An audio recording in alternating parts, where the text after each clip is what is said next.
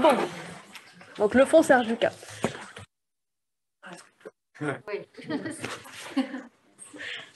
Au musée de la Marine, le fond Serge Lucas, c'est avant tout un ensemble assez colossal d'images liées aux activités de la mer et aux activités de bord de mer, à la pêche et à ceux qui les pratiquent surtout. Cet ensemble a été réalisé entre la fin des années 70, précisément 1978, et le début des années 2000, même si la partie qui va jusqu'au milieu des années 90. Serge Lucas, qui est donc ici à ma gauche, est entré en relation avec le monde des pêcheurs, d'abord par euh, le prisme du journalisme, puisqu'il était journaliste avant d'être photojournaliste. Il a ensuite été introduit dans cet univers par un pêcheur, puis je crois par le directeur d'une coopérative maritime à Étaples, qui lui a donc ouvert les portes de ce, monde des, pêcheurs et de la pêche. En 1978, et c'est là que cette date de début de constitution est assez, euh, assez ferme, c'est que Serge Lucas devient indépendant et reporter photo qui se consacre intégralement au monde des marins pêcheurs. La pêche côtière, la pêche en haute mer, à pied, l'aquaculture, et il l'élargit petit à petit. Il l'élargit petit à petit aux marins du commerce, mais aussi à la plaisance, à la marine nationale, et, je cite, à tous les occupants des eaux salées et douces. Donc aujourd'hui, euh, ce fonds au musée de la Marine, c'est environ 65 000 diapositives, donc des films inversibles couleur de 24 par 36 qui sont présentés dans des caches en carton. Voilà pour la partie euh, matérielle, caches carton, mais également des caches euh, plastiques. Hop. et qui sont principalement donc des kodachromes, des hectachromes, voilà, pour, la, pour la présentation vraiment matérielle de ces éléments-là. Et ce fond de diapositive est complété par quelques films négatifs, également par quelques coupures de journaux, un petit dossier de presse et par des éléments produits par Serge Lucas dans le cadre de sa, de sa pratique. Donc ce que je vous propose là aujourd'hui pour la, la, petite heure au cours de laquelle je vais faire cette présentation, c'est de d'abord retracer le processus d'acquisition du fonds, mais les questionnements aussi qui l'ont accompagné et qui pour certains l'accompagnent toujours. Je m'attacherai ensuite à quelques traits caractéristiques que présente ce fonds, tant du point de vue du sujet que de la pratique du photographe, en les comparant avec d'autres fonds et d'autres images conservées au musée. Et en guise de conclusion, euh, je m'interrogerai peut-être avec vous sur les possibilités de, valorisation de ce fonds, celles qui ont été exploitées et celles qui pourraient l'être dans le futur. Donc, ce fonds, euh, c'est avant tout une opportunité d'acquisition pour le musée, puisque Serge Lucas s'est rapproché du musée pour proposer l'acquisition de ce fonds. Il s'est donc placé véritablement dans une démarche de transmission en ayant la volonté de faire passer euh, le travail de sa vie. Cette démarche a d'ailleurs été formalisée euh, par Serge Lucas dans un livret. Donc voilà, je vous avais mis quelques images de ce fonds pour vraiment sa partie matérielle. Donc les diapositives dans leur cache, aujourd'hui présentées dans des euh, pochettes plastifiées, et quelques films négatifs qui les accompagnent. Donc ce livret, le voici, en voici la couverture, euh, dans lequel on peut retracer le processus de diffusion de ce fonds-là, puisqu'on y apprend que la volonté de transmission de Serge Lucas n'est pas née en 2010, au moment où l'acquisition a été formalisée au sein du musée de la Marine, mais plusieurs années auparavant, et qu'il avait contacté un certain nombre d'acteurs du monde du patrimoine maritime, à commencer par un des directeurs du musée national de la Marine, qui était le contre-amiral Prudhomme, donc entre 1997 et 2004 de mémoire. Euh, Alain Parès euh, a également été, c'était à l'époque le président du comité national des pêches maritimes, qui était également prêt à soutenir ce projet, mais également Nausicaa avait manifesté euh, un intérêt pour, pour ce fonds-là, donc la Fédération régionale pour la culture et le patrimoine maritime du Nord-Pas-de-Calais. Donc, en fait, au moment où le photographe a cessé quasiment son activité de photographe, et pour concrétiser cet intérêt manifeste qui lui avait été manifesté par un certain nombre de responsables d'institutions culturelles liées avec le patrimoine maritime, il a repris contact avec le Musée national de la marine avec l'idée que la préservation de ce fonds, et notamment la pérennité matérielle, grâce à des moyens dont il ne dispose pas, et sa valorisation, euh, qui permettrait notamment d'améliorer la connaissance euh, du monde de la mer, doit se faire à une autre échelle que celle du photographe et doit passer par une transmission institutionnelle. Donc je vais citer juste une, phrase qui se trouve dans ce livret. Cette collection glanée sur les eaux et sur les mers recherche sa terre d'accueil pour créer cette si essentielle passerelle d'information et de communication entre le monde des marins et celui des terriens. Donc voilà, on est là aujourd'hui entre ces deux mondes pour essayer de les faire dialoguer à travers ce patrimoine photographique euh, fondamental. Bon, une fois qu'il y a eu cette opportunité d'acquisition au musée, pourquoi finalement enclencher un processus d'acquisition? Pourquoi aller plus loin? Pourquoi mobiliser un certain nombre d'acteurs autour de ce fonds? C'est qu'à ce moment-là, donc en 2010, il y a au musée depuis plusieurs années un travail sur la collection de photographies, avec le recrutement d'une responsable au sein du service de la conservation de ce fonds photo, qui a pu donc mener une politique raisonnée de connaissance du fonds, d'inventaire, et également proposer des acquisitions pertinentes. C'est vraiment la connaissance du fonds photographique qui était alors conservé au musée qui a permis d'orienter des pistes et de donner des axes d'acquisition. Et il se trouve que ce fonds comble une lacune qui était à ce moment-là énorme sur la pêche. En effet, au moment de l'acquisition, aucun élément relatif à la pêche n'était présent dans les collections après, la deuxième moitié, après le milieu du XXe siècle. La collection relative à la pêche comportait seulement 80 objets et œuvres, et donc ne permettait absolument pas de traiter ce sujet de manière satisfaisante, alors même que commençaient les réflexions autour de la rénovation du musée et, du discours que ce dernier devait porter sur les cinq marines, c'est-à-dire la marine nationale, certes, mais également la marine scientifique, la marine au commerce, la plaisance et la pêche. Au-delà de l'intérêt vraiment pour la thématique euh, pêche, il est assez rapidement apparu que les images proposées par Serge Lucas sortaient de l'ordinaire. D'ailleurs, la qualité de ce travail a été reconnue non seulement par des professionnels de la mer, mais également par ses pairs photographes, puisque notamment le photographe et aussi peintre officiel de la Philippe Plisson a salué euh, l'intérêt de ce fonds-là, mais également, côté pêche, Loïc Antoine, qui était à ce moment-là directeur du centre Ifremer de Brest. Finalement, un soutien financier euh, conjoint a permis de concrétiser cette, acquisition, soutien à la fois de la direction de la mémoire, du patrimoine et des archives, qui est la tutelle du musée au sein du ministère des Armées, mais également du ministère de l'écologie et du développement durable des transports et du logement, ainsi que du Comité national des pêches maritimes et des élevages marins.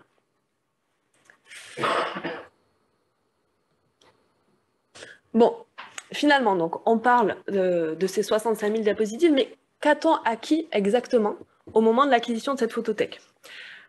Ce qu'on a acquis, c'est un volume important. Et cette question du volume s'est posée très vite, avant même que l'acquisition ne soit formalisée, euh, que ce soit lors de la présentation en interne ou même à la commission d'acquisition, qui est l'instance qui permet de valider les acquisitions au sein du musée. Euh, il y a eu assez rapidement l'idée, la suggestion d'opérer un choix au sein de cette photothèque pour réduire la quantité euh, d'objets. Donc, en quelque sorte, une forme de travail d'édition qui aurait pu peut-être être fait en collaboration avec, euh, avec Serge Ducas, avec le photographe. Mais aussi rapidement qu'a émergé cette question est venue la question des critères. Sur quels critères faire ce choix? Des critères techniques, esthétiques, thématiques, ou alors une forme d'échantillonnage systématique en sélectionnant un pourcentage, euh, X% de chaque, euh, de chaque reportage? Quel qu'il soit, ce critère et cette sélection auraient impliqué d'avoir une connaissance préalable de l'ensemble du fonds, euh, ce qui n'était euh, raisonnablement pas possible dans le temps qui est celui des, commissions d'acquisition et dans le temps qui était de celle de, l'acquisition.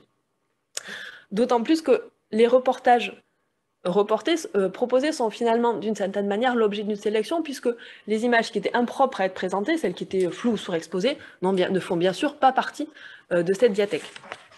Donc il en découle une grande cohérence cohérence de l'ensemble, mais également cohérence au sein, de chaque marée.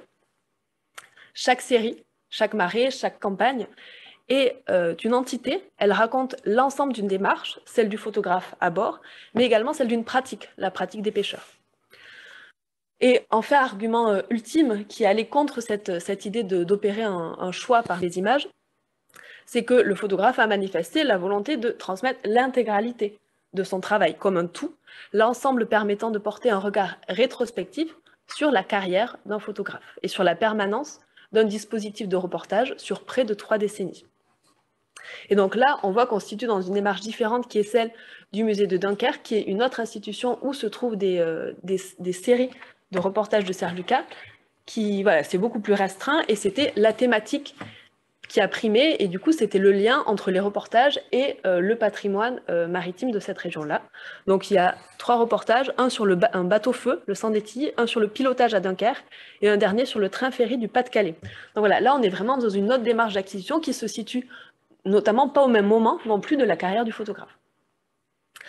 Donc là, tout a été pris, euh, l'ensemble des reportages, les coupures de presse, également la, oui, les éléments de documentation que l'on peut trouver sur ce fond-là.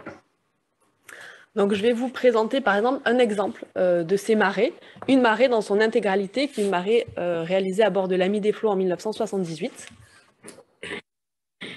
Voilà, là c'est dans chaque classeur, au début du reportage figure cette fiche très sommaire qui permet d'identifier rapidement euh, le contenu de la marée. Donc on voit la première diapositive. Alors j'ai essayé, vous le verrez au cours de ma présentation, de faire alterner les vues d'ensemble de ces planches qui sont aujourd'hui vraiment constitutives de ce fond-là et des vues de détail pour que vous puissiez avoir un sentiment un petit peu plus juste de, euh, du caractère euh, esthétique de certaines de ces, de ces images.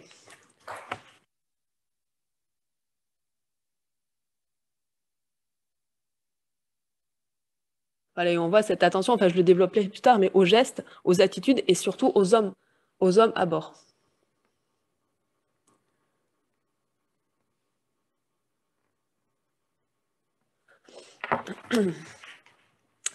Une fois que cette acquisition a été concrétisée, une fois que le fonds est physiquement arrivé au musée, il y a eu un travail important de documentation qui a été initié.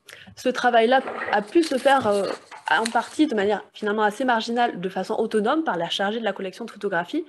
C'était euh, l'inventaire du fonds en attribuant un numéro d'inventaire à chaque marée. Euh, sans suivre forcément d'ailleurs le conditionnement, qui était le conditionnement d'origine, puisque certaines marées sont plus ou moins longues. On a ici six diapositives, six planches, mais ça peut aller jusqu'à des dizaines de planches. Donc voilà, il y a vraiment un travail d'identification de chaque marée et d'attribution d'un numéro d'inventaire. Euh, ce travail a permis également de donner quelques éléments de documentation et de contexte. Les éléments qui sont présents soit sur les planches, comme vous, voyez peut-être ici, on voit qu'on est ici sur euh, une campagne de pêche qui utilise des chaluts pélagiques. En revanche, ces, éléments d'identification ont leurs limites, puisque par exemple sur cette, euh, sur cette deuxième planche consacrée euh, aux marins pompiers à Marseille, l'étiquette pêche n'est pas du tout représentative, c'est tout simplement parce que certains éléments ont été réutilisés. Donc cette documentation qui se fait de manière autonome n'est pas forcément la plus pertinente. De la même manière, le travail de croisement entre ces images et les publications de Serge Lucas, les articles ou les ouvrages, ne permet pas d'embraser l'intégralité euh, du fond. Donc finalement, le travail le plus pertinent qui a été fait pour euh, documenter, pour analyser ce fond, c'est le travail qui a été fait en collaboration avec Serge Lucas, euh, qui a, enfin, le musée a eu la grande chance de pouvoir organiser un certain nombre de séances de travail avec le photographe, donc entre Angelina Meslem, qui était la chargée de la collection de photos, et Serge Lucas. La mémoire du photographe a notamment facilité la remise en ordre des planches au sein de chaque euh, reportage, puisqu'à l'usage, ils avaient pu être euh, éparpillés, cet ordre avait été perdu, et l'intervention de Serge a permis de retrouver cette narration de la campagne de pêche du départ en mer jusqu'au retour au port. En dehors de ça, le récit a permis euh, d'établir des fiches signalétiques bien plus précises que celles qui sont manuscrites qui figurent au début de chaque reportage, qui euh, regroupent donc la date, le lieu, le type de navire, le nom de l'armateur et le port d'attache, le type de pêche, le nom du capitaine, la composition de l'équipage, les métiers à bord, la durée de la marée, l'espèce pêchée, le traitement à bord et le nombre de diapositives. Ces éléments s'accompagnent souvent d'un récit euh, général de Serge Lucas sur l'ensemble de la campagne, du commentaire d'une image, comme on voit ici, et d'un lien éventuel avec des publications. Donc, toutes ces fiches signalétiques, toutes celles qui ont été réalisées, sont liées à l'inventaire informatisé, à la notice de l'objet, et permettent euh, d'ajouter les mots et l'expérience de Serge Lucas à ces reportages euh, photos. Donc ce travail assez colossal de documentation n'a pas pu être mené à bien pour l'ensemble du fonds et c'est un travail qui a été repris une dizaine d'années plus tard et qui est aujourd'hui en cours pour essayer de compléter la documentation de l'ensemble de ces marais. Donc voilà, donc pour résumer vraiment cette première partie, c'était une opportunité d'acquisition qui a trouvé sa place euh, parfaitement au sein du musée et qui continue aujourd'hui à faire l'objet d'un travail d'étude.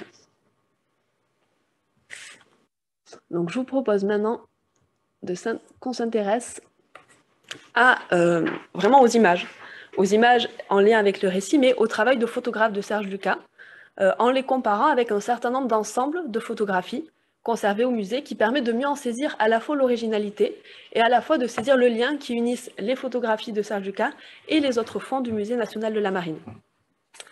J'ai décidé de les comparer uniquement avec des séries inventoriées, puisque euh, la comparaison avec des photographies isolées n'aurait, à mon sens, pas eu du tout la même portée et on serait passé à côté d'une des caractéristiques principales de ce euh, fond-là.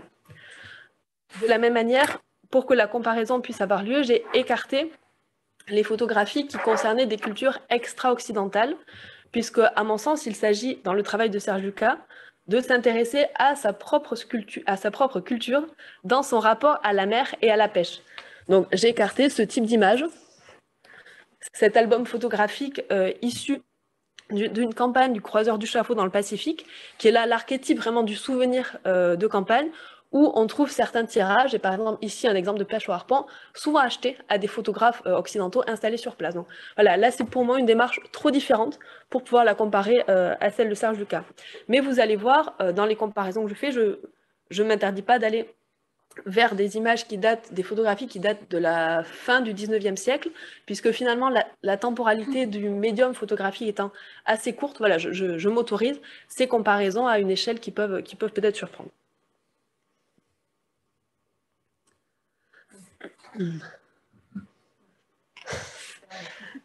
Donc, il, apparaît très rapidement que le travail de Serge Lucas est une source de premier plan sur la question de la pratique de la pêche. Et euh, cet avantage-là, cet élément-là, tient énormément à la question de la série, puisque Serge Lucas a réalisé des séries systématiques en se faisant observateur attentif du monde de la mer, et il a ainsi offert un panorama complet à travers un ensemble d'ensemble de photographies.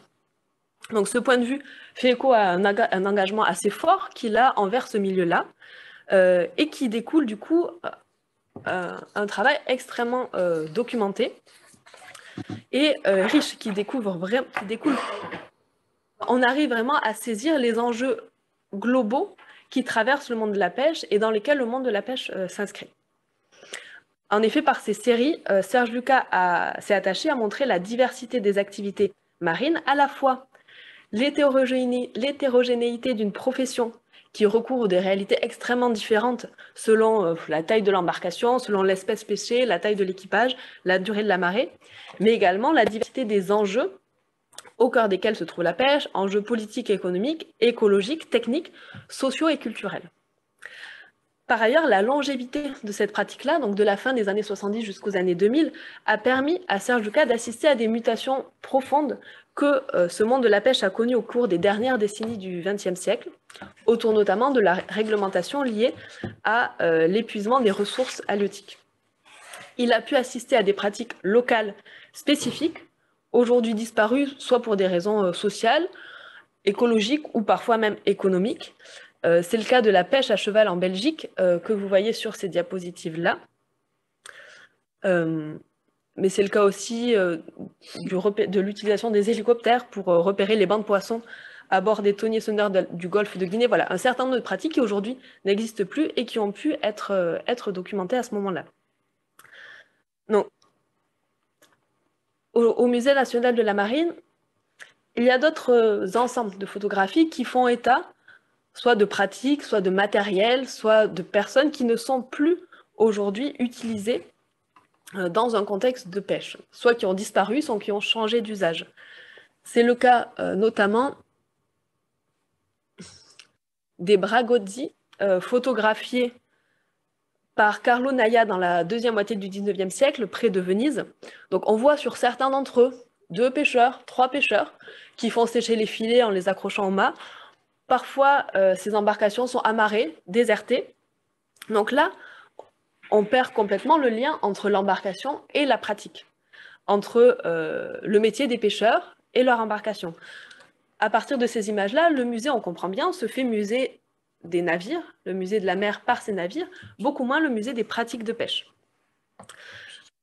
Dans le cas euh, de Serge Lucas, et par exemple avec ce cas euh, assez particulier de la pêche au thon, donc cette pêche au thon avec des filets maillants dérivants qui ont été interdits en 2002, je crois, euh, cette pratique très particulière est replacée dans un contexte plus large de pêche et d'autres reportages permettent de comprendre les différentes étapes de ces marées et de les comparer à des pratiques similaires. On voit par exemple là un exemple de pêche au thon à la, canne et de filet maillant pour des tonniers ligneurs. Donc, on voit bien à travers cet exemple précis de la pêche au thon que l'hétérogénéité de la profession et la diversité des enjeux euh, des pêcheurs se trouvent bien euh, représentées grâce à cette logique de la série et de l'abondance euh, des reportages. Alors, dans les collections du Musée national de la marine, on pourrait peut-être essayer de rapprocher un autre ensemble du travail de Serge Lucas dans le, autour d'une pratique de pêche très précise qui est la chasse à la baleine puisque là, c'est un album euh, composé par Louis Lacroix, euh, qui s'est du coup intéressé à cette activité de la chasse à la baleine, entre autres. Et donc, on y voit les différentes étapes de cette pêche avec le repérage des bancs de poissons, euh, ici, le coup de harpon, le remorquage de la bête et jusqu'au dépeçage sur le pont. Donc voilà, il y a ici l'ensemble d'une pratique qui est représentée, mais encore une fois, on est là sur un type de pêche particulier, très ancré dans le temps, dans une époque euh, vraiment euh, très déterminée.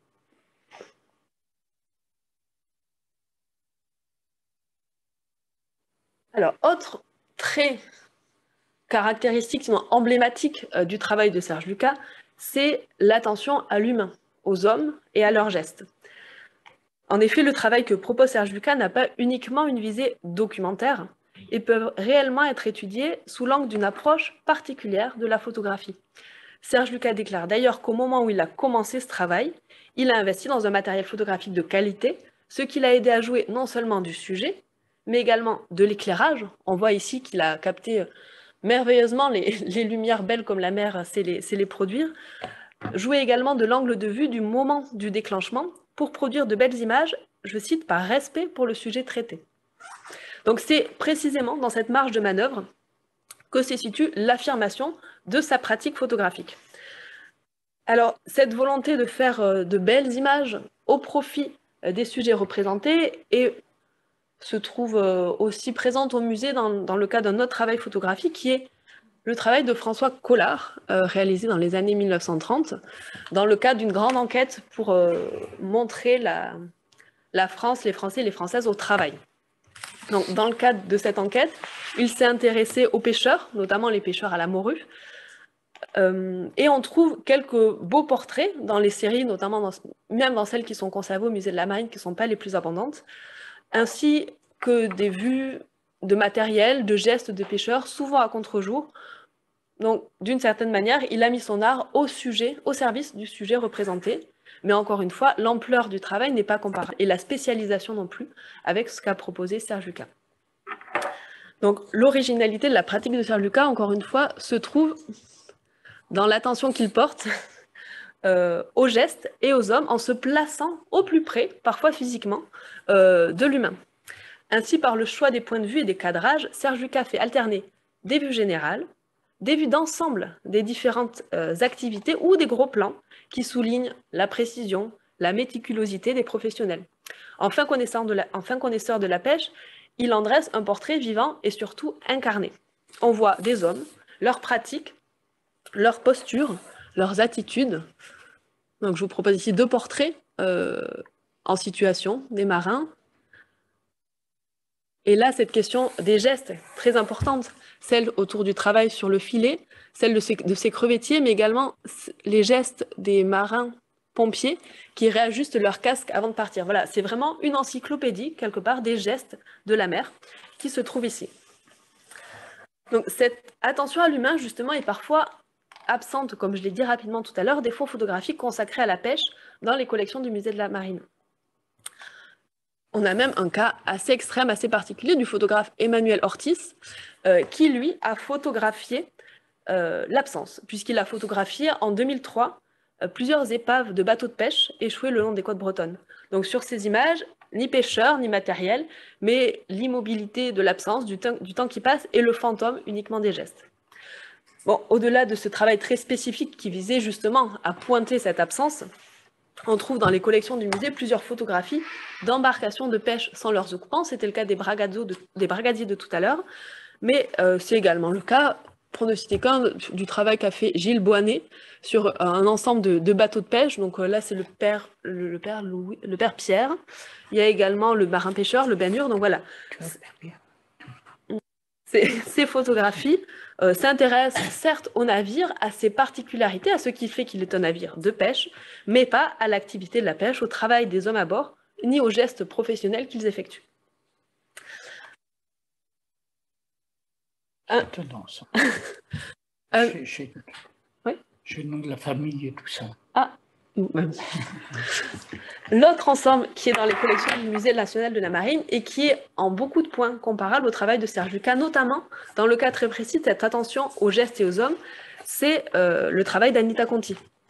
Euh, puisque elle aussi s'est intéressée non seulement aux méthodes qu'emploient les pêcheurs, mais également à la vie à bord, puisqu'elle aussi a embarqué, elle a partagé le quotidien de ces hommes en mer, et donc, on voit sur les, sur les fonds qui sont conservés au Musée national de la Marine, qui sont bien plus maigres que ceux qui existent aux archives municipales de Lorient, mais déjà, on décèle cette attention aux gestes, puisqu'on voit beaucoup d'opérations menées à bord, euh, le travail sur les filets, notamment le ramandage, le tri du poisson sur le, sur le pont, c'est ce qu'on voit ici, la pesée euh, du poisson, que ce soit dans le cadre de missions scientifiques de l'Institut de la pêche, c'est le cas de la photographie qui est au centre, ou de campagnes qu'elle a accompagnées de marins pêcheurs professionnels.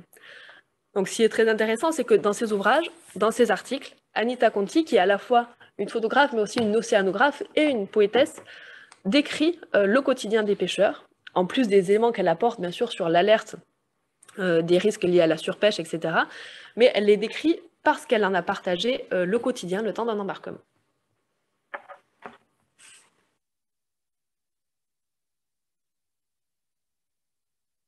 Troisième point euh, qui, à mon sens, est représentatif de ce travail, c'est la construction assez systématique en réalité des reportages. Puisque dès le début euh, de son travail de photojournaliste indépendant, Serge Lucas a eu la volonté de construire son travail d'une façon systématique selon plusieurs critères qui, ont permis la construction euh, des images. Le premier critère tient au fait qu'il s'agit d'une démarche presque encyclopédique. Serge Lucas a décidé de photographier une marée pour chaque type de pêche et de suivre cette marée à partir du port ou de la région où elle est le mieux développée. C'est ainsi qu'il a suivi euh, la, pêche aux coquilles Saint-Jacques dans la Manche, le thon à 7, la pêche à pied sur les côtes atlantiques ou la pêche à la crevette, comme on l'a vu tout à l'heure, à cheval en Belgique. Il a ainsi multiplié les ports d'embarquement pour diversifier les approches et pour surtout essayer de couvrir l'intégralité tout simplement d'une pratique. Deuxième critère qui a guidé son travail, qu'on retrouve systématiquement dans tous les reportages, c'est la volonté euh, de fuir le sensationnel pour privilégier le quotidien des marins dans ce qu'il a euh, de répétitif. Donc on trouve euh, en effet assez systématiquement des temps d'attente, le départ en mer. On trouve aussi assez systématiquement le travail de tri sur le pont, de jour, de nuit, seul, à deux, à plusieurs mais également dans ce qu'il a d'exceptionnel, c'est-à-dire le temps, les prises, leur ampleur, etc. Donc cette approche a guidé un travail assez systématique avec des séquences que l'on retrouve sur la majorité des reportages, que la marée dure quelques heures ou qu'il s'agisse d'une campagne de plusieurs semaines. Grâce à cette pratique sérielle et systématique, on peut retracer les principales euh, phases de travail et de vie à bord pour voir les marins en réalité dans une temporalité qui est la leur. Pas dans une temporalité du photographe qui prend les photographies quand il le peut, mais vraiment dans celle d'un photographe qui, épouse ce rythme de la vie à bord. je vais vous présenter euh, un reportage, encore une fois dans son intégralité, à bord de l'Artimon. Donc, on part là euh, de Trouville-sur-Mer. On est dans la Manche en 2005. Donc, départ du port, on voit, on était à quai, on prend le large, on sort du port. C'était une pêche à la sole, je crois, donc de nuit. Euh, le filet euh, gorgé de sol qui se déverse sur le pont, les, poissons sont triés, reconditionnés, et la marée se termine quelques diapositives plus tard. Au retour au port, au petit matin, le poisson est conditionné dans des bacs et prêt à être envoyé à la, à la criée. Donc voilà, il y a vraiment cette, euh, cette narration qu'on peut lire sur une grande partie des reportages de Serge Lucas. Donc, sur ce point euh, assez précis, il n'y a pas vraiment d'équivalent dans les collections de photographies conservées au musée, puisque pour une grande partie des photographies que l'on conserve, c'est ce que je disais tout à l'heure, c'est la temporalité du photographe qui euh, guide les images qui sont prises. Euh, même chez Anita Conti, qui pourtant a une certaine fidélité au rythme à bord, et cela tient au fait qu'elle n'était pas uniquement photographe, elle était océanographe, elle venait aussi pour apporter des données, pour dresser des cartes marines, etc. Les photographies sont vraiment prises quand c'est possible. En fait, parmi d'autres activités menées à bord, il n'y a pas d'approche systématique, on est là beaucoup plus au coup par coup. Dernier trait euh, caractéristique de la production de Serge Lucas, et plus que de la production, c'est de la question de la diffusion des images. Lorsqu'il était en activité, Serge Lucas a multiplié euh, les occasions de diffusion de son travail photographique à titre, individuel ou par l'intermédiaire de collaborations avec des partenaires, notamment des partenaires institutionnels, mettant à la fois en valeur son travail de photographe de la mer et sa connaissance extrêmement fine du milieu maritime. Donc l'expérience de photographe de Serge Lucas l'a assez euh, rapidement et assez naturellement orienté vers la publication d'articles euh, à partir des photographies qu'il a prises, il a contribué à plusieurs revues spécialisées euh, dans le de la mer en tant que photojournaliste. C'est le cas notamment euh, du Chasse-Marée, dans lequel il a publié ce reportage sur les bateliers de Marseille. Il est en effet chargé de couvrir les métiers contemporains de la pêche pour cette revue-là. Il a également travaillé avec l'hebdomadaire Le Marin et au titre de photoreporter avec le magazine Géo au tout début de, l'existence de cette revue. Sa connaissance détaillée, approfondie du monde de la mer et des pêcheurs en particulier lui ont également permis de publier un certain nombre d'ouvrages, seul ou en collaboration avec des auteurs. Donc dès 1984, il publie Pêcheurs, qui est euh, conçu comme un ouvrage qui regrouperait les plus belles marées de Serge Lucas jusqu'à ce jour-là, accompagné euh, de commentaires. Il publie ensuite euh, en 1989 Gommier le canot Caraïbe, en 1996 Marin, les métiers de la mer, qui est un article composé à plusieurs mains euh, à partir euh, des questions à la fois d'assistance et de transport en mer, des différents types et des différents outils de la, pêche, mais largement construit à partir de photographies, et notamment celle de Serge Lucas. Il a publié ensuite Jean de Rivière, La Seine et ses affluents, avec Jean-Paul Gazon en 2006, et Le Dernier Né, qui est ici. C'est un bon pêcheur, euh, en 2019, où là, l'image ne tient pas du tout la même place. L'image est absente, mais c'est vraiment le récit euh, de ces campagnes de, de, pêche que Serge Lucas a accompagné. Sa pratique photographique a également été mise à l'honneur à travers plusieurs expositions, à l'occasion d'événements notamment liés à la pêche, où Serge Lucas diffusait des diaporamas. C'est le cas des salons des pêches de Nantes ou de Lorient, mais il y a également une série de tirages qui ont été réalisés pour le salon nautique de 1996, où la galerie photographique lui était, euh, lui était dédiée.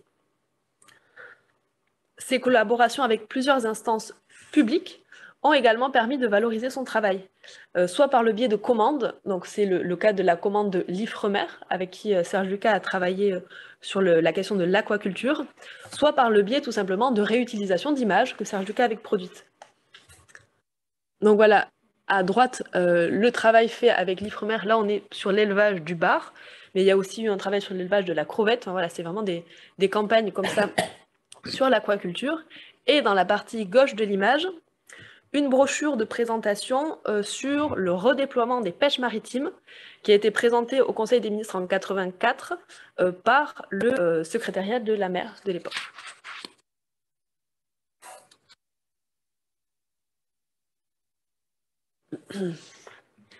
Au-delà de ces différentes occasions de diffusion, Serge Lucas a aussi assuré la communication de ses photographies en gérant lui-même sa photothèque et en proposant sa collaboration pour des reproductions de photographies, la fourniture de reportages presque clés en main ou euh, de diaporamas, d'expositions, d'articles, etc. Donc on voit ici, c'était aussi dans le fond la, petite plaquette de présentation euh, de la photothèque. Serge Lucas a aussi euh, travaillé en collaboration avec l'agence RAFO au début de sa carrière entre 80 et 82, puis avec CNC à partir de 83. et d'ailleurs, on peut voir les, les indices des reportages qui ont été sélectionnés ou des clichés et des diaporamas, des diapositives qui étaient sélectionnés dans le fond avec cette petite étiquette qui est collée souvent sur le cache euh, les, dans les classeurs. Donc voilà, cette pratique reflète en réalité la diversité d'opportunités de diffusion pour un photographe contemporain, tout comme la nécessité euh, de mobiliser plusieurs biais pour assurer une diffusion pertinente, mais également pour que euh, cette distribution soit viable, tout simplement. La comparaison à ce titre-là avec les fonds conservés au musée permet en effet de prendre la conscience de l'importance de la question de cette diffusion euh, des images. Le travail de Serge Lucas s'inscrit par exemple dans un contexte radicalement différent de celui de François Collard, qui a réalisé sa grande série de reportages par l'intermédiaire d'une commande d'un éditeur qui est Horizon de France. En revanche, cette profusion euh, des modes de diffusion est assez similaire à celle qu'on devine dans le travail d'Anita Conti, qui a à la fois euh, produit des articles, des ouvrages, Racleur d'océan notamment, articles dans Neptunia, qui a collaboré avec l'Institut des pêches marines, qui a fait une série de conférences. Donc voilà, on retrouve cette même euh, profusion d'outils de diffusion et de valorisation vers l'extérieur du travail chez cette photographe. Donc voilà, donc en résumé, pour, pour vraiment cette partie, c'est un travail qui présente plusieurs traits caractéristiques. la logique de la série, tout d'abord, l'attention à l'humain, et la volonté d'humaniser les pratiques que Serge Lucas a photographiées, la construction presque systématique des reportages et la diversité des contextes de diffusion. Donc, en guise de conclusion, voilà, quelle possibilité de valorisation? Il ne s'agit pas euh, d'empiler comme ces conteneurs euh, les classeurs de diapositives dans nos réserves, il faut en faire quelque chose, c'est notre mission. Euh, donc, et la question de cette valorisation a été présente dès le moment de l'acquisition du fonds puisqu'il y avait dès le départ le projet d'intégrer certains des diapositives au futur parcours euh, du musée de Chaillot, du musée national de la marine rénové. Le but était de porter un discours complet sur la pêche et de traiter cette thématique sous différents aspects, sous différents points de vue, ce que permet le fond, à différentes échelles. Il y a eu plusieurs, euh, plusieurs idées qui ont été avancées. Donc, à un moment, l'idée de numériser pour projeter ces euh, diapositives allait d'une visionneuse, une présentation multimédia, dynamique, peut-être avec la voix de Serge Lucas, qui avait pour objectif d'amener progressivement au questionnement actuel euh, sur le, monde de la pêche et sur la raréfaction des ressources. Il y a eu aussi un projet de reproduction de certaines photographies par l'intermédiaire de tirages dans l'espace consacré à la pêche. Mais en réalité, les contraintes d'espace euh, dans le futur musée et la nature du propos développé par Serge Lucas, qui est un propos assez spécialisé, ont plutôt orienté euh, les images qui seront produites vers le compagnon de visite, qui est un outil de médiation, un outil d'approfondissement qui sera à disposition des visiteurs pour creuser certaines thématiques développées dans le parcours. Donc là, l'objectif, c'est le, reportage que vous ai montré tout à l'heure sur l'artimon. Certaines de ces diapositives seront présentées en regard d'un modèle de chalutier pour évoquer le déroulement euh, d'une campagne de pêche artisanale dans la Manche. Une possibilité de valorisation qui a déjà, euh, qui a déjà eu lieu et qui est amenée à se, multiplier, c'est la valorisation des images dans le cadre d'expositions temporaires. Euh, en effet, la, la, diversité des sujets évoqués euh, par Serge Lucas permet de compléter utilement presque tous les sujets, en réalité relatifs à la mer, dans la seconde moitié du XXe siècle. Donc là, c'est une vue de l'exposition dans les mailles du filet, consacrée à la pêche à la morue, on voit que dans la partie euh, gauche, certaines images étaient reproduites. Autre exposition sur euh, le commerce, l'exposition de l'amphore et conteneur, de l'amphore au conteneur, où euh, des images ont été diffusées avec le récit enregistré de Serge Lucas. Les photographies ont ensuite été utilisées dans l'ouvrage qui a accompagné cette exposition chez Gallimard. Et enfin, une autre exposition dans un des musées euh, du littoral du Musée national de la marine à Port-Louis, l'exposition Mayday euh, dédiée au secours en mer a euh, nécessité la reproduction de deux tirages de Serge Lucas, que vous voyez ici sur le document des stonographes et ici dans, dans, la salle d'exposition. Bon, on le voit, la diffusion, que ce soit par le biais d'exposition ou de publication, passe nécessairement par la numérisation. En 2014, il y a eu une première opération de dépoussiérage, reconditionnement et numérisation d'un millier de diapositives par l'atelier Boba. Euh, bon, un millier sur euh, plus de 60 000, c'est peu. Euh, la question qui se pose aujourd'hui est celle de la politique de numérisation. Puisque finalement, le choix qui était complexe au moment de l'acquisition, cette histoire de la sélection, serait aujourd'hui peut-être facilité puisqu'on a aujourd'hui une meilleure connaissance de ce fonds dans sa diversité et surtout dans toute son ampleur. Donc, est-ce qu'il faudrait choisir quelques diapositives de chaque marée pour les faire numériser? Est-ce qu'il faudrait numériser intégralement les marées les plus courtes, passer sous silence les autres? Est-ce qu'il faudrait euh, faire une première campagne de numérisation pour euh, certaines marées aujourd'hui? Et ensuite, au gré des projets, au gré des possibilités d'études et de valorisation, multiplier euh, ces numérisations-là. Voilà, c'est aujourd'hui une question qui est ouverte. Et euh, par exemple, dans le cadre de cette journée d'études, certaines diapositives ont été numérisées par Arnaud à la demande, mais voilà, il n'y a pour le moment pas de logique d'ampleur de, ce travail de numérisation qui est à mener. Donc, pour, euh, terminer, le musée a une responsabilité vis-à-vis de ce fonds, euh, d'en préserver la cohérence matérielle, d'en garantir l'accès et de le rendre intelligible. Donc, un travail au moins de documentation à minima. En revanche, l'étude du fond euh, pourrait être approfondie en dehors du musée. Il n'est pas impossible d'envisager euh, l'intérêt d'ethnologues, euh, d'ethno-océanologues, de géographes, de socio-anthropologues qui pourraient s'emparer de ce fond très cohérent dans le cadre d'études académiques, en lien, par exemple, avec ceux qui constituent le patrimoine immatériel, ses gestes et ses pratiques de la pêche. Donc des liens pourraient, peut-être, qui sait, être noués entre le musée et des universités quant à des, euh, vraiment au sujet de partenariats de recherche très précis qui permettraient l'étude et une forme de, valorisation de ce fonds-là. Voilà, donc j'espère vous avoir donné un panorama assez euh, complet euh, de, de, cet ensemble, des enjeux qu'il permet d'aborder et surtout de la richesse qu'il apporte au musée, tant du point de vue de la pratique du photographe que de la thématique de la pêche et que ces divers éléments pourront vous permettre de suivre cette journée d'études en ayant toutes les clés en main. Et voilà, je vous remercie pour votre attention.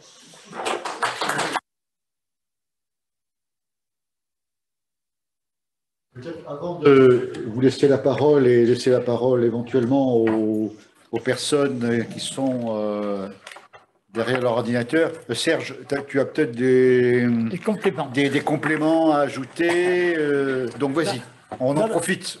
D'abord un grand merci, bravo le travail de Marine elle m'a rappelé des choses que j'avais presque oubliées. Et surtout, surtout, là où je dis un grand merci, c'est que ça prolonge, ça prolonge et ça concrétise ma démarche initiale. J'avais prévu de faire l'ensemble des, pêches françaises. Quand je, suis, quand je me suis adressé au musée de la Marine, je voulais confier en patrimoine, que ce patrimoine puisse perdurer.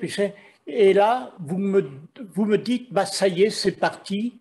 Et c'est vous, c'est vous qui complétez. Seul, on n'est toujours qu'un maillon d'une opération. On a besoin des autres. Quand j'ai fait des diaporamas, j'ai eu besoin de la voix des comédiens pour dire mon texte.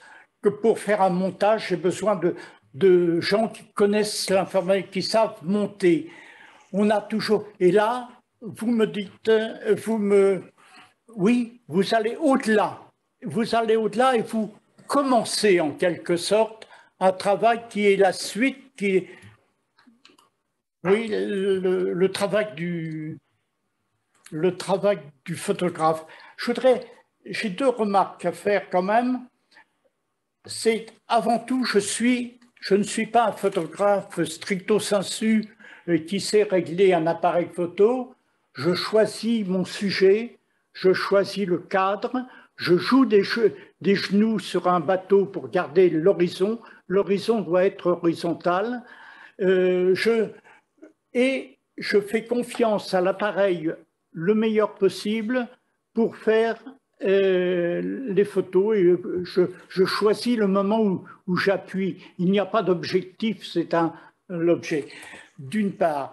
D'autre part, euh, donc, euh, je suis passé de photographe que j'aimais être quand j'étais journaliste dans le quotidien régional on devait chaque jour faire des papiers et le texte les accompagner de photos. J'ai toujours, bien contrairement à beaucoup de confrères que pour lesquels c'était une charge, j'ai euh, moi apprécié de faire les photos, mais quand j'ai décidé d'embarquer avec les marins pêcheurs, à ce moment-là, je me suis baptisé moi-même photojournaliste. Parce que euh, pour moi, la, photo, les photos ont besoin de mots et les mots toujours plus riches sont toujours plus riches avec des photos. J'ajoute même, une photo seule ne raconte pas une histoire.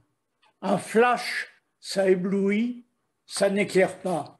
Donc, c'est pour moi quelque chose d'essentiel, tout ça. Euh, je suis prêt à suivre et répondre peut-être à une question parce que euh, je... Oui, je, je veux ajouter que les mots, je les ai pris à bord de livres aussi. J'ai fait des photos, j'ai acheté des livres. J'ai 70, euh, non, j'ai 700 livres sur la mer et sur les pêches d'hier et d'aujourd'hui. Je pense que ça, j'aimerais que ça entre aussi, que ce soit donné. Mes carnets, je suis prêt à les donner au musée de la marine parce que pour moi, tout ça, ça, constitue un, tout. Ça constitue un tout et la photo est quelque chose d'essentiel euh, pour montrer. On a, Marine a parlé de Géo, bah, Géo 25, 25 pages de Géo dans le numéro 4, c'était une belle pige, c'était nécessaire parce que j'ai tout investi, hein, dans la mesure où personne ne s'occupait de la pêche, euh, le matériel, j'ai dû l'acheter, vivre au quotidien, j'ai dû m'en charger et mon épouse euh, m'a aidé dans ce domaine-là. Quand Géo est paru, alors effectivement, ça a été une carte de visite essentielle. Hein. Mais la photo, c'est ça aussi. C'est ça aussi quand je suis arrivé à Bordeaux pour demander à Jacques de Zeus d'embarquer 70 jours sur le chalutier de, grande pêche qui allait dans le détroit de Davis, Jacques de Zeus est arrivé en me disant Regardez la photo, ce que ça donne. Regardez ce que vous faites avec les photos. Vous allez nous mettre dans une situation catastrophique parce que ce qu'on voit, je l'avais appris quelques marées plus tôt, heureusement, et j'ai tout de suite vu ici c'est une photo qui n'aurait jamais dû être publiée. Le photographe aurait dû ne pas la donner à publier parce qu'on y, voit, on y voit un acte délictueux, à savoir une chaussette, un, chalut à petite maille introduit à l'intérieur d'un chalut aux mailles réglementaires. Voilà, donc, euh, pardon, je m'arrête là, je vais répondre aux questions. De toute façon, on reviendra hein, dans un instant hein, sur euh, ces différents aspects, mais donc je me tourne euh, vers vous si vous avez des remarques, euh, des questions à, Serge et à Marine surtout pour l'instant. Oui. Sur la numérisation, combien de temps dure une, une diapositive? Je suppose que ce n'est pas éternel, donc c'est peut-être aussi un choix de prendre les plus anciennes. Alors après, il y a la question de l'ancienneté, il y a aussi la question de l'État. Aujourd'hui, euh, que ce soit celle de 1978 ou celle de 2004-2005, pour le moment, les couleurs n'ont pas viré. Euh, ça tient à la qualité, je pense, du film inversible. Ça tient aussi peut-être à des conditions de conservation pas défavorables, bien que pas tout à fait favorables. Je pense que tout à l'heure, quand on évoquera les questions de conservation préventive, on verra qu'on est certainement assez loin de ce qui serait idéal pour conserver les diapositives. Mais en effet, la, piste de la, de la numérisation de sauvegarde, parce qu'en réalité, enfin, aujourd'hui, je pense qu'il n'y a pas de restauration possible des diapositives en dehors du travail sur la numérisation. C'est en effet une piste qui peut être étudiée.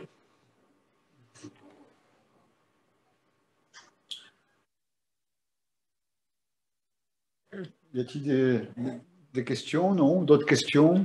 D'autres remarques? Et parmi les non, le silence. Euh, silence radio. Petite remarque. Vas-y. Non, simplement, vocabulaire, j'y tiens. Euh, on parle de commandant à la pêche. On ne parle pas de capitaine. Le capitaine, c'est un grade. Le commandant, c'est celui qui commande. Un petit bateau, un grand bateau.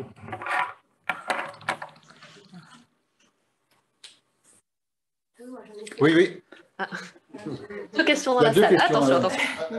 Vas-y, Euh, vas-y, Clémence. En, parallèle de, de reportage tu parlais, Marine, de peut-être travailler euh, par des pistes possibles avec des ethnologues. Mais est-ce que même pendant les, les reportages, il y a eu un, un enregistrement de leurs paroles? Parce qu'on parlait beaucoup de, de- des gestes, ce qui, enfin, qui- qui aujourd'hui peut être attaché aussi au patrimoine au patrimoine matériel, des gestes qui ont pu disparaître, ou un monde qui s'est recomposé euh, depuis les années 70. Mais est-ce qu'il y a eu ce, ce, ce, ce- ce processus d'enregistrement de la mémoire des, pêcheurs qu'on voit euh, sur.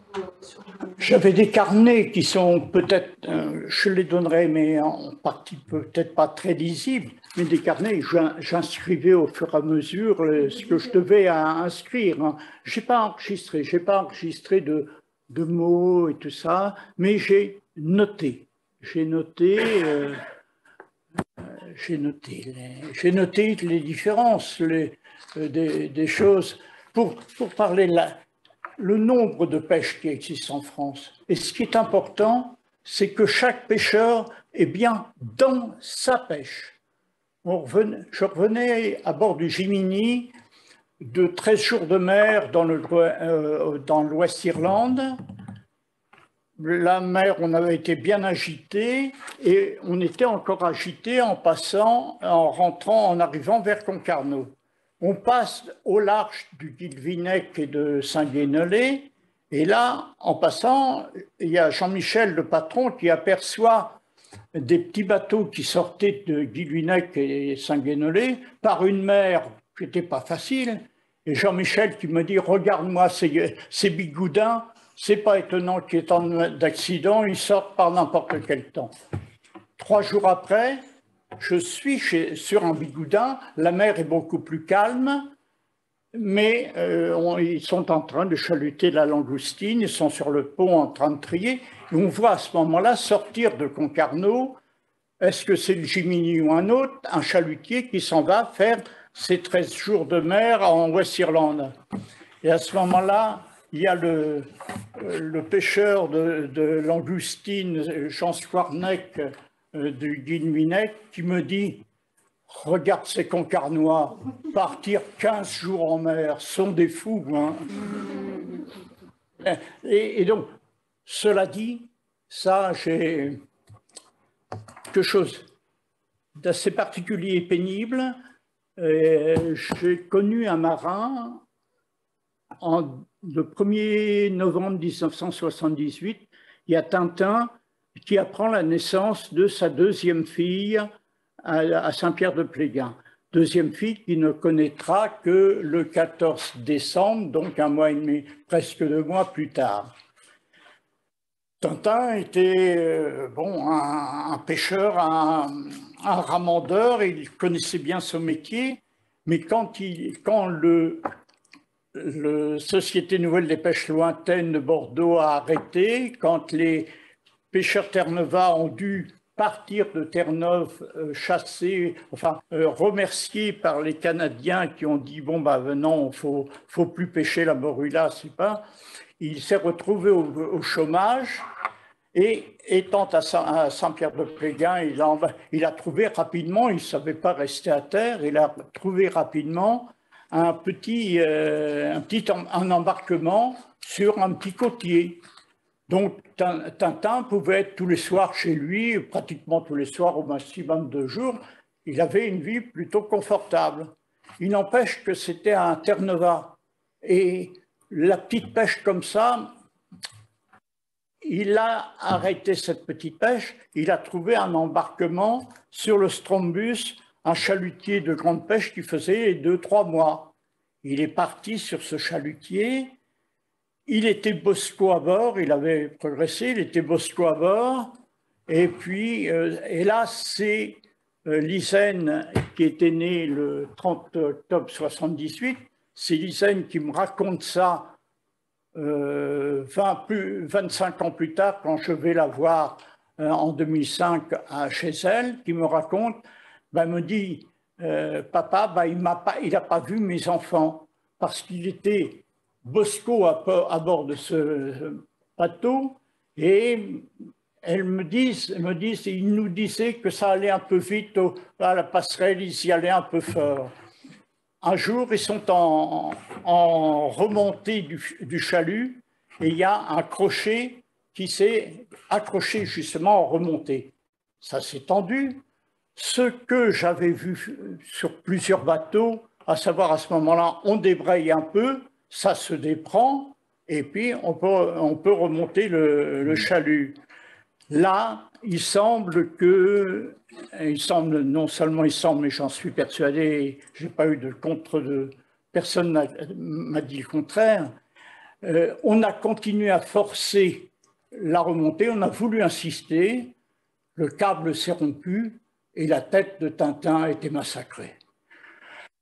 Donc, il a payé de sa vie, si vous voulez, l'amour de ce cette particularité. Pardon pour ce- ce- cette longueur, mais je, je pense que c'était. Hmm. Ça vous dit, ça vous dit que chacun est bien dans sa pêche. Et justement, pour revenir à, à ce que tu disais, euh, Clémence, euh, pour l'enregistrement, hein, je pense que c'est extrêmement difficile. Euh, parce que toi, tu. moi, j'ai pas fait des, des grandes pêches, mais j'ai fait des, pas mal de- d'enquêtes à Saint-Pierre et Miquelon, etc. Quand, quand on, on, on fait une enquête auprès de gens qui travaillent, c'est- c'était très difficile d'aller tendre un micro. C'est- pratiquement impossible. Hein, le, le seul moyen, effectivement, c'est de prendre des notes euh, discrètement, euh, faire des photos, filmer, mais faire parler pendant que les gens travaillent, c'est impossible, quoi. Pas forcément pendant travail, mais des entretiens euh, par une approche. Et Après, qualitative. Mais oui, c'est bien les mots. Ils sont des mots à la mer qui ne sont pas les mots à terre, Ouais. et ils ont des attitudes à la mer. Les 13 jours sur le Saint-Blaise à La Rochelle, que, où j'avais vu pendant 13 jours euh, Ernest Ansker derrière sa, euh, sa roue et derrière à la passerelle en train de mener son bateau, je l'avais vu tous les jours avec les mêmes habits. Et le 13e jour, on est en train de rentrer sur La Rochelle. J'arrive à la passerelle et je vois Ernest qui n'a pas eu, qui n'a pas attendu que je pose la question, qui m'a dit, bah oui, parce qu'il était, il avait un- une casquette neuve, il avait, il s'était rasé de frais et tout ça. Et euh, Ernest Ansker me dit, on ne ramène pas à terre la mine des mauvaises mers, mais il ne ramène pas à terre non plus les mots des mauvaises mers et les mots de la mer. Donc ça, Hmm. c'est, je pense que mes notes, avec l'imperfection que peuvent avoir, sont peut-être plus fortes que n'aurait été un enregistrement où ils se seraient cru obligés d'avoir tout ça, alors que là, ils ont été beaucoup plus, plus simples, peut-être. Puisqu'on a la chance d'avoir. Ah oui, après je te passe la parole. Euh, On a la chance d'avoir Margot Olivo qui est là, hein, du coup, euh, qui était au musée de la Marine et qui est maintenant directrice du musée des pêcheries à Fécamp. Euh, parce que vous, à, à, à Fécamp, vous avez donc des enregistrements de, de, de, de euh, En fait, j'étais en train de me poser la question, mais je pense que euh, clichés correspondent à un moment qui n'est pas du tout conservé. Alors, on est en marqueur. Et je sais que c'est des archives qui vont faire la possibilité de validation. Dans les musées maritimes locaux, en fait, c'est extrêmement intéressant. Et la, la question de la pêche côtière, en fait, n'est pas du tout abordée dans les collections. On a les mêmes problèmes dans les musées marins. Et alors, il y a des mots que je ne veux pas employer, euh, et je reproche un peu au père Yvon, notamment, d'avoir écrit les bagnards ou les tout ça. Ça, je ne supporte pas ces mots-là. Ce sont des gens qui vont à la mer pour faire un métier comme n'importe qui de nous faisons un métier, mais ils y vont volontairement. Ils s'amusent à dire qu'ils ont- vont pour gagner le pain de leurs enfants. Ben oui, le pain, et pas seulement. Hein. Jean Rocher, après chaque bonne marée, il s'achetait un appartement. hein. Jean Rocher, il habite à au- auprès de Fécamp. Donc, euh, non, non, c'est. il y a- Donc, c'est pour ça, le- les mots, je ne sais pas. Virginie, vas-y. Oui, ben, d'abord merci vraiment à, à vous trois et à Marine d'avoir vraiment. Vous parliez fort pour les. les, euh, Ben, je vais parler sur très les fort. désolé. Les, les questions n'étaient pas, pas, pas très audibles. Euh, merci pour le voilà pour vraiment cette présentation et à Marine notamment d'avoir vraiment cerné vraiment bien, délimité parce que moi j'en avais une vue un peu plus floue. Et donc là je sais bien. Et surtout je découvre quelque chose que je ne connaissais pas euh, et qui vient d'être dit par euh, Serge, c'est la notion de carnet. Et c'est la notion aussi, bon, coupure de presse, mais les carnets. Et euh, lorsque j'ai préparé en fait cette intervention et qui, aura lieu tout à l'heure, au début j'ai appelé ça le fond photographique, mais en fait il me semble qu'on est sur le fond d'un chercheur. Chercheur, photographe, journaliste, je ne sais pas comment dire. Bon, je le, déploierai un petit peu après, mais l'arrivée en fait matérielle euh, de ces carnets, je pense, forme un tout cohérent qu'il faudrait peut-être revoir en fait la notion de, ce fond. Alors, j'avais une question euh, à, Serge en particulier par rapport à ce qu'il vient de dire, notamment euh, le mot euh, que tu as souvent employé, c'est le respect, le respect du métier, le respect des hommes. Et je me demandais euh, justement comment se faisait l'acceptation de toi, photographe, journaliste, au sein d'un équipage. C'est bien vu On va y revenir tout à l'heure. Ah bon, d'accord. Ah pardon, mais je peux, je peux dire si tu veux. Ah bah, je peux dire, et sans pardon, ça, ça va paraître immodeste, mais c'est très rapidement, très rapidement, c'est une épouse. Euh, les épouses sont de bonnes communicantes. Hein. C'est une épouse qui un jour m'a dit, euh, tu sais pourquoi il t'aime bien? Il t'aime bien parce que tu, euh, tu donnes d'eux une image qui n'est pas misérabiliste. On avait eu avant avant, avant les années 70, on était dans le noir et blanc, on y reviendra peut-être tout à hmm, l'heure. On était dans et le noir et blanc avec des photos. vous aviez des marins pêcheurs sur la table d'un bistrot avec une gueule de travers et tout ça. C'était, c'était assez. Et, et le, et c'est ah, manifestement, et c'est cette épouse qui m'a dit ça. Manifestement, j'ai apporté, j'ai voulu apporter d'eux ce qu'ils étaient, ce, ce qu'auraient été des agriculteurs si je m'étais adressé, euh, je m'étais spécialisé dans l'agriculture ou ailleurs, Encore une question, non? Il n'y a toujours rien euh, du côté... Euh, oui. Attends, deux minutes.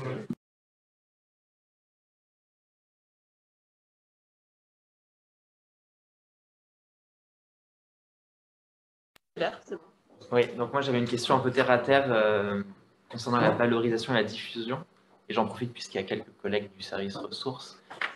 Et euh, pour la diffusion de ces photos, notamment les droits, donc on a le droit de l'artiste vivant, mais est-ce que les marins qui sont représentés, les pêcheurs qu'on voit à visage découvert, etc., qui sont encore vivants pour les campagnes les plus il n'y a, pas de problème. Je n'ai pas eu un non là, je prends, là, je prends l'engagement, ceux qui sont encore et leurs descendants, euh, je prends l'engagement de, me battre qui et on, mais il n'y aura, pas, il aura pas de cette demande. Il n'y aura, pas, il aura pas de contestation, parce que, à, condition, bien sûr, euh, qu'on ne se serve pas d'une photo pour dire, euh, pour détourner le, sujet.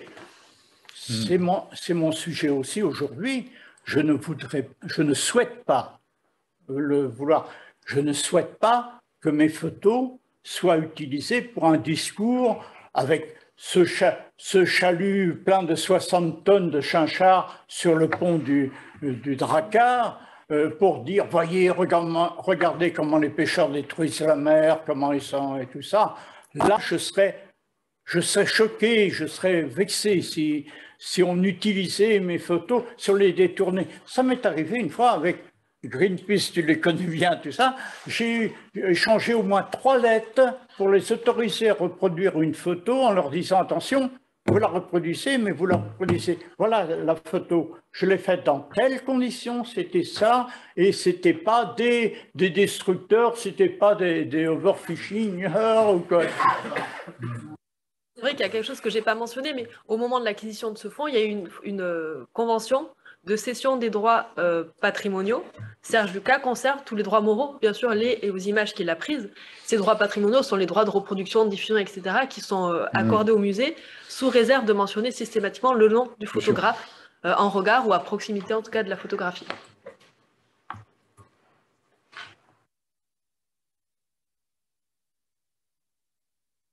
Il n'y a plus de, donc de, questions sur ce point, on va peut-être passer à ce moment-là du coup à, à l'échange la... à, l'échange avec, euh, avec Serge, hein, qui a, puisqu'avec Marine, on a pensé, avec Serge, en accord euh, bien sûr avec, avec Serge, qu'un bon moyen d'essayer de, d'approfondir la, connaissance de, de, de, ce fond, outre la, lecture de ces quelques centaines de pages euh, Hein, de son ouvrage. Euh, Tiens mon pêcheur. Voilà, euh, Tiens mon pêcheur. Euh, c'est de, dialoguer avec lui. Donc, on a préparé un certain nombre de, questions hein, avec trois, trois aspects approche technique, ensuite photographier les hommes et la mer, pourquoi, comment, et puis du reportage au, au d'histoire. Voilà. Donc, je vais commencer par poser quelques questions à, à, Serge. Et bien entendu, euh, vous pouvez intervenir euh, euh, dans cet entretien. Au contraire, même, on a voulu cette manière de, procéder, d'échanger. voilà. Première question. Hein, donc ça, c'est l'aspect un peu technique.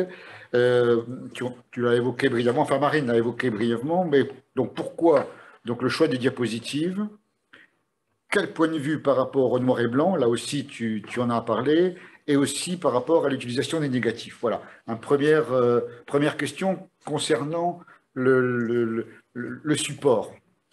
Le, support, c'est pas moi, c'est l'époque. C'est l'époque, c'est le changement.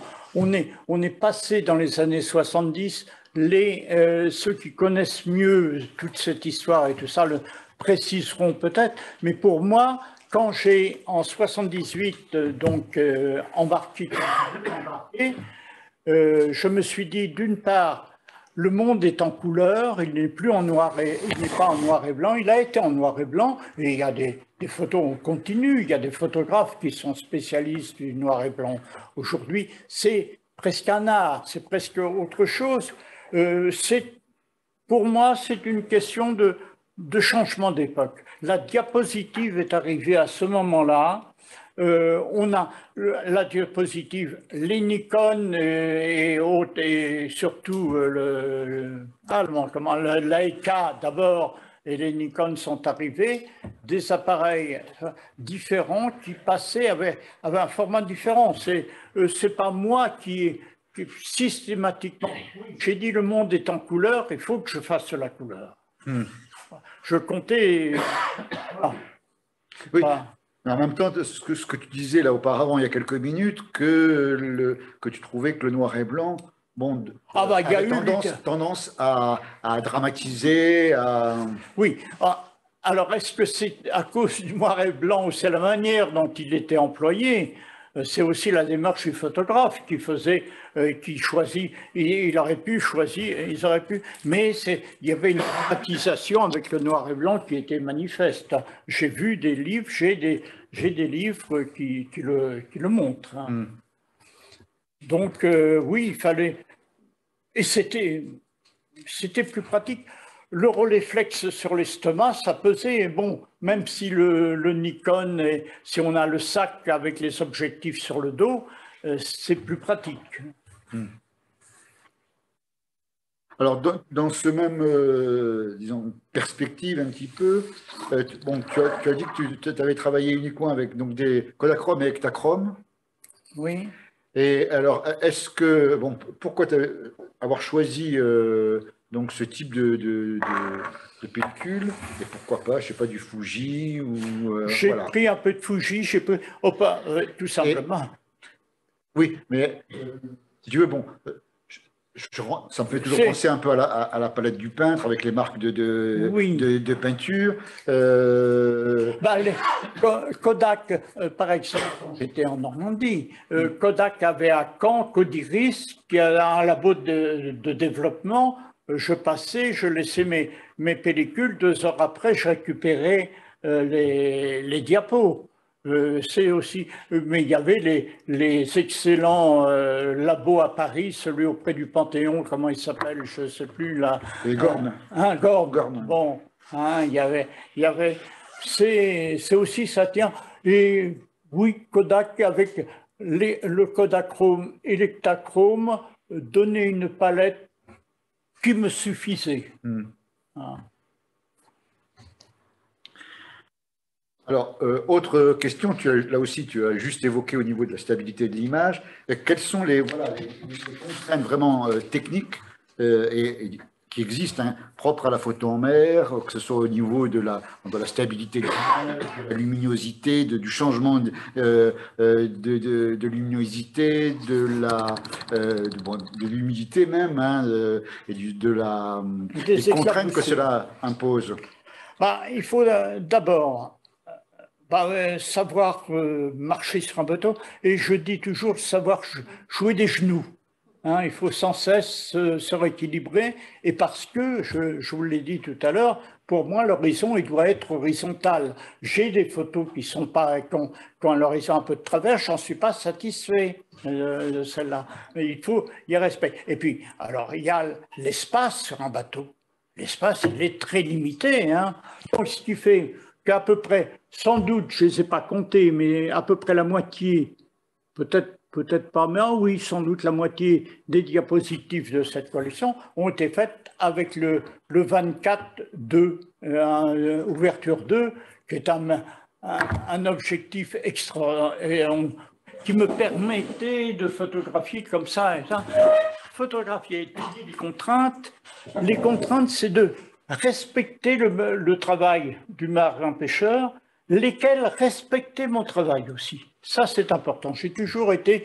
Ils ont, ils se sont pas forcés et puis ils sont sur leur travail. Ils sont attachés parce que ça veut, parce qu'il faut faire vite à, à, appâter, il faut faire vite à trier, il faut faire vite pour relancer. On est, il y a un bon banc là, il y a un- ça, ça donne bien. Il faut vite remettre en pêche pour récupérer. Et donc, il faut, euh, il faut être là en respectant. Et alors, je dis, je n'ai pas raté, je dis bien raté une photo, parce qu'au moment d'appuyer sur le, sur le, pour prendre la photo, j'aurais vu un marin pêcheur, on me fait, Eh, comme on voit sur bien des, comme on voit les sportifs, le, le comble aujourd'hui, c'est les sportifs quand, ou les spectateurs des sportifs quand ils voient que la caméra là.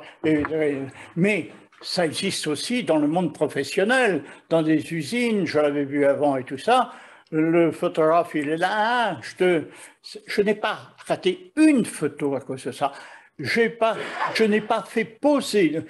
J'ai trois photos, trois, quatre photos. C'est quand euh, euh, il montre les, il montre les, tons. Mais sinon, j'ai pas fait poser. Ils sont sur un travail qui est un travail qui n'est pas dur, qui, est prenant. Il faut faire attention. Bah, il ne faut pas les déranger, mais en même temps, ils me permettent tout ce que je. Ils me permettent. Je pense qu'aujourd'hui, cette photo-là, euh, pas celle-là, mais je suis monté sur la petite euh, passerelle là-haut euh, au moment où on était dans la banquise. Je, suis mon- je pense qu'aujourd'hui, je n'aurais pas le droit d'y aller. Parce que pour y monter, il fallait que je monte là. Il n'y avait pas d'arceau, il n'y avait pas tout ça. Et, hein, et je n'ai jamais monté sur une passerelle non plus sans avoir demandé, le, sans l'avoir dit au, pa- au patron pêcheur, au commandant, respect toujours, parce que c'est lui qui a la responsabilité. Si je tombe à l'eau, c'est lui qui va être poursuivi, c'est lui qui va avoir des soucis. Mais aujourd'hui, je pense, je suis pas certain que je pourrais, que je pourrais faire les mêmes, les mêmes acrobaties à bord. Alors, toujours hein, pour euh, rester un petit peu dans ces questions techniques, euh, tu l'as évoqué, mais euh, en disant, euh, voilà, je, je photographie, ou c'est Marine plutôt qui l'a qui l'a dit, photographie au, au- au plus près. hein. et, et- et du coup, ça m'a bon, quel type d'objectif tu utilises? Est-ce que, tu, tu utilisais par exemple un 50 mm, Le un 24 grand mm, angle? ou- ou- voilà, un petit peu comment euh, est-ce que également, euh, pour rester dans les problèmes techniques dans un premier Ouais. temps, est-ce que tu mettais des filtres, quel type de filtre, etc.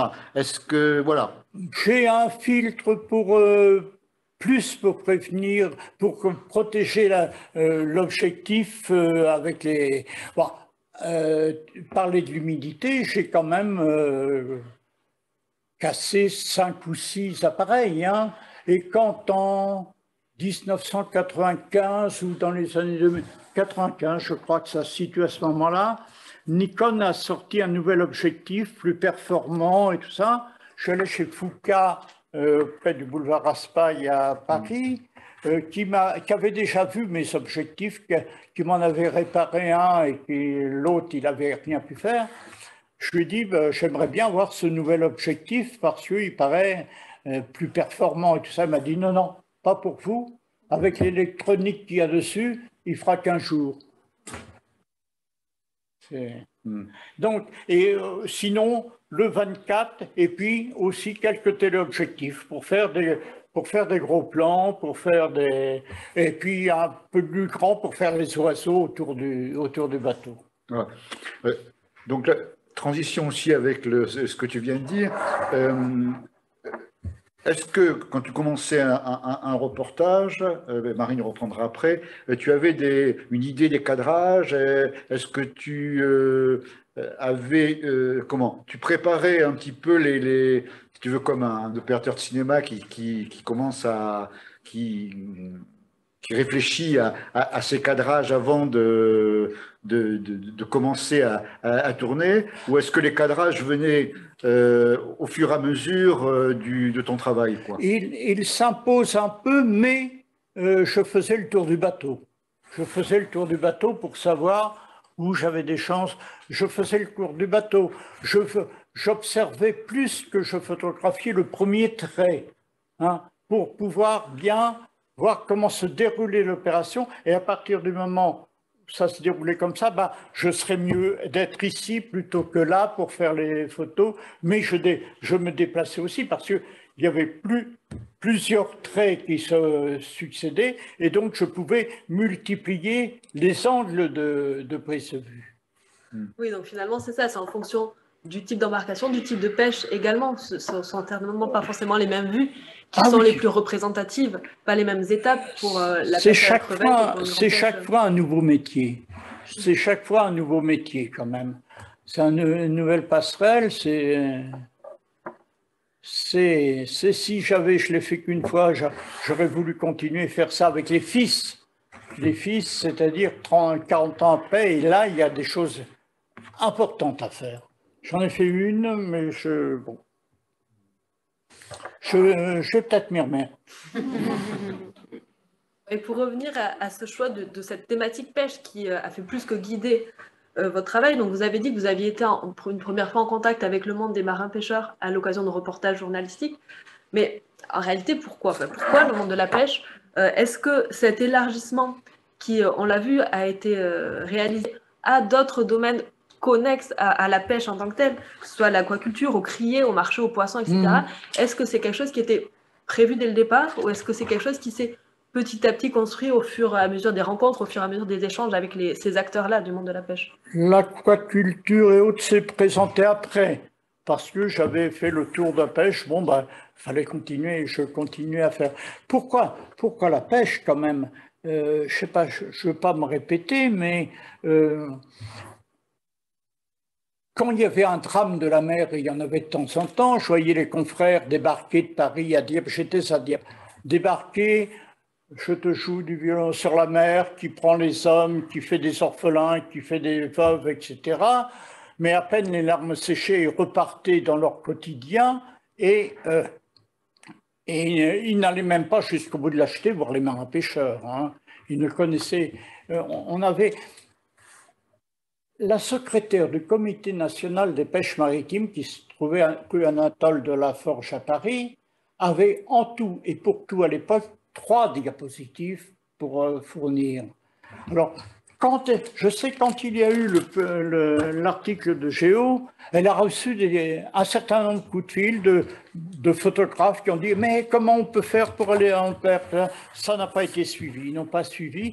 Il y a, il faut, faut consacrer du temps, il faut accepter de, partir.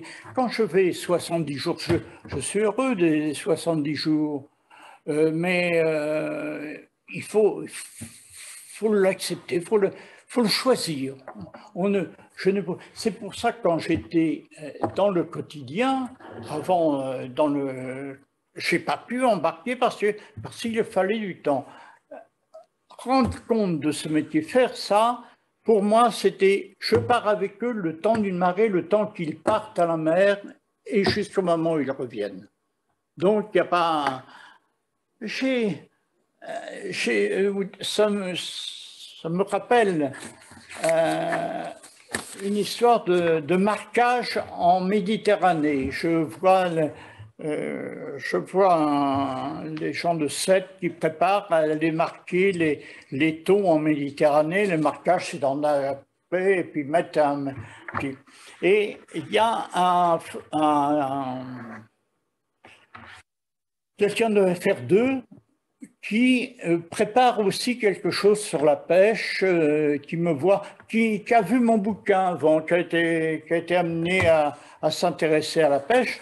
Et on se retrouve ensemble à sept dans, un, dans le bureau d'Ifremer, euh, qui allait faire ce marquage. Et puis, euh, bon, on part, on discute, et je dis, bon, ben, moi, je viendrai faire ce reportage. Et le lendemain, ce euh, caméraman producteur de la télévision me téléphone en me disant, mais, disant, mais c'est pas possible, ils veulent pas, euh, je veux aller faire ça, mais je veux rentrer demain soir à, Toulon ou à, Marseille. Ils veulent pas m'y mettre et tout ça. Je lui dis, mais attention, tu vas faire quoi? Tu vas faire un reportage, tu le fais complètement. On me dit, oui, mais regarde ça, euh, TV France, on est 2000 personnes et tout ça, qu'est-ce que... Je dis, bon, bah, on ne discute pas, c'est pas la peine, tu veux, tu veux pas faire ce, ce reportage. Pour lui, il devait aller faire ça le temps que lui avait à donner à ce reportage. C'était pas le travail des hommes, c'était pas le... Oh, non. Vous avez évoqué il y, a, il y, a, quelques minutes euh, cette secrétaire du Comité national oui. de pêche qui n'avait que quelques diapositives et de fait, vous avez travaillé en collaboration plus ou moins euh, poussée avec un certain nombre d'institutions. On a parlé de l'IFREMER, euh, des commissariats ou des secrétaires d'État, secrétariat d'État, ministère, enfin, ministère de la mer, secrétariat. L'apellation qu'ils ont eu. Euh, comment, quelle a été la démarche à la fois de ces institutions qui venaient parfois vous, vous chercher et la vôtre vis-à-vis -vis de, ces, de ces dernières? Quelle démarche de quel gestion bah, ils, étaient, ils étaient gentils, mais ils n'étaient pas prêts. Hein. Ils n'étaient pas prêts. Euh, ils n'étaient pas prêts à beaucoup m'aider. Oui, j'étais j'étais assez près de deux ou trois secrétaires d'État à la mer. En passant, il y a eu un ministère de la mer créé en 81. Mm. Il est redevenu secrétariat d'État à la mer deux ans plus tard. Hein. Le, on m'a dit que les X-ponts ne, supportaient pas d'être dirigés autrement, etc. Bon, c'était, c'était paraît-il, les, bon. Et aujourd'hui encore, on parle de ce, on parle pas de ministère. Ah non, non, non, non, non, il y a une ministre de la mer, hein? Annick, Annick Gigardin. Est ministre, que... euh, oui, maintenant, oui. Annick, oui, depuis plusieurs oui, années, mais... Annick Gigardin. Oui, oui, oui. Et en oui. plus, elle est Saint-Pierre, donc. C'est euh... ça. Mais sinon, ça a été euh, occulté un certain temps. C'est la fameuse c'est la fameuse phrase de Gaulle euh, qui a je ne sais quel ministre qui, qui voulait toujours euh, avoir un ministère et euh, qui réclamait un ministère de la mer. Et un jour, de Gaulle a dit bah oui, après tout, ministère de la mer, un ministère de la terre, un ministère de l'air, ça me suffit en tant que ministre, j'en ai assez. donc, euh, mais oui, mais donc euh, ah oui, mes relations avec ces avec ces entités, bah j'étais bien accueilli, j'étais bien accueilli, j'ai pas, j'ai pas su me vendre, ça c'est certain, j'ai mal su me vendre, sauf, oh, et encore, je dis bien, je dis bien vendre, parce que le, le musée de la marine m'a payé cette, ce fonds photographique. J'aurais pu le donner, les carnets, je vais les donner, ça. Mais quand on donne quelque chose ou quand on est payé de quelque chose, la différence est importante quand même. Moralement, pas la même, c'est pas la même chose. Alors, les institutions, bah, de même que les journaux ne consacraient pas beaucoup à la, pêche, il y avait, euh, je reviens un peu en arrière, et tu as peut-être connu au moins les noms, euh, il y avait deux journalistes en France dans la pêche, dans la presse nationale et dans la presse provinciale. Il y avait dans les journaux régionaux, il y avait deux journalistes qui s'occupaient de la pêche. C'était Roger Cougo à, à, Rennes pour Ouest France et c'était Pierre Lefebvre à Boulogne pour La Voix du Nord. Hmm. Ailleurs, c'était le grand, le grand inconnu.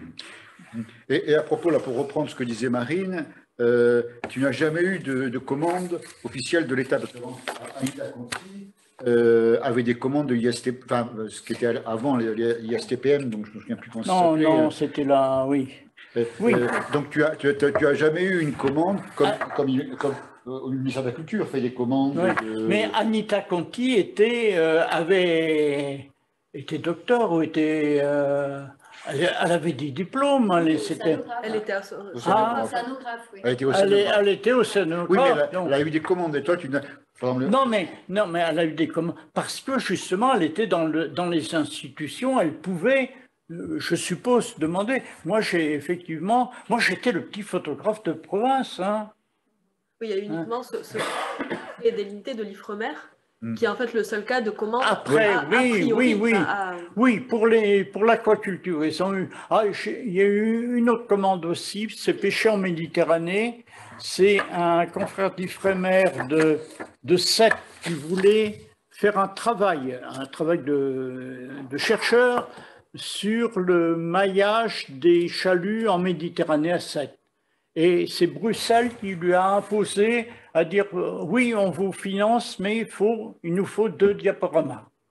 Donc là, j'ai eu euh, une commande de, ce côté-là. Hmm. Mais c'est, j'ai toujours, oui, j'ai investi, j'étais un petit peu sale, j'ai pas su, j'ai pas su assez demander, je me suis trop éloigné de Paris bien souvent. Et justement, quand tu, est-ce que quand tu avais une commande, euh, par exemple là, de, de Bruxelles, euh, de la communauté européenne, est-ce que là, tu travaillais différemment que quand tu faisais toi-même le choix de...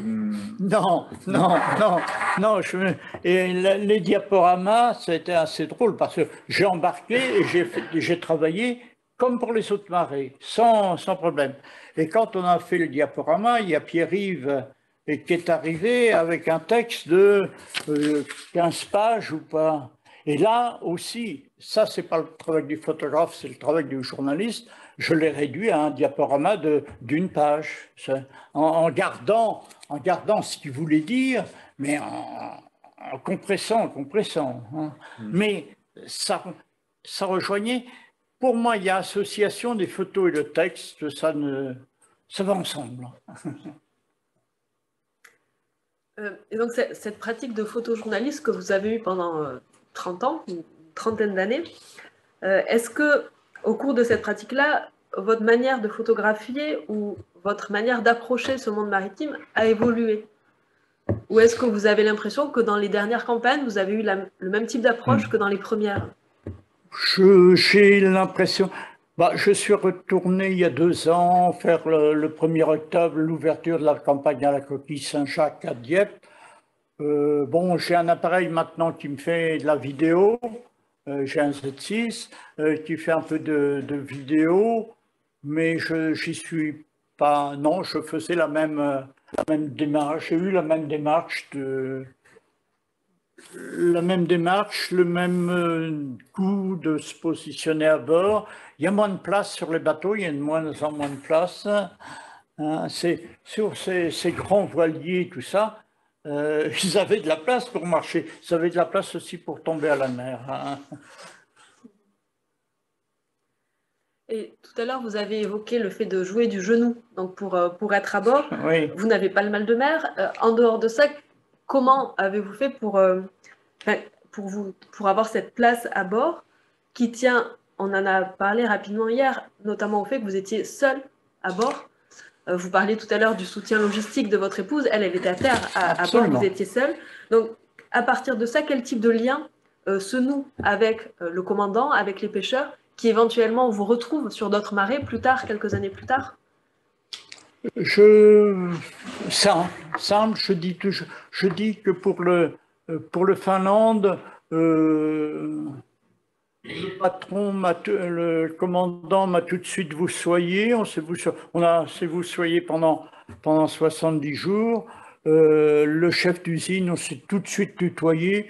Il n'y a pas de différence. Il n'y a pas de différence. C'est pas, on est, on est en lien. On est, j'embarquais avec eux, j'étais avec eux. Je n'étais pas marin, mais j'étais avec eux et ils savaient que je voulais être là. Pas, et je, je n'étais pas à regarder ma montre, savoir quand on va rentrer au port et si je rentrais assez tôt, etc. J'étais, ah, comment dire, ce serait aller trop loin que de dire que j'étais dans leur équipage? D'une certaine manière, oui. D'une certaine manière, je crois que j'étais dans leur. Ils m'ont accepté. Ils m'ont accepté. Je suis, je suis arrivé sans, là aussi, pour prendre une expression un peu vulgaire, tout ça, je n'ai pas roulé des mécaniques. Je ne dis pas je suis le journaliste qui va, le photojournaliste, qui va vous montrer, qui va vous révéler au monde, qui va faire de, de vous des vedettes et tout ça. Ce que euh, c'est un, c'est un de ceux, j'oublie son nom, qui a fait la route du Rhum, euh, un croquant, un croquant pour le, pour l'idée. Comment il s'appelle celui-ci? Ouais, Qui a dit, euh, il se retrouve un jour dans la route du Rhum, il se retrouve au milieu des bateaux de pêche à Terre-Neuve, il dit, quand même ceux-là, ils sont en train de faire un boulot. Arriver au port, c'est moi qui vais avoir, qui vais avoir les photographes, qui va avoir les sonores et tout ça. Alors que quand ils vont arriver au port, ils vont devoir décharger leur marée avant d'aller chez eux. Il y a, il y a ça. Non, j'ai, longtemps ce que j'ai dit tout à l'heure, qui est amusant, un certain nombre, sans dévoiler de choses, me, mais aimait bien que je leur parle des autres marées mais sans, sans non pas pour les espionner, mais pour leur en parler, ils, euh, parce qu'ils ne connaissaient pas tous le- ce qui se fait ailleurs. Et est-ce qu'après, vous présentez des photographies à l'équipage? Comment Est-ce qu'il y a une vision après euh, avec les membres de l'équipage Il y, a- il y en a quelques-unes. Pour le, pour le, euh, pour le Finlande, les 70 jours à bord, ils avaient organisé quelque temps après à Saint-Malo une, soirée. Je suis allé, je leur, ai, présenté les photos et j'ai parlé des photos. Et là aussi, les épouses à la sortie me disant, et j'avais rien révélé de, non, j'avais raconté ce qui s'était passé. Les épouses me disant à la sortie, ah ben là, jamais ils nous avaient raconté ça. C'est effectivement, il y a eu ces, il y a eu ces contacts. J'ai gardé avec Suzanne et Jean-Michel de Concarneau euh, des liens. Je- J'en ai gardé avec d'autres, ça dépend. C'est ah, il y a eu quelques années sur la côte d'Opale une mission qui était, je sais pas, ça s'est fait ou ça s'est pas fait. Toujours est-il qu'il y a des marins qui m'ont dit, on a entendu qu'il y avait un reportage qui allait être fait, on a pensé que c'était toi, ça peut pas être quelqu'un d'autre. C'est bon, pardon, ça peut paraître immodeste de dire ça, mais je vous le dis comme j'ai entendu. Je voulais vous poser une question par rapport à, à cette démarche exceptionnelle que vous avez eue de euh, années. Est-ce que vous avez euh, des héritiers, donc justement aujourd'hui, euh, qui reprennent ce. J'aurais bien voulu, je voudrais, je suis toujours prêt. Je suis toujours prêt, je le disais tout à l'heure. euh, Je, je voudrais bien animer une petite équipe. Je ne suis pas, pas seulement pour la mer. Il y a un, bonhomme dans lequel j'aimerais même mais pas, c'est Vauban. Pas le Vauban des constructions, mais le Vauban des rivières. Il y a un Vauban des rivières extraordinaire. Et là, avec une petite équipe, on pourrait faire un bouquin, quelque chose de super. Mais euh, j'aimerais bien, pour la pêche, pas leur enseigner, mais leur dire ma pratique. Leur dire ma pratique et leur dire qu'il y a, des choses à pas, à pas faire. Bon, vous verrez peu, vous en avez vu une tout à l'heure, vous verrez peu de... Combien Est-ce qu'il y en a 20 en tout Des photos du lieu où ils dorment et du lieu où ils mangent? Est-ce qu'on va chez Renault, un ouvrier de chez Renault ou un boulanger, est-ce qu'on va voir sa, chambre à coucher? Est-ce qu'on va voir sa cuisine? Est-ce qu'on va le voir faire ça? Hein? Pourquoi? Pourquoi les marins pêcheurs jiraient autrement?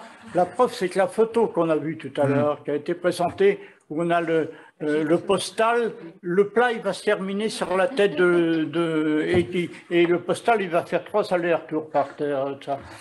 Cette photo-là, je l'ai prise le 67e jour de mer. J'ai dit, bon, bah, j'ai fait aucune photo. Il faudrait quand même que j'en ai une ou deux. Je suis descendu donc euh, au réfectoire et je me suis calé dans un coin c'était au début de la grosse tempête, de, cette tempête qui nous a euh, menacés pendant plus de sept heures, tempête au cours de laquelle 10 marins de l'Orient ont fait le trou, 28 marins à bord du, du Munchen un allemand ont fait le trou.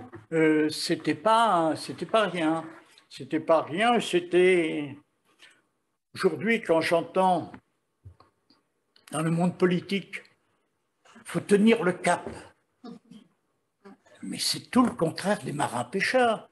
Le marin qui se retrouve dans la tempête, il doit se mettre cap au large. Et il ne sait pas de foncer, foncer avec la mer derrière, c'est tous les risques. Et pour se mettre dans cette position-là, on s'est retrouvé il a fallu passer par le travers et ça a été un moment délicat où, où le, le, commandant y allait degré par degré pour virer, pour se mettre. Euh, mm. Mais on, et tenir, euh, tenir le cap, cette référence, j'en parlerai mieux, je l'ai trouvé un dictionnaire, c'est par rapport à la cape de, des, femmes euh, qui avaient une grande cape et tout ça. Mais ça, on ne tient pas, quand on est dans la tempête, on ne on tient le cas, on se met face à la tempête avec une vitesse réduite, on fait le bouchon et on attend que ça se passe en espérant que ça va se passer bien. Je ne sais pas si j'ai répondu.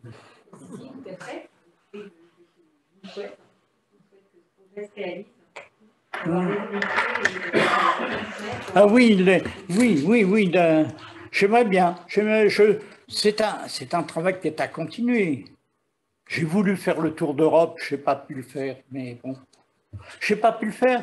Je dirais, j'avais tout été prêt. Ça, la personne à Bruxelles, j'avais 10 diaporamas à faire.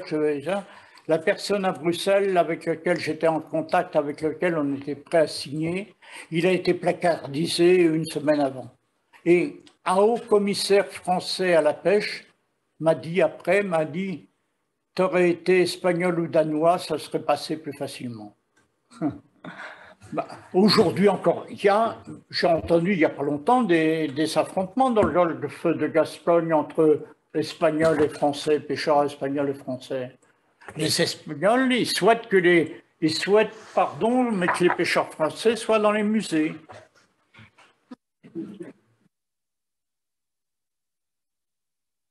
Mais dans une revue spécialisée comme euh, la revue de, Rennes Euh, euh, le marin. Le marin. moi, j'ai connu des, journalistes et des photographes qui embarquaient quand même. Et, dans ce vivier, il n'y a pas eu de. Tu n'as pas trouvé d'héritier. Non, oui, il y en a quelques-uns, bien sûr, il y a eu des reportages. Il y a des reportages encore, il y en a de, de temps en temps, on en voit. C'est pas, de même, quand on voit, ça me désole un peu, il y a la semaine dernière ou il y a 15 jours, euh, à Saint-Malo, un bateau qui il, parlait de la coquille Saint-Jacques, un coquillard qui sortait, quand le, présentateur à la télé à France 2 ou TF1 a parlé de chalutier, c'est un petit peu dommage. On peut on peut peut-être se renseigner sur le, sur le type de bateau, sur, hein, mais le courage et le besoin. D'une façon journalistique, c'est autre chose. Aujourd'hui, il n'y a pas de... Mais il faut... Les hommes, on les met, dans on les met aussi dans, dans un cadre. Pardon, je reviens un petit peu en arrière. Quand j'étais journaliste à, Paris-Normandie, un jour, enfin un jour, pas, le Tour de France passait par Dieppe. Le Tour de France passe par Dieppe. Fais des photos. Et le soir, à 18h, en ayant en- au téléphone mon secrétaire de rédaction à Rouen, euh, je lui dis, bon, il y a pour le journal la une, la 2 de demain, on met ça, on met ça. Et je lui dis, bah, j'ai aussi des photos sur le Tour de France. Oh, il me dit non, le Tour de France, il y en a plein des pages sportives, euh, c'est pas la peine. non, non, non. J'envoie mes bobines et le lendemain, j'ai quand même une, une photo sur trois colonnes sur le Tour de France qui passait dans la région. Mais j'avais préparé ma photo. Je ne sais pas si quelqu'un connaît Dieppe et connaît Pourville. Il y a des S.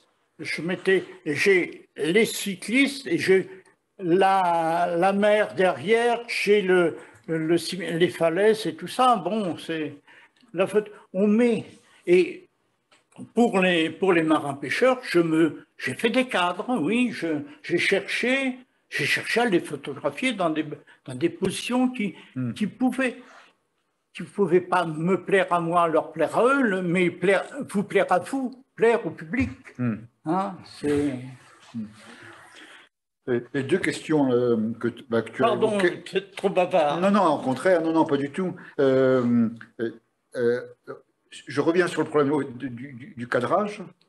Euh, est-ce que donc, est-ce que tu avais tendance à privilégier donc euh, le, travail des, des hommes, euh, donc à, à serrer vraiment le cadre sur eux? Est-ce que tu essayais toujours, au contraire, est-ce que tu essayais d'élargir, prendre le bateau, le, la mer Ah, il, fallait. Non, non, je, sais- je, je serrais sur le travail. J'étais Oui. là pour les montrer au travail.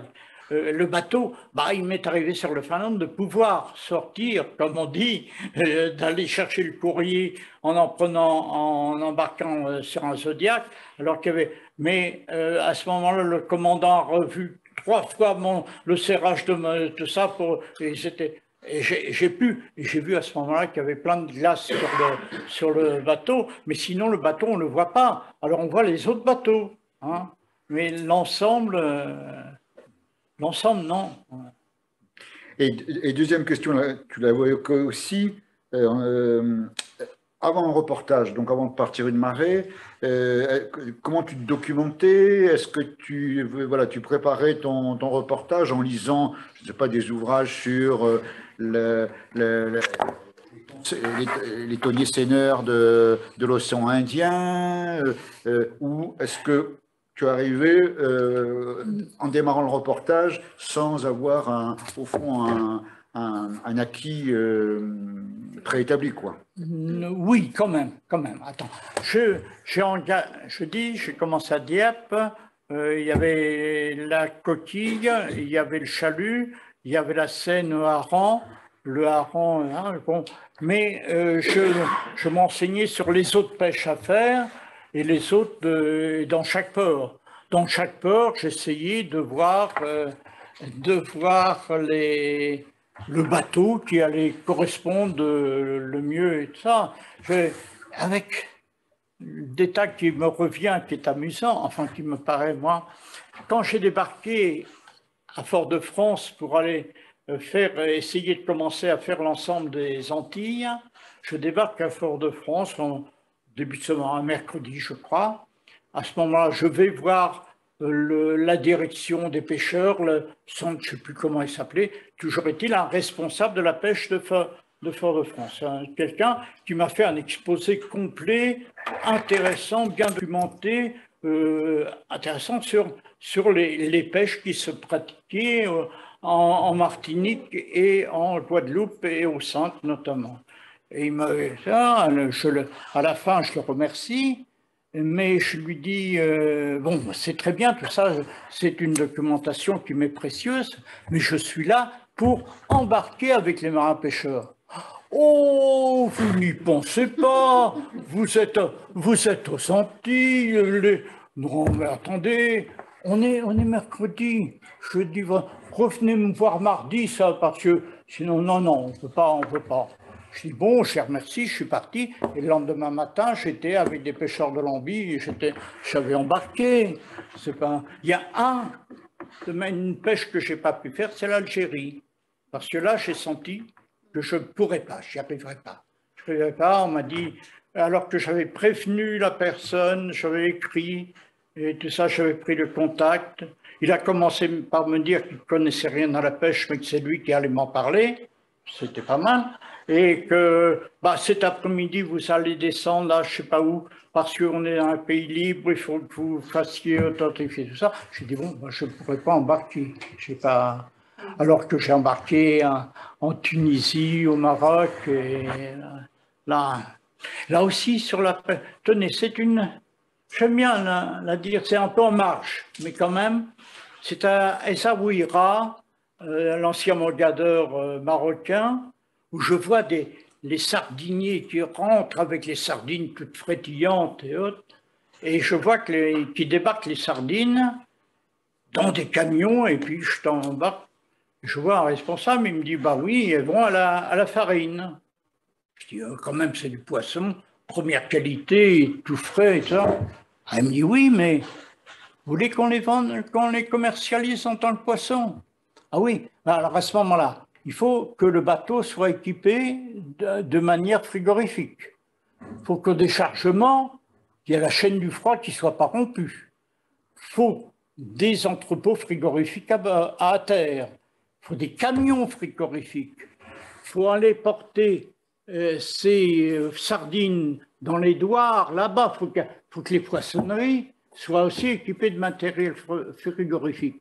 Tout ça. Alors que les Marocains, les Marocains, ils préfèrent le poulet. Donc on fait, de, on fait de la farine pour les poulets, puis ils sont contents.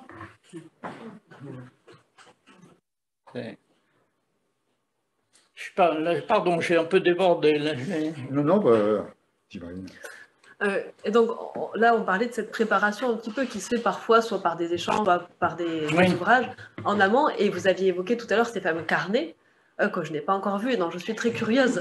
Euh, que- quel type d'informations il y a dans ces carnets? Ce sont les noms, le nombre de personnes, l'espèce pêchée c'est...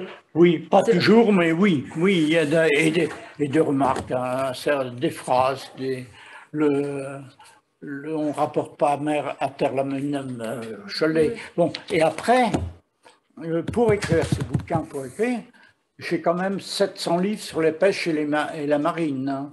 Quand je dis que ça, ça se, et qui sont, qui serait pas mal au musée de la marine.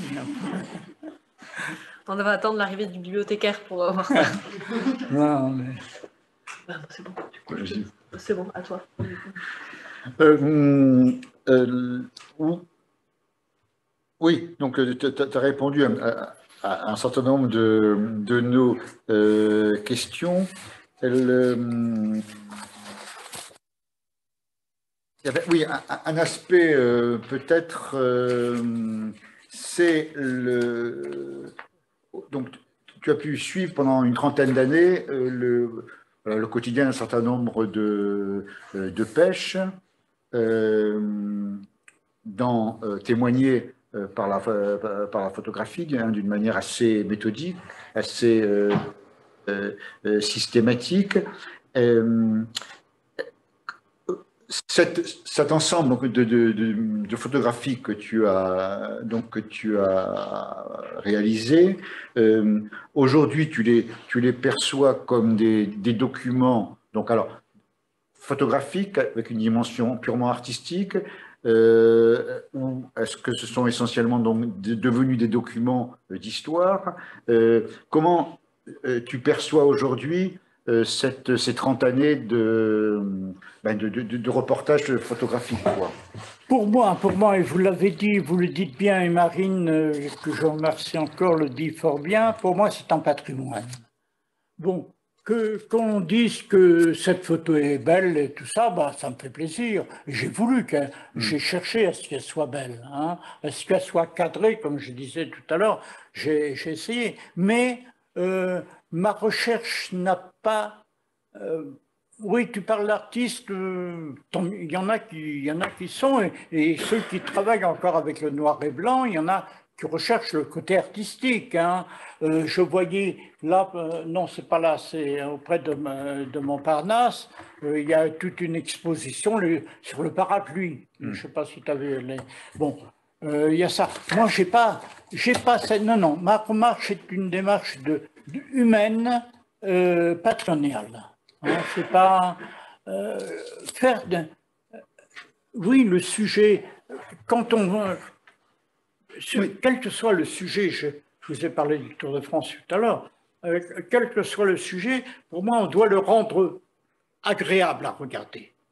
Agréable à regarder, euh, pas, mais sans, sans montrer systématiquement. Je sais pas, mais là aussi pour parler, pour parler de l'ancien et tout ça, et quelque chose qui est en marge. J'ai été 15 ans euh, journaliste local à Louviers d'une part, à Dieppe ensuite, à Louviers notamment avant la 13, avant, avec le fameux trou du diable à Gaillon, avec des accidents euh, nombreux. J'ai rendu compte de nombreux accidents. Je n'ai jamais regardé un mort, je n'ai jamais vu un mort. Je passais pas loin et je pas, j'aime pas, j'ai pas envie, point. Il y a, y a des choses que j'ai exclues, ça. hein. J'ai j'ai exclu. Il y a, y a des choses que le journaliste, le photojournaliste n'a pas, n'a pas systématiquement donné. Sur le Finlande, euh, sur le Finlande, il y a une chose que Jacques Dezeus m'avait demandé, ne pas photographier son tunnel de congélation. Et effectivement, avant de partir, j'avais trouvé dans un magasin, dans une- un supermarché à Dieppe, des crevettes euh, pêchées par des Norvégiens congelées en mer. Lesquels Norvégiens, je les, retrouve, je les ai retrouvés à côté du Finlande, dans le détroit de Davis, ils pêchaient la même chose. Les, ces crevettes congelées en mer par les, Sauve- par les Norvégiens, je dois dire que je n'avais pas beaucoup aimé. Mais celles qui ont été congelées avec ce tunnel de congélation euh, du Finlande, ben, c'était excellent. Si vous faites de la congélation dans, dans des, des haricots, tout ça, il faut toujours les mettre à plat. Il ne faut pas congeler en bloc. Congeler en bloc, on n'a pas un bon produit à la sortie. Et, mais j'y reviens. Il m'avait demandé de ne pas photographier son tunnel de congélation. Je trouvais ça tout à fait normal. Le rôle de journaliste n'est pas non plus de révéler des secrets industriels. On n'a pas. Moi, ça m'est. euh, J'ai trouvé ça tout à fait normal de ne pas avoir à dévoiler ce matériel particulier. Alors, tu dis, tu, dis que, donc, que tu, recherchais pas à, faire de. Oui, tu cherchais à faire de belles photos, mais que tu ne. euh, comment Euh, Que tu ne ressentais pas. euh, tu ne te ressentais pas comme un auteur de photo. Enfin, un, photographe créateur. dans le sens où. bon, quand, tu, quand on écrit un reportage, on, un, bon, un, un bon journaliste va avoir un certain style, euh, Ouais. etc. Et donc, il y a une part de, de création aussi. Dans la- il, il témoigne, le journaliste témoigne, il, il écrit aussi. Et donc, Oui. dans l'écriture, euh, il y a. euh, et donc, dans, dans la photographie, c'est la même chose. Il y a aussi quand même une part. Oui, oui, il y a, y a une parce part- qu'on a l'impression que tu revendiques pas tellement cette, cette dimension-là. Ah oui, euh, oui, quand on me dit tes, tes photos sont pas mal, euh, ils sont bien, oui, j'aime bien. hein. Non, non, j'aime bien, mais, euh, mais je dis, il faut toujours associer. Quand j'ai publié ça, Géo, quand je suis arrivé, euh, quand je leur. euh, Géo, petite anecdote à côté, euh, c'est une revue euh, créée par des Allemands et euh, ceux qui l'ont préparé, ils sont allés chez Hachette pour leur dire voilà, on vous apporte un, magazine à, publier, tout ça. Réponse Hachette jamais les Français ne seront intéressés par ça. Bon, voilà. Donc, mais ça, ça dit aussi que quand je suis arrivé chez Géo, après trois ou quatre coups de téléphone, j'aurais dit ça, m'ont dit on veut voir, ce qui est une bonne réaction. Je suis arrivé avec un certain nombre de planches de photos et ils ont aimé les photos, mais ils ont été intéressés par la manière dont j'en parlais, dont je leur présentais les photos. Il fallait, il fallait leur, présenter les photos. Et ce qui est quand même significatif, et là aussi j'ai débordé peut-être Eric et pardon Marine, mais quelque temps après la publication de ce, de ce numéro 4, dans lequel il y a les 25 pages, euh, les Allemands, c'était leur, technique, c'était on fait une étude après la sortie d'un numéro, il y avait six reportages, études de lectorat et études d'intérêt. Dans un magazine qui est un magazine grand public, qui n'est pas un magazine de pêche, surtout un nouveau magazine, j'ai su, on sait toujours les choses par le biais et par une secrétaire après, que pour ce numéro de Géo, le premier lectorat, c'était ce reportage sur les, euh, sur le, les supplices à Malaya, etc. En, tant que lectorat, la grande pêche arrivait en deuxième position et en tant qu'intérêt, la grande pêche arrivait en première position. Et c'est pour dire aussi qu'il y a grande paresse des, des, organes de presse en général, des médias en général, par rapport à la mer, parce que c'est un sujet qui intéresserait si on, sait, si on y consacrait un peu plus. Ben,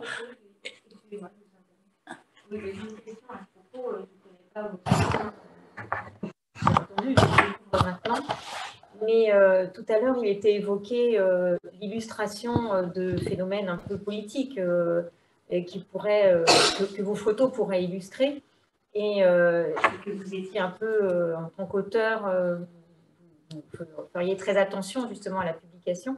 Malgré tout, votre, votre reportage de toute une vie, qui a l'air d'être plutôt ethnographique, hein, qui a l'air de s'intéresser aux gens, a-t-il quand même une portée politique? Euh, on sait que la mer aujourd'hui, euh, et encore euh, dernièrement, les pêcheurs, on l'a vu avec le territoire de pêche dans la mer, on le voit avec l'écologie, etc. Est-ce que vous, votre, votre fond, enfin, votre travail, il dans ce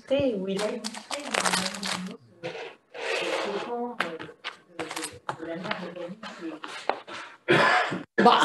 Oui, oui, euh, je le dis, je vous l'ai dit ou je me répète peut-être, je n'ai jamais été un militant de la pêche et des marins pêcheurs, mais je suis un défenseur. Je suis un défenseur et je quand même trouve un petit peu dommage quand je lis 2022, hein, avant-hier, j'ai reçu ça, de 1984 à Rome, à Brest en 2022, il y a une constante, l'exclusion des pêcheurs des grandes orientations et décisions qui engagent leur avenir. À Brest, aucun représentant de pêcheurs n'est invité à s'exprimer. Ça, c'est le fameux, comment Le fameux. Euh, One Ocean Summit. Comment ça s'appelle? One Ocean Summit. Ouais. One Ocean, voilà. Mais donc, alors, dans ce domaine-là, oui, oui, je, quand j'entends parler de surpêche, je voudrais bien savoir que, comme on dit, quand on me dit que, quand on me dit que les marins sont exploités, tout ça. Le, un, Loïc euh, Margerie, son équipage il y a deux ans, sur toute l'année, a gagné 5 000 euros par mois. C'est marin-pêcheur. Donc, on ne me parle pas de pauvres bagnards, euh, tout ça, ce sont des gens qui sont contents, ils, ils gagnent souvent bien leur vie. La différence avec vous, avec ça, vous savez, le 1er janvier, ce que vous allez gagner dans l'année. Vous espérez gratter un petit peu plus, mais vous espérez gagner. Les marins pêcheurs, ils savent le 31 décembre ce qu'ils ont gagné dans l'année. Mais euh, j'insiste sur votre point. Oui, je veux bien, non pas un militant, mais un défenseur de la pêche.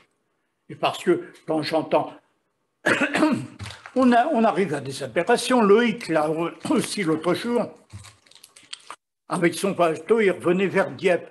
Il donne un coup de chalut, il prend une tonne de barres. Et la tonne de barres, il a dû les virer, les mettre à la mer. Il n'avait pas le droit d'avoir sur son bateau, quand il rentrait au port, d'avoir un seul bar. Est-ce qu'on n'est pas dans des absurdités Oui, avec les engins modernes, pardon, je oui, avec les engins modernes, il faut gérer la mer. Ça se gère, comme la terre se gère, il faut la gérer, mais pas n'importe comment. Et puis demander aux uns et aux autres. Quand j'entends tous les, tout ce qui est sur la pêche industrielle, est-ce que le mot industrie est un gros mot? Est-ce que l'industriel est un gros mot? Il faudrait savoir. Et les, les, petits pêcheurs de la côte, ils ne peuvent pas aller pêcher au large. Et le petit pêcheur de la côte, bah, parfois il fiche en l'air les nurseries parce que les, les, poissons sont venus frayer à la côte et ça peut être aussi dangereux. Il y a toute une gestion de la mer. La mer, c'est pas un grand bocal avec de l'eau qui est toujours pareil. Il y a des courants. Il y a, des pêcheurs que moi je l'ai pas vu ça, mais il y a des pêcheurs qui m'ont dit avoir vu des thons au, en ouest d'Irlande, des thons enfermés dans une bulle, ce qu'on appelle la thermocline, euh, avec ils étaient vraiment dans une bulle d'eau, ils, ils n'en sortaient pas parce que les températures étaient hautes. Ça, bon, je pourrais vous parler des poissons oritaires, mais c'était nos termes qui se. Pourquoi, pourquoi toute cette présence de, euh, de morues qu'il y avait Je ne vais pas aller plus loin parce que là, j'entrerai dans. Mais qu'il y avait à Terre-Neuve sur les bancs, la rencontre des courants du Labrador froid et du Gulf Stream chaud, chacun avec ces inféodés, ces populations inféodées, et vous avez des poissons qui sont eurythermes, c'est-à-dire qui supportent une large différence de température, et des poissons sténothermes qui, supportent une faible tolérance de, variation de température. La réunion du courant du Labrador et du Gulf Stream fait que les poissons cénothermes sont fragilisés et meurent. Et les morues, elles sont là au bon endroit, au bon moment pour manger ce qui, euh, leur est apporté. Et... Bon, pardon.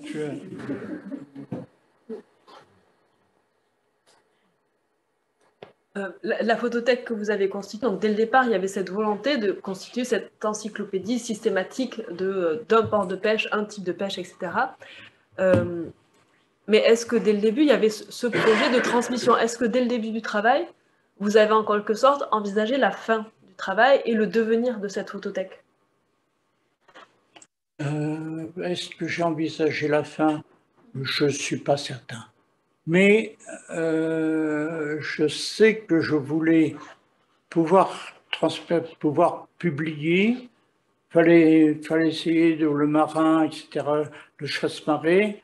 Euh, je peux pas dire, je peux pas dire, je peux pas dire. Et puis peut-être euh, un, un, dernier point. Euh, donc le, voilà, le, cette collection de 65 000 diapositives est donc dans une collection publique, hein, donc désormais, euh, donc c'est inaliénable, hein, ça, c'est un fonds qui ne peut être euh, mmh. absolument pas euh, Cédé. Vendus, démantelés, euh, etc. Euh, bon, qui posent des, problèmes de conservation, mais cet après-midi, on a des spécialistes de, la conservation, de la restauration hein, de, ce type de, photographie qui, interviendront. Mais euh, est-ce que quel sentiment aujourd'hui, donc finalement, tu as de, que, sur ce fond personnel de 30 ans de travail conservé dans son intégralité dans une euh, collection euh, euh, publique et quels seraient tes, souhaits au niveau de la valorisation, hein, encore une fois, de, cette, de cette collection. Vous l'avoir dit trop rapidement tout à l'heure, c'est un grand merci un grand merci. Mais c'est pas suffisant, que... ça, c'est pas suffisant. Ah, non, non, non, mais, non, non, mais oui, oui, oui, oui, oui, parce que ça correspond à mon sentiment, ça correspond à ce que ce fonds va vivre. Parce qu'il est, il est, tu le dis, figé. Il, il, est figé, mais il va vivre. Absolument. Il serait, oui. il serait dans mes tiroirs, dans mes collections, dans mes boîtes chez moi, il serait mort. Quasiment alors que là, il va vivre. Et merci Marine, la manière dont, tu as présenté, Eric, la manière dont vous avez présenté, parce que oui, oui, j'en ressens, non pas une fierté, mais le, oui, je ressens l'aboutissement du travail accompli, en quelque sorte. Hein, C'est, je dis, j'ai voulu faire ça, euh, j'ai voulu dès le départ tout couvrir. Au fur et à mesure, et sur la fin, j'ai vu qu'il fallait euh, le mettre quelque part, pas le garder dans mes boîtes. J'avais euh, mes boîtes oranges que tu connais bien, Mm. ranger tout ça. C'était pas une satisfaction. C'était pas une satisfaction. Je, je souhaitais n'importe quel incendie arrivé, tout ça, c'était détruit. Je voulais, je voulais que ça soit pas détruit. Ah, Une petite question peut-être au technicien. Les cartes d'aujourd'hui, qu'est-ce que ça vaut?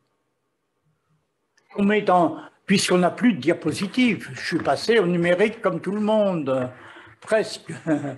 Hein et et j'ai des cartes à vous donner là encore.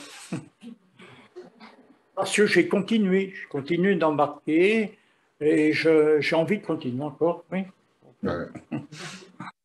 C'est vrai que cette question du support, enfin, vous l'aborderez tout à l'heure, mais autant aujourd'hui la question se pose de la conservation de ce support-là d'inversible couleur du diapositive, autant euh, demain se posera la question de la conservation euh, des images de support numérique qui migrent de support, mais voilà, il y a, cette- le support, la question du mode de conservation et du support de conservation reste, euh, à mon sens, euh, actuelle. Je me tourne aussi vers Arnaud, qui pratique largement la photographie numérique au sein du musée. Il y a toujours la question de la conservation du, ma- du matériau. Enfin, de- La numérisation a fait- été une grande satisfaction aussi pour moi, pour, pour quelques-unes. Hein, c'est pas. Oui, non, j'ai j'ai envie que ce, j'ai envie que le le travail qui a été fait. C'est une époque, je suis, je suis le seul à l'avoir fait, bon, parce que les autres euh, n'ont pas eu le temps, n'ont pas ceci. Le seul. Bon, il y a quelques confrères d'Ifremer, il y en a, euh, j'oublie leur nom là, qui ont fait des, qui ont fait des plusieurs travaux. hein, comment ils s'appellent Je sais plus. Mais bon, mais euh, non, non, je pour, pour répondre euh, et pour essayer de répondre aussi clairement que possible, Eric, euh, c'est un, une prolongation de mon travail. Vous prolongez mon travail et en le prolongeant, bah, vous le valorisez. C'est aussi une lourde responsabilité. hein. Ça veut dire qu'il faut aussi. euh, Ah, mais ah, ben, absolument. Ah, je, ah non, non, mais, ah, non, mais là, il n'y a pas de. Là, c'est une. C'est vrai. Oui. C'est vrai, je je vous confie pas et je m'en vais. hein, hein. je suis toujours attentif à ce qui peut se passer. Il me semble que c'est une volonté de la part de Serge, mais c'est aussi une chance pour lui. Parce qu'il n'y a, il y a pas beaucoup de fonds comme ça dans un musée. Et le- l'acceptation du, enfin, du musée, c'est vrai- une vraie chance. Et pour toi, Oui. et pour le musée. Oui. Mais on, va- on a plein d'arguments pour nous dire qu'il n'y a pas la place, qu'on ne peut pas tout conserver. Alors que pour moi, un peu, tout est signe, tout veut dire quelque chose, tout se lit. Donc tu as eu une grande chance. Oui, oui, oui, Mais oui, oui. oui. Ah, mais, profité. je vous remercie. Je sais, je dis sans. sans- Virginie a été une des premières hein, à essayer de. c'est- Avec un. Il y a eu un premier refus aussi, il ne faut pas le, faut pas le nier. Hein. Premier que- refus. Je, pardon, je dirais parce qu'il faut dire les choses. Le premier refus, ça a été euh, cette collection. Lucas, qui c'est qui c'est ce gars-là On ne connaît pas. La diapositive, qu'est-ce que c'est? Un petit bout de plastique. Voilà une- réponse qui a été donnée une première fois. Ne dis pas le nom. Ne dis Je pas le nom. ne sais pas, Ne je ne le nom. connais pas. Est-ce que vous avez des, des questions euh, Non, il n'y a, a pas de questions sur. Ah, euh, vas-y, Marie. Euh, la fréquence avec laquelle vous, êtes parti en mer, en fait, parce que on voit la, la mais moi j'ai du mal à imaginer votre quotidien, en fait. Est-ce que vous étiez beaucoup en mer Est-ce que vous étiez aussi beaucoup à faire En 78, 250 jours de mer. J'ai sau- j'ai sauté d'un bateau à l'autre et après j'ai enchaîné. Mais euh, j'ai sauté d'un bateau à l'autre. Euh, je voulais accumuler, je voulais préparer pêcheur. Euh, j'ai- je me suis non pas arrêté, mais ça m'a permis de voir, d'avoir un petit peu de recul et d'avoir la demande de- du marin, la demande du salon des pêches de faire des choses. Mais la première année, j'ai, je saute d'un bateau à l'autre. en février, je suis à Boulogne et, à la pointe sud-ouest. Euh, en mars, pendant les élections, je suis dans le, je suis dans le, dans l'Ouest Irlande, dans le haut, côté du Mont Brûlé, etc. Enfin, non, j'ai rapidement, là, oui, j'ai voulu, j'ai voulu à ce moment-là. Là, j'étais parti, euh, encore hors de fond que je suis, que j'avais été, euh, je, voulais, je voulais continuer à... Ça tient aussi, ça, peut-être, à l'éducation. J'ai fait du cross quand j'étais gamin, enfin quand j'étais jeune. J'étais un coureur de fond, j'ai fait des... Savoir, quand je monte là, quand je monte, pas par ce temps-là, je répète, mais euh, pendant, euh, sur, dans la banquise, monter là, je prends mon élan. Hein. Je ne monte pas n'importe comment, parce que à la passerelle, ils sont à la passerelle avec une paire de jumelles, ils m'ont donné l'autorisation. Si je marque la moindre hésitation, vous me direz, tu descends, euh, on n'a pas envie que tu te casses la figure, tu descends tout de suite. Donc, je prends ma respiration par euh, respiration que j'ai su calculer quand je, quand je faisais du cross. Pardon de ces rapprochements, mais il y a des... Oui, mais, mais, et derrière ça, quand même, euh, je pense que tu dois quand même aimer la mer, les marins, et les pêcheurs et les bateaux, quoi. Oui, bien sûr. Bien sûr, mais les hommes d'abord. Les hommes d'abord, bien sûr. Les hommes et les femmes, bon, les femmes ne sont pas à bord. Mais vous savez, à cause de qui les femmes ne sont pas à bord Je l'ai dit à quelques-unes. À cause des épouses les épouses ne supporteraient pas que leurs hommes partent de deux jours, trois jours ou treize jours en mer avec, euh, avec une femme à bord.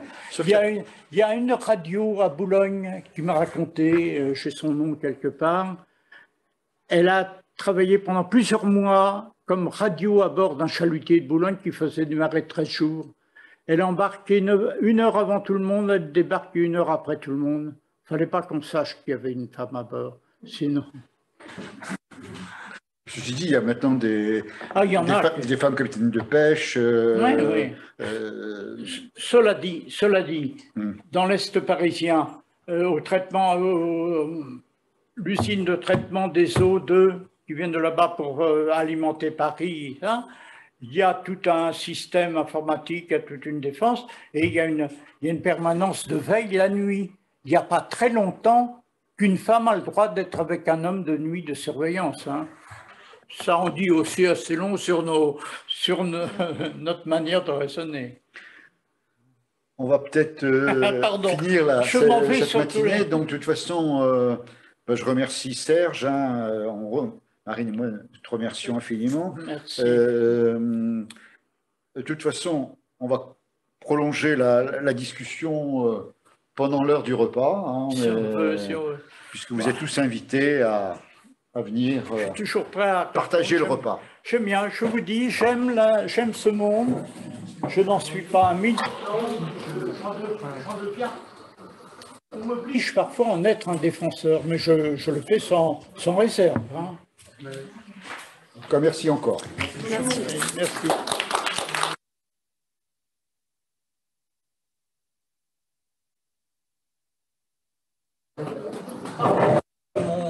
Tu, tu devais t'y attendre un petit peu avant.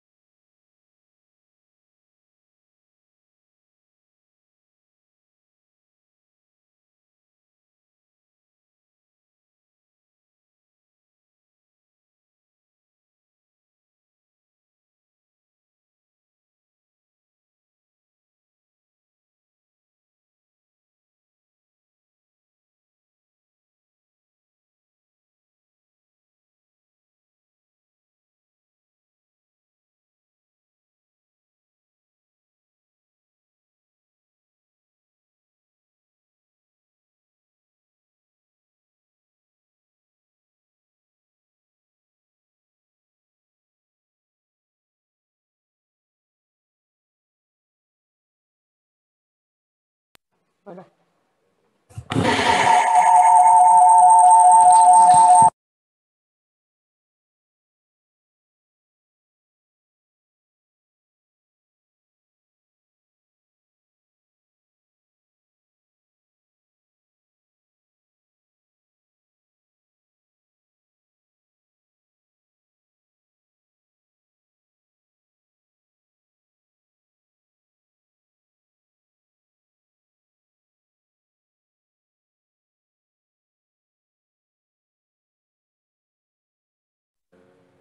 Non, mais j'ai l'impression que le seuil de la Zoom Room est coupé. Et il est reparti.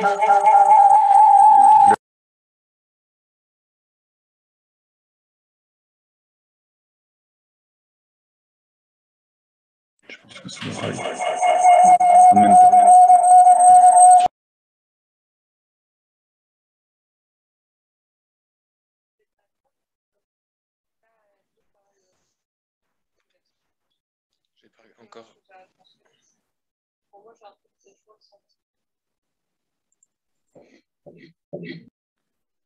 Je n'ai pas essayé.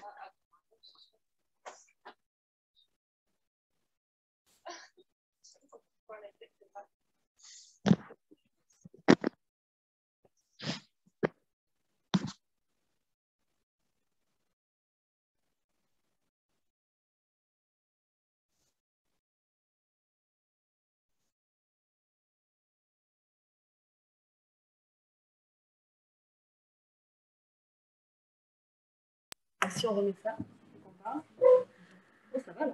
Je crois que c'est bon. Non, non. Il y a toujours un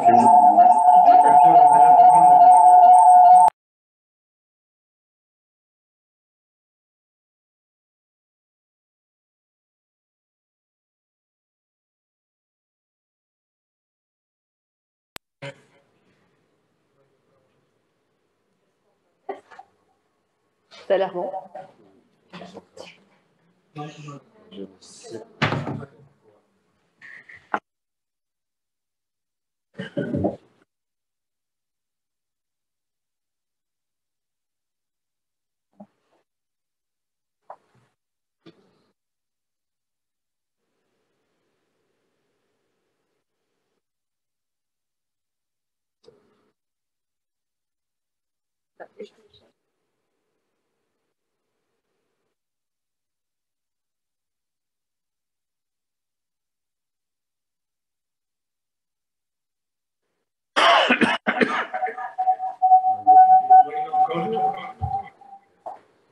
Je vais couper ça parce que.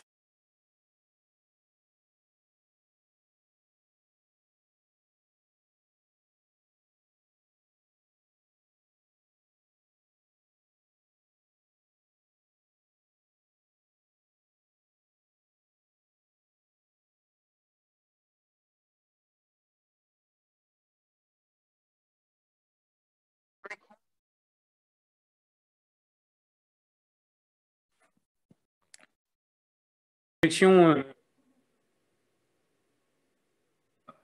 je suis content de savoir. La, projection en elle-même était euh, en partie dite déconsidérée, puisque pratique amateur en fait euh, à l'époque. Elle était d'un usage social avant tout, pour permettre de montrer pas mal de, de scènes de la vie ou de scènes, on va dire, intimes et familiales, la plupart du temps.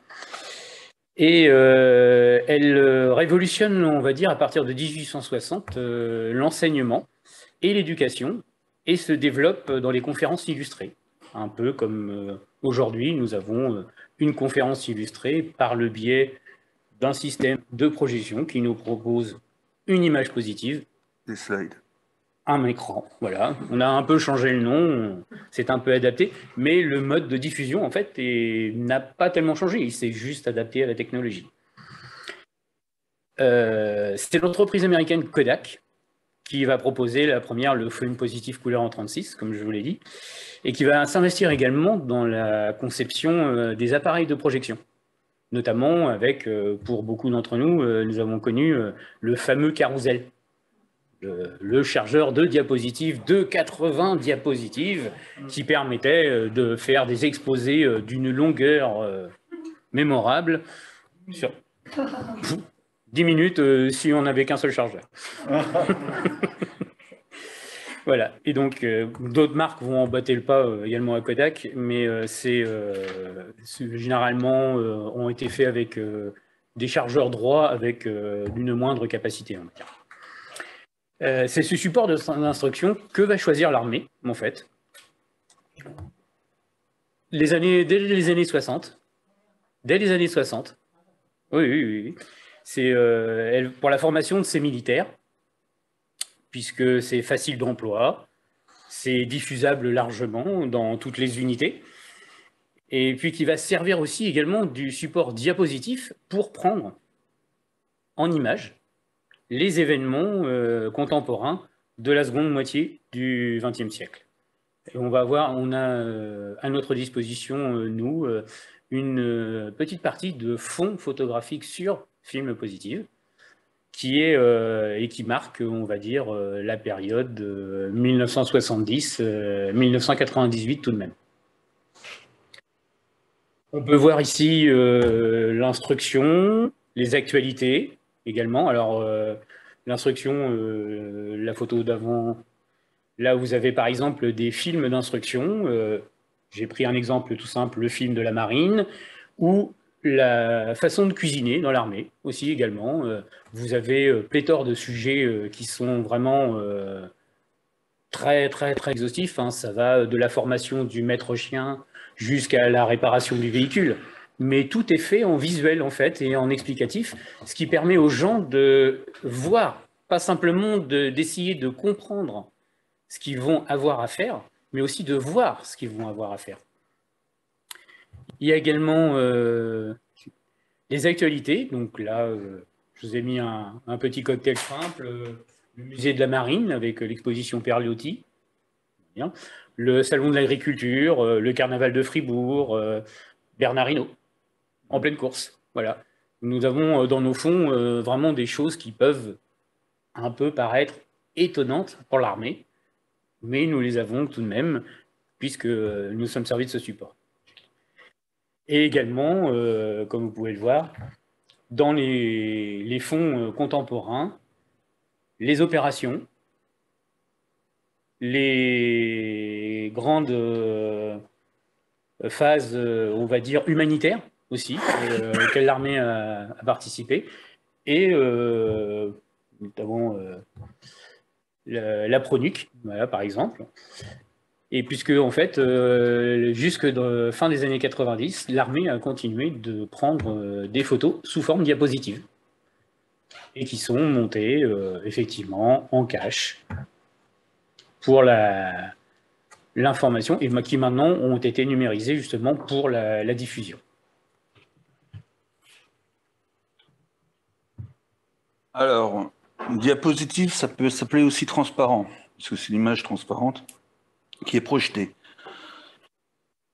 Euh, ce support au départ était sur verre, sur plaque de verre. Donc alors, un- une photo c'est simple, hein, c'est un support et euh, une gélatine. Après, vous avez différentes couches de protection, mais c'est un support et une couche sensible, on va dire, plus qu'une gélatine, parce que ça peut être sur différents supports, euh, différents produits, on va dire. Voilà. Les diapos ensuite sont passés sur film, collection dont on parle aujourd'hui, sur film plastique, qui peuvent être de, qui peuvent être de divers, euh, diverses matières.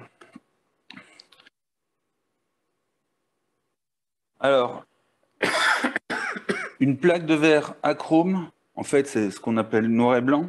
On dit achrome parce qu'il n'y a pas de couleur. Une plaque de verre achrome est composée d'un support de verre mince et d'une couche. Alors, au départ, c'était de l'albumine. L'albumine, vous savez ce que c'est? C'est du blanc d'œuf.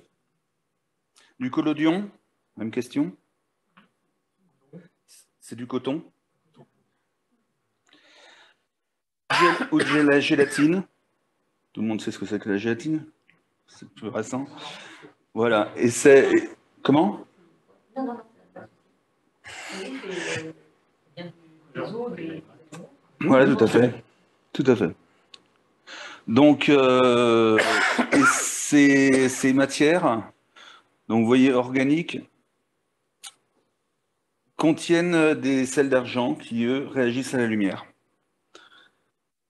Alors la diapositive pour lanterne, comme, dis- comme parlait mon collègue euh, a une plaque de verre vierge pour protéger l'émulsion des manipulations et de la chaleur, des rayures et des poussières. Et elle, est scellée par une bande de ruban adhésif noir. Les stéréoscopes ne sont non de verre que s'ils sont en, al- en albumine.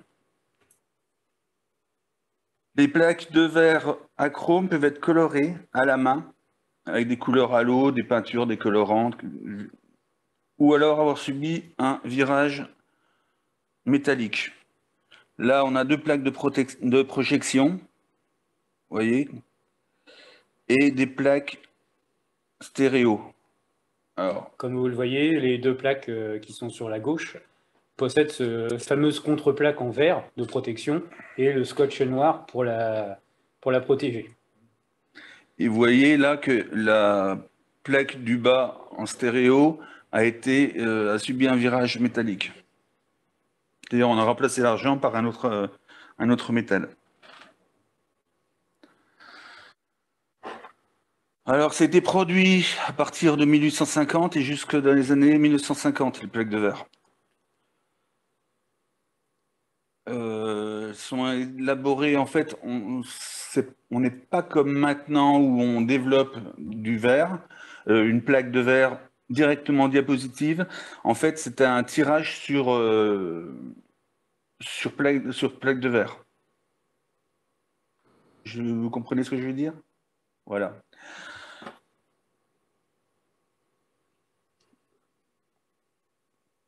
La plupart des plaques de verre euh, produites avant 1880 sont des plaques en albumine ou en collodion.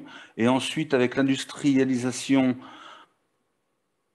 de la fabrication, on est arrivé à de la gélatine. Donc après euh, 1890, c'est de la gélatine. Les plaques de verre euh, à chrome ont été remplacées par, comme je le disais tout à l'heure, par les transparents en couleur sur film, qui sont devenus de plus en plus disponibles après la Seconde Guerre mondiale. Alors, ce qui peut se passer comme dégradation, c'est qu'elles cassent. Donc, on va les mettre euh, en sandwich entre deux plaques de verre. L'émulsion peut se décoller du verre aussi. Donc, euh, on peut placer dessus une plaque de verre. Ou alors, si c'est vraiment décollé complètement, mais ça, c'est les spécialistes qui le font. hein. Euh, si c'est complètement, presque complètement décollé, on, va continuer à, dé- à décoller et mettre sa gélatine en sandwich. Alors, ça se conserve entre 4 et 20 degrés, c'est large, et entre à 3 à 30 et 30 à 40% d'humidité relative.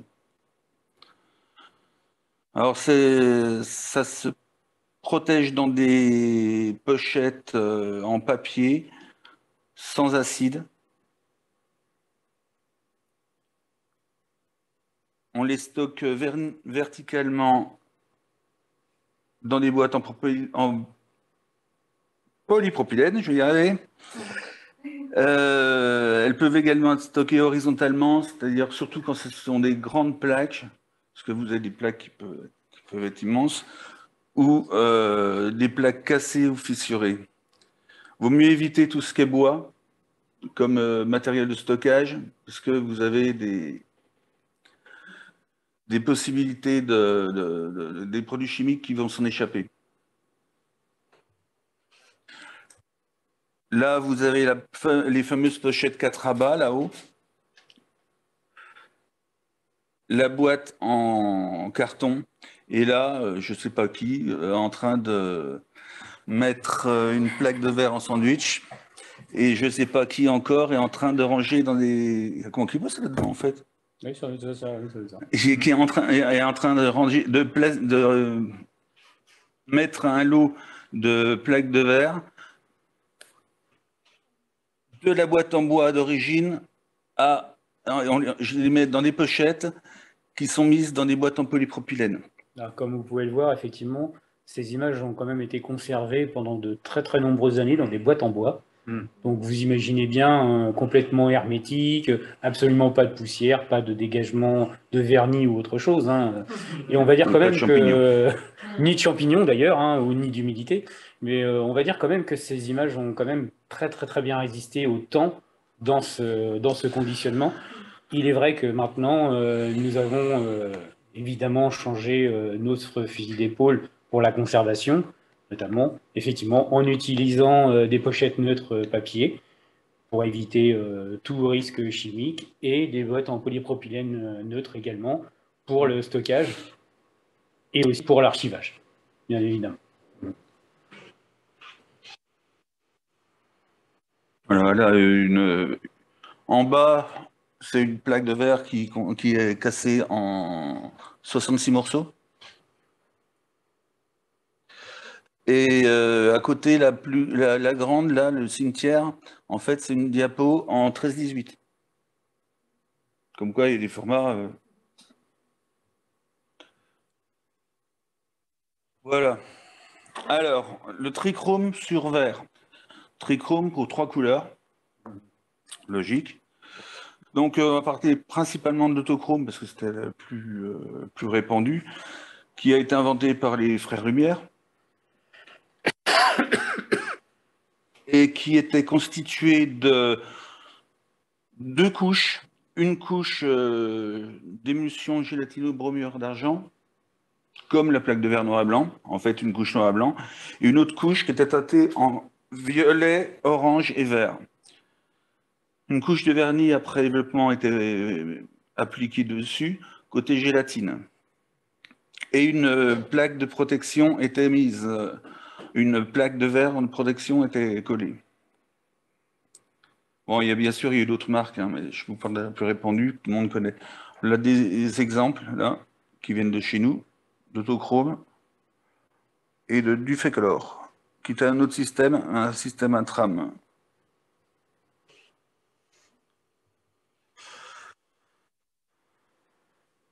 Donc, euh, les autochromes ont, été inventés en 1906, brevetés en 1906 et euh, commercialisés en 1907. De 7 à 33, ils ont été euh, assez répandus. On va pas dire très parce que c'était pas non plus. Hein. Euh, ont été disponibles jusque dans le milieu des années 50. En fait, euh, si ça s'est bien diffusé, c'est que c'était un procédé pratique et commercialis- mm, commercialement, commercialement, j'avais rajouté des, des syllabes, via, pour, la, pour des plaques couleurs. Et en plus, était accessible à nombre de, boîtiers photographiques de l'époque. Parce que là, maintenant, on a, enfin, maintenant, on va prendre 30 ans de retard, 30 ans en avant, avant en arrière, avant l'arrivée du numérique, il y avait 24-36, le 6-6, puis euh, deux, trois formats bâtards comme le 110, 126, enfin, bref, qui étaient des formats amateurs, hein, les derniers. Euh, mais à l'époque, il faut savoir que chaque fabricant avait euh, son format. Donc c'était un peu le, alors là, l'avantage, c'est que ça avait commencé déjà à s'unifier, tout ça, et que euh, on avait, euh, on a eu des plus que deux ou trois formats de plaques, comme le du 9-12, du 13-18, beaucoup de 13-18 chez nous, d'ailleurs. Mais euh, L'autochrome a été supplanté par euh, les systèmes chromogènes, dont le Kodachrome. On y vient petit à petit. euh, qui était moins coûteux, plus pratique et qui arrivait justement sur la normalisation de, du, ben, du 24-36, format euh, Leica. Et euh, d'autres formats un peu plus. Et même en film, il y a eu des, Super 8 et compagnie en. en, en.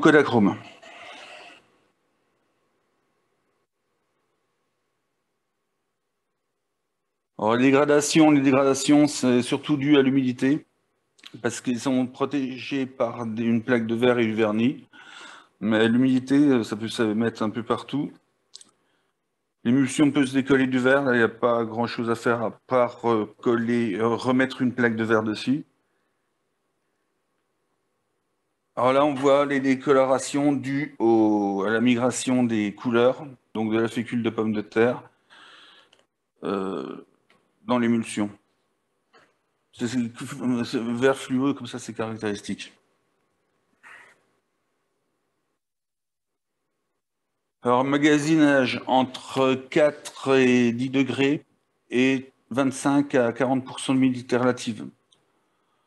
Alors, euh, comme je vous disais, la couche de protection a été euh, fort utile à la conservation des, de, ces, de ces phototypes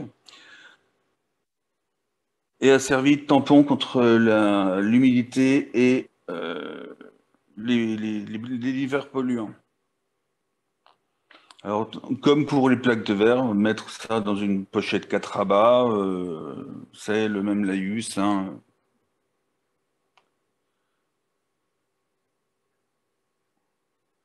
Alors là, il y a une, une liste des différents procédés. D'ailleurs, vous voyez sur la petite vignette du haut, là, les, le, du- le Color, par exemple, le Finlay Color, qui sont des, des trames, qui ne sont pas comme là-haut, l'autochrome et l'aquachrome, qui, qui sont de la même époque, mais étaient, euh, étaient concurrents. Et pour les reconnaître, c'est mission quasi impossible, sauf si un truc dessus. Ça réveille.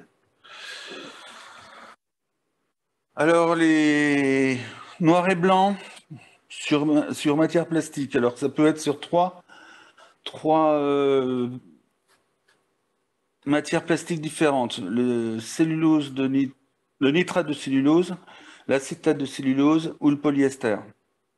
Bien sûr, les dégradations sont différentes suivant, et là on va voir, parce que là on rejoint un petit peu les dégradations des, des, qui peuvent, qui peuvent se- qu'on peut trouver sur euh, les sur les diapositives modernes. Alors ça, euh, les diapositives ont la même structure qu'un négatif, c'est-à-dire que c'est la même, euh, la, la même façon de procéder. Il n'y a que le traitement qui change. Puis un peu en interne, bien sûr, mais il y a une, différence de chimie au développement, mais autrement, c'est euh, du plastique avec euh, de la gélatine, de trois couches de gélatine, ou une couche pour la pour monochrome. Alors, les diapositives ont été placées comme euh, maintenant, pas comme maintenant, parce qu'il y a des caches en métal à l'époque, ou en carton et en plastique, comme les trichromes. Alors, le principal dégradation, c'est le sur la couche de gélatine, c'est le miroir d'argent, comme vous avez une, euh, une vue là-haut. Par contre, euh, pour les nitrates, et là on rejoint les deux, les, les- les couleurs. Alors, pour les plastiques, donc, il n'y aura pas de nitrate pour les couleurs. Mais on, verra une détérioration du nitrate de cellulose aggravée par l'humidité relative. Dans un environnement humide, l'émulsion sera mollie et devient glissante, collante. Pourquoi je dis glissante? Dans un environnement sec, elle devient très fragile. La phase finale de détérioration, c'est du dégagement d'acide euh, nitrique et d'azote une, une, une odeur acre. Voilà. Et le film se détériore, euh, c'est exponentiel. Une fois que c'est parti, c'est parti. Vous avez les acétates. Les acétates de cellulose sont susceptibles de subir le syndrome du vinaigre. Euh, J'ai eu encore euh, hier l'expérience euh, en, passant dans, une casemate à côté de l'atelier.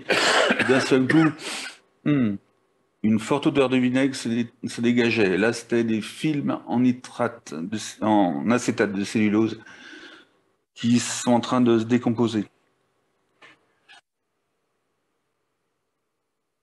Euh, les polyesters, le polyester lui est inerte.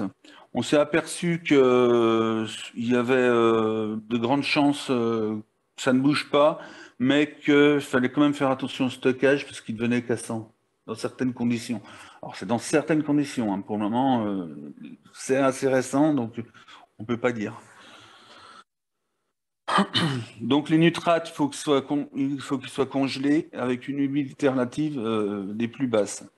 Les acétates, bon ben c'est entre euh, 2 et 7 degrés à 20, euh, 50% d'humidité relative et les polyesters 20 degrés, donc conditions naturelles, euh, et euh, 20 à 50% d'humidité relative.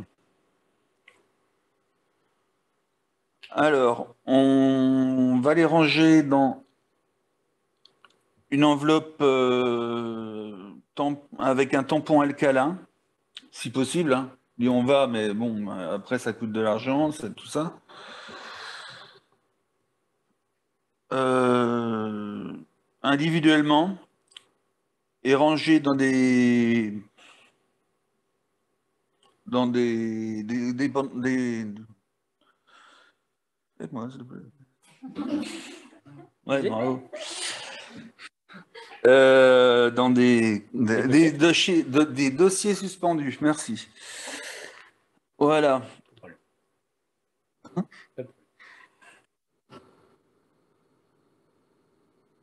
Comme vous avez la diapositive en, en haut là, vous connaissez, puisque vous avez montré tout à l'heure des images, donc. euh, ouais.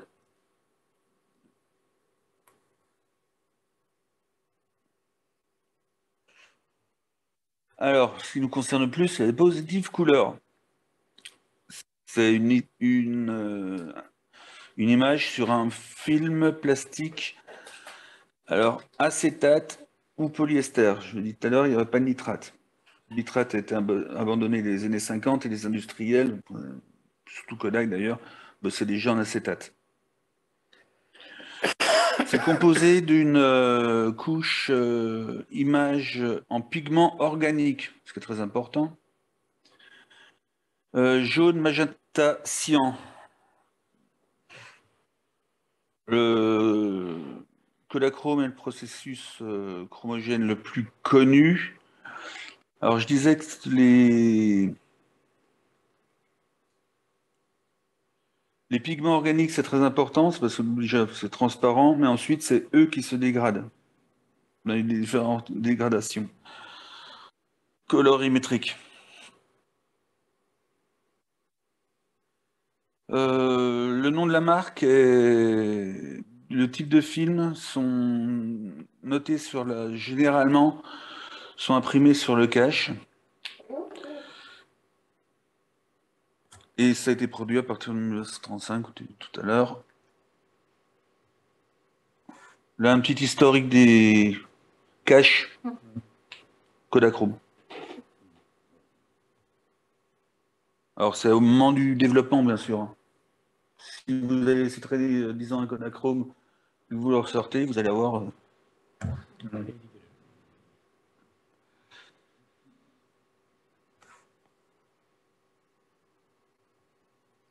Alors, les dégradations. On observe des dégradations, une décoloration euh, suite à une exposition à la lumière. Alors, c'est pas euh, j'expose à la lumière, ça se dégrade, hein. c'est dans le temps, bien sûr. Les colorants organiques Fujichrome sont plus stables après test et après, euh, euh, des, sondages, sont plus stables à l'exposition à la lumière que ceux du Kodachrome. Ils s'abîment rapidement, les, les s'abîment rapidement à la lumière, enfin en même temps on ne les laisse pas tout le temps euh, au jour. hein. Et euh, par contre, les Fujichrome ont une tendance à se, à, se décolorer plus à lors euh, sont dans l'obscurité. Euh, on avait déjà observé ça alors que j'ai fait un. On a fait, on a déjà observé ça lorsque j'avais fait un stage à Gérone. Euh, et c'est valable aussi pour euh, les tirages. hein. C'est la même chose. Euh, donc les acétates, bah, comme tout à l'heure, hein, il n'y a pas de raison que ça, du noir et blanc à la couleur ça change. Euh, donc euh, syndrome du vinaigre. Donc c'est principalement olfactif que ça va se surveiller la, la dégradation. Euh. La gélatine se plie à cause des tensions, parce que c'est l'acétate qui va se détruire. En, détérioration au niveau de la gélatine, vous aurez quasiment, à part la décoloration, bien sûr, que les champignons. Champignons, il faut quand même y aller. Bon, nous, on y est. Euh, la clim qui est tombée en panne, et chouf, il faut que ce soit quand même euh, une humidité relative à plus de 60%.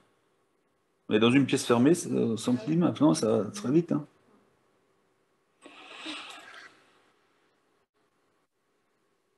Euh, les polyesters, bah, comme je vous disais tout à l'heure, c'est considéré comme inerte. Je dis c'est considéré parce que c'est jusqu'à ce qu'on trouve que, parce que l'acétate, il y a 50 ans, c'était magique, c'était génial. Et puis on s'est rendu compte à force que bah, ça du vinaigre. hein. Les nitrates, c'était très bien aussi, mais ça prenait feu. Zut. Cinema Paradiso, pour ceux qui connaissent euh, un peu. C'est à peu près le film que je connaisse. hein.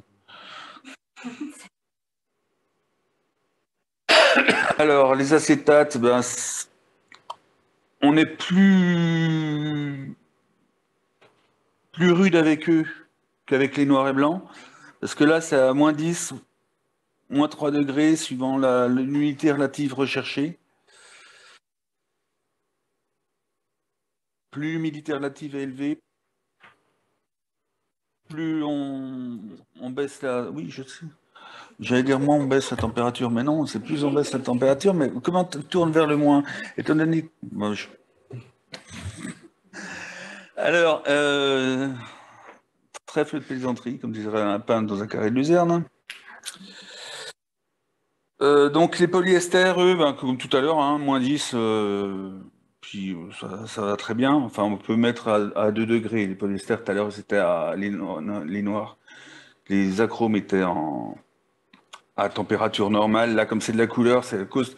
En fait, si on est plus rude avec eux, si on est plus, dur, euh, c'est à cause des couches, cou- des couches, des couches couleurs. Voilà, tout simplement. hein. Parce que ça, se dégrade, comme on a vu tout à l'heure, euh, même à l'obscurité, ça se dégrade.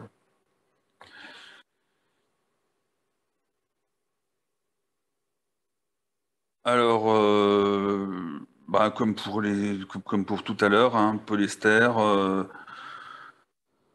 des, des enveloppes en polyester euh, non couchées, polypropylène, euh, polymère inerte. C'est ce qu'on utilise maintenant, les polymères inertes. En fait, à, à la vue, ça, ça, ressemble. Tout le monde se ressemble. hein. Après, euh, c'est chimiquement que ça change.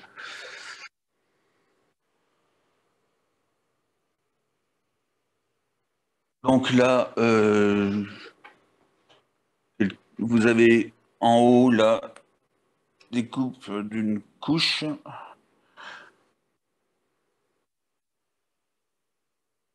Une dégradation colorimétrique. Puis en bas, ben non, c'est pas, y a rien. C'est simplement un, un pêcheur pour faire un clin d'œil à, Monsieur Lucas. Voilà, tout à fait. Il faut savoir aussi qu'on a aussi euh, pas mal de. Enfin, pas mal. On a quelques fonds sur Oui. la pêche, notamment, même dans les. Aussi, comme je vous disais tout à l'heure, dans les, dans les fonds militaires, notamment les campagnes Terre-Neuva, euh, Ah oui. etc., etc. Et puis, euh, plus récemment euh, également, euh, nous avons effectivement les photographes qui ont été sur divers théâtres d'opération et qui parfois ont pris la vie courante locale, notamment des pêcheurs, mais aussi et simplement, généralement, la vie des gens dans les pays où ils se trouvent, en fait. Alors, les dégradations des plastiques. Alors déjà, on peut savoir à peu près quel plastique, à quel plastique on a affaire. De 1898, la, la box de Kodak, c'était un boîtier qui contenait euh, 100, un film euh, avec 100 qui pouvait euh, contenir 100, ex- 100 expositions qu'on renvoyait, il développait, il tirait, il rechargeait et il renvoyait tout, bien sûr, il fallait payer. Et euh, donc à partir de, de 1898 jusque dans les années 50, au milieu des années 50, là, on s'est aperçu que c'était plus possible, c'était vraiment dangereux, le film nitrate. Euh, le safety film, connu sous le nom de safety film, qui est en fait de l'acétate, parce qu'il ne brûle pas. On, pourrait faire, on aurait pu faire l'expérience et amener un acétate et vous montrer, euh, ça ne brûle pas. Alors qu'un nitrate, ça va. Alors, de 1923, il y en a encore eu dans les années 90, voire 2000. Et les polyesters, de 1955 à, bah, encore actuellement, il y en a. Alors, l'acidité, on peut le mesurer avec euh, des adistrips. Des petites bandelettes bleues, là, il y en a qui connaissent? Non, des petites bandelettes bleues qui réagissent à l'acide et qui jaunissent plus ces acides. Pour ça qu'on a toutes les nuances de vert, comme vous pouvez voir. Donc bleu, il n'y a rien, c'est nickel. Et vert, ça commence à sentir mauvais. Vert clair, là, c'est pas bon du tout. Et alors, vert- vert- jaune, c'est. C'est- pas mort. il faut, faut congeler. Ouais. Il suffit de les mettre, euh, de mettre ces bandelettes au contact. Non, à On ne met pas au contact. On ne met pas au contact parce que si vous avez de l'humidité ou quelque chose comme ça, ça va, euh, ça risque de faire des traces. Il faut dire qu'en plus, c'est un produit chimique quand même hein, qui réagit. Et toujours éviter les pollutions extérieures. Euh, Vous pouvez le mettre dans le meuble de stockage, par exemple, à des endroits bien précis. Et si jamais vous avez des, émanations euh, gazeuses de, dégradation, il va, euh, par son virage, vous indiquer qu'il commence à y avoir, peut-être à certaines parties du stockage, une dégradation qui va commencer à s'opérer. Là, c'est en fait c'est une mesure préventive qui va vous indiquer euh, qu'il va falloir vous occuper, euh, vous faire très attention, on va dire. Alors, les dégradations du nitrate. Bon, je, vous avais que chez nous, on n'a pas de diapo dégradé.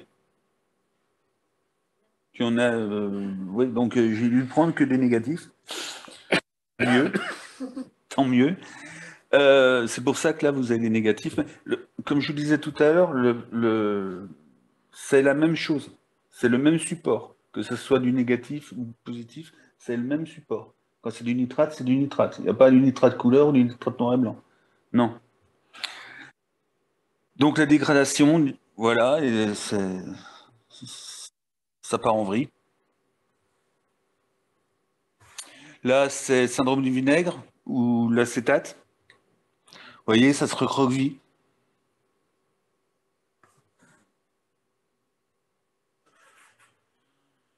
ça, c'est une dégradation par euh, pollution extérieure. Comment? Les souris. Non, pollution extérieure, des gaz quelconques. Après, oui, il y a les animaux, là, j'en parle pas, mais bon, après, il y a les animaux, vous avez les. J'ai parlé tout à l'heure des champignons, mais vous avez aussi quelques insectes qui peuvent s'attaquer, pas s'attaquer au négatif, euh, enfin, au- à la gélatine en soi, mais euh, voilà, ça peut. euh, Si c'est un support carton, par exemple.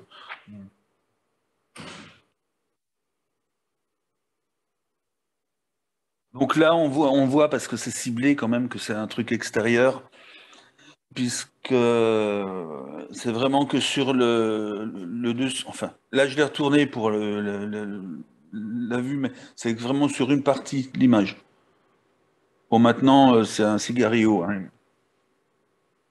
parce qu'on n'a pas pu arrêter la dégradation. Donc ça, ça, ça s'est enroulé autour de soi, puis c'est tout petit petit. Alors, la restauration numérique. Là, vous avez un banc de reproduction simple qu'un amateur pourrait utiliser, ou une petite institution, quelque chose comme ça. C'est un- une table lumineuse avec euh, une potence et un boîtier euh, fixé dessus. Et vous faites la photo de la, de la diapo. Voilà. C'est ce qu'on utilise aussi. hein. Enfin, nous, c'est un peu plus perfectionné, mais euh, c'est exactement le même système. hein. Euh, chez moi, personnellement, j'utilise euh, le même système, je mets, mais à la place d'une potence, je mets un trépied. Voilà. Faut, des fois. Alors, à part un nettoyage doux à la brosse en poil de chef, par exemple, donc ce qui veut dire une brosse douce, ultra douce, et à la soufflette pour le dépoussiérage, voire à l'alcool isopropylique si vous avez de la colle dessus, parce que les caches, il y avait de la, il y a de la colle dans les caches, dans certains, surtout les cartons. Et là, vous pouvez avoir la colle qui a, qui a migré sur le film. Là, on a un peu d'alcool isopropylique avec un chiffon très doux, et ça part. Normalement. Non, ça part tout le temps. C'est spécialiste là à côté. Euh, on n'intervient jamais en photo, en restauration photo, on n'intervient jamais, quasiment jamais, sur l'original. Au contraire de ce que font nos collègues euh, avec la peinture. Mais en fait, en même temps, euh, ce serait difficile de faire des repros de la Joconde à chaque fois qu'il y a un écriture dessus. Il y en aura des milliers en plus. Euh, Il y a peu de temps, la numérisation, ce qu'on faisait, ouais, c'est comme ça que j'ai appris. Oh putain, ça ne rajeunit pas. Euh, on travaillait sur des reproductions.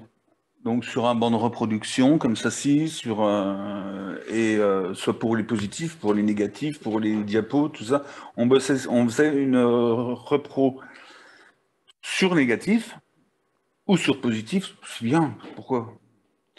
S'embêter, du, du phototype que l'on voulait restaurer.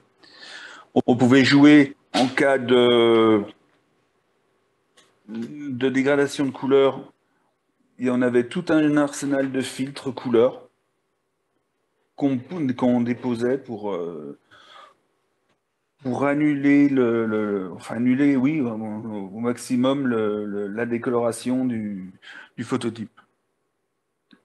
Maintenant, avec la numérisation, c'est devenu beaucoup plus simple, beaucoup plus rapide et beaucoup plus précis. Et là, on peut se permettre des choses euh, en numérisation dingue. quoi. Chose que j'aurais bien voulu faire euh, quand j'avais quand j'ai passé mon stage de retouche au pinceau. Ah oui, j'ai connu les pinceaux. Et pas le pinceau Photoshop. hein. Voilà une dégradation. Film euh, fixe euh, pour la gendarmerie. Donc, est-ce qu'il doit être obligatoire hein, sur, comme vous disait mon collègue, je suis franc-comtois, donc euh, j'ai pris une photo d'une Peugeot, logique. Eh, allez, mon Béliard.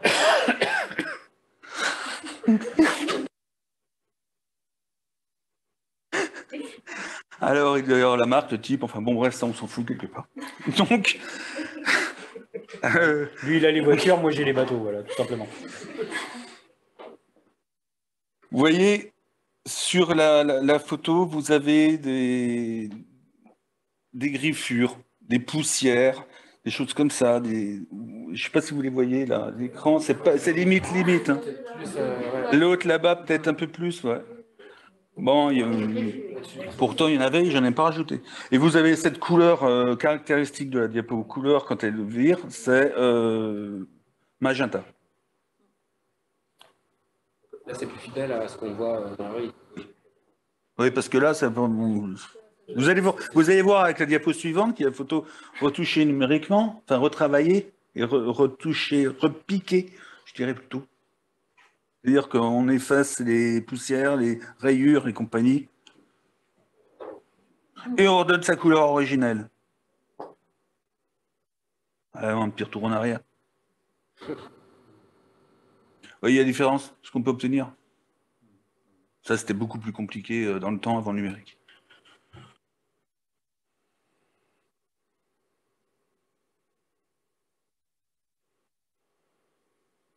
Là, une euh, diapo des années 90 Oui, c'est ça. euh, qui était sous ex. Alors, le mec a réussi à nous faire une photo sous ex en Afrique. Ouais. Donc là, vous avez les, différentes étapes de, traitement numérique par rapport à la numérisation euh, de l'original euh, sous-exposé et qui commençait également à virer. Donc vous voyez euh, les différentes étapes, différents process de numérisation jusqu'à l'obtention d'un fichier qui, on essaye, on va dire au maximum, de retrouver l'original. On va se baser sur certaines couleurs, le bleu, le rouge, l'orange, le blanc, et on va essayer de retrouver la couleur originale de la diapositive avant son virage. Après, il y a différents niveaux de modulation. On pourrait aller encore plus loin là, mais ça prendrait beaucoup de temps et c'est pas le but recherché non plus. Parce qu'après, il faut quand même laisser de la matière pour le labo. Parce que plus vous travaillez une photo, plus vous abîmez le fichier, les, courbes et compagnie. À savoir qu'on va conserver, nous, le fichier brut maître tel qu'il est, puisque c'est l'histoire de la photo, qu'on ne refait pas l'histoire, tout simplement, et qu'on va en extrapoler un fichier plus visuel pour la consultation, qui lui aussi sera conservé, mais uniquement dans des buts de con- de consultation. Le fichier maître, avec toutes ces informations, lui, sera conser- conservé brut. Et ça, c'est des opérations qui peuvent être faites, j'imagine, à l'unité. Mais enfin, quel temps ça prend de, de faire ce travail sur une image? Est-ce que pour des ensembles? Ça peut aller relativement vite. hein. Ça peut aller très vite, comme de- ça peut être très, Voilà. très long. C'est justement le problème, c'est que selon les, les dégradations et selon ce qu'on veut aussi obtenir, puisque en fait, euh, c'est euh, surtout euh, le- la finalité qui, qui nous intéresse le plus, on va dire, c'est que on peut très bien, euh, là pour vous donner un ordre d'idée euh, sur les étapes, entre la première et la cinquième image, j'ai mis à peu près 15 minutes 15 minutes de de traitement, en essayant de, de trouver euh, plus ou moins les valeurs, en rééchantillonnant la luminosité, etc., en, en re- en retravaillant les courbes. Et en fait, euh, bon, c'est parce que j'ai pris mon temps aussi, j'ai fait ça un peu plus finement, on va dire. Après, sur des, certaines images, euh, ça peut prendre euh, euh, 30 secondes, comme ça peut prendre une heure. Voilà. Selon la dégradation de l'image, selon euh, ce qui nous reste de l'original et de ce qu'on a numérisé de l'original brut. Voilà. Que devient l'original? L'original, il est conservé. Il est conservé tel quel.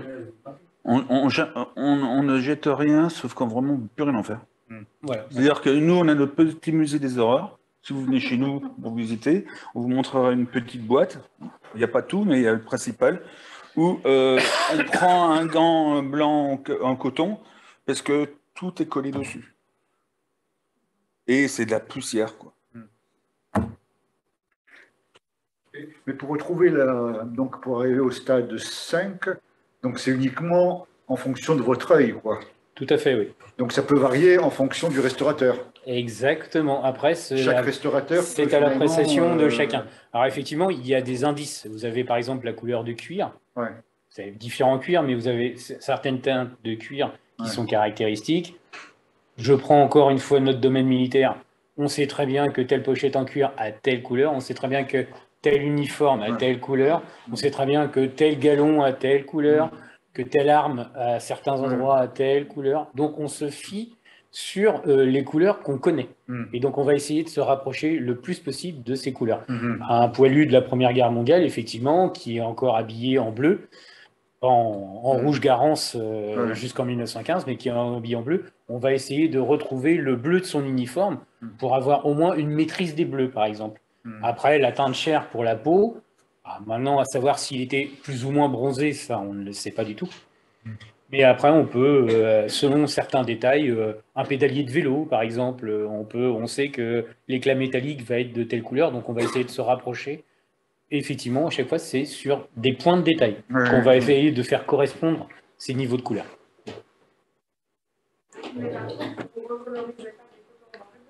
On ne recolorise pas de photos en noir et blanc. la, c'est- la prod qui fait ça. C'est ça, ce sont des sociétés de production qui font ça. C'est leur euh, matière à eux. Effectivement, vous avez pu voir Nous, euh, aussi. la Première Guerre mondiale en couleur ou ce genre de choses-là. Effectivement, tout était colorisé, mais en post-production. Hmm. Voilà, ce sont des couleurs artificielles. Alors évidemment, ils sont venus nous voir effectivement pour trouver ces fameuses couleurs en se basant sur les couleurs euh, qu'on avait justement sur des images couleurs. Mm. Notamment avec les autochromes, par exemple, pour le bleu des, de l'uniforme des soldats. Mm. Ils sont venus consulter, ils ont regardé, ils ont pris les échantillons, et effectivement, ils ont travaillé à partir de ça. Mm. Après, les erreurs de couleur, ça, nous n'en est pas maître. hein. Ce, ce sont des sociétés de production euh, annexes. hein. Après, pour la sauvegarde, vous avez posé la question tout à l'heure. Euh, les, les cartes, euh, c'est des cartes quoi vous avez Des cartes, ce sont des cartes SD C'est du SD Bon, euh, je sais que moi, j'ai, je bosse aussi en Nikon et j'ai des cartes SD aussi. Et euh, j'ai des, j'ai eu des problèmes avec certaines.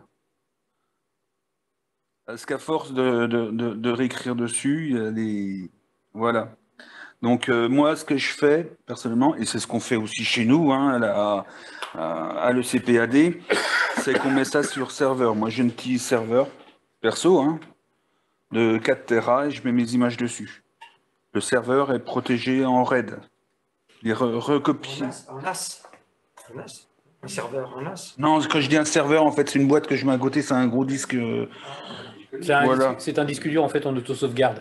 Voilà. Vous avez deux disques durs dans le boîtier, et si jamais vous en avez un qui lâche, vous avez toujours la possibilité de. Red 1, Red 2, Red 3. Voilà. Généralement, c'est ce qu'on appelle le RAID 5, voilà, exactement.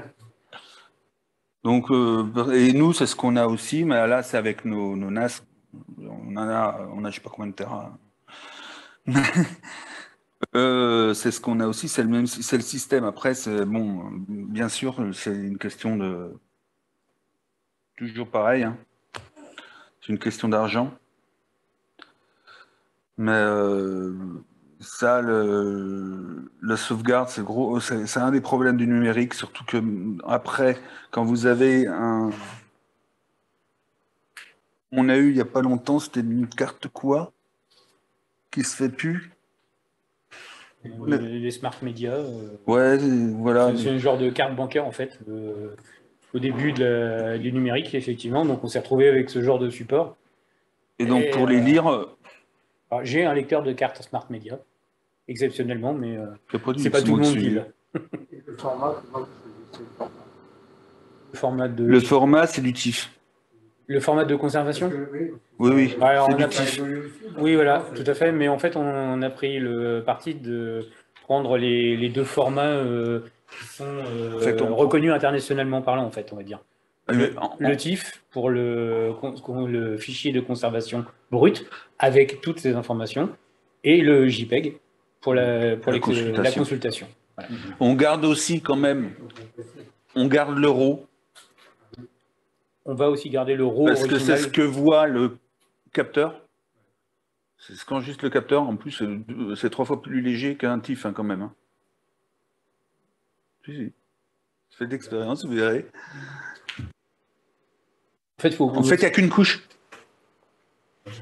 Alors que dans le, dans le TIFF, vous avez trois couches. Rouge, vert, bleu, c'est pour ça. Tout simplement. Mais nous, moi, euh, nous, on garde, on garde les RAW. On a, demandé, on a demandé même à nos photographes de garder les RAW, parce qu'au dé- au départ, c'était un peu n'importe quoi. Il y en a qui bossaient qu'en TIFF, il y en a qui bossaient qu'en JPEG. Euh, bon, euh, donc on a mis, maintenant, c'est RAW, TIFF, JPEG. Ouais, les roses, c'est l'état des marques. Le problème du format RAW, c'est que c'est un format constructeur. Voilà. Effectivement. C'est ça. Donc, si le constructeur périclite, Comme votre Minolta. format- comme Minolta par exemple, votre format euh, périclite aussi, vous n'avez plus de moyen de, Hmm. de l'utiliser. Je crois que c'est Sony qui avait racheté. Ils, ont laissé, développé, ils, ont, ils ont laissé tomber le truc. Ouais. Hmm. Minolta Voilà pourquoi il y a ces fameux trois formats. C'est effectivement, on va dire, l'euro qui est, on pourrait apparenter au négatif de, de l'époque, du 24-36. Et puis, euh, effectivement, euh, deux formats qui sont utilisés internationalement parlant et dont on sait qu'il va y avoir une pérennité au niveau du développement et au niveau de la relecture. Parce que le problème, par exemple, avec les formats RAW propriétaires, c'est que si les logiciels euh, actuels de traitement de l'image ne sont pas à jour ou n'ont pas eu les pilotes ou les informations euh, de développement des, euh, des constructeurs, vous vous retrouvez avec des euh, formats RAW que vous ne pouvez pas lire. Tant que vous n'avez pas la dernière mise à jour, vous ne pouvez pas lire le, un, un fichier récent avec un logiciel un peu plus vieux. J'ai eu l'occasion, perso, toujours, euh, d'avoir mon, mon Nikon qui a eu un problème de, de rideau, donc euh, je l'ai renvoyé à réparation. Ils m'ont changé le firmware. Ils me l'ont updaté. Le firmware, ok. Mais mon Lightroom, lui, comme il était déjà âgé de 3-4 ans, mais il ne savait plus lire le- le- les RAW que, me faisait, que font maintenant, que me fait maintenant mon, mon 7100.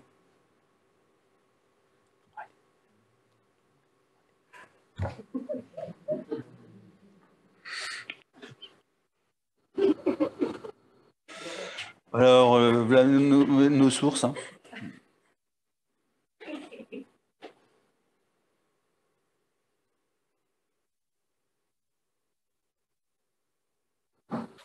Merci beaucoup.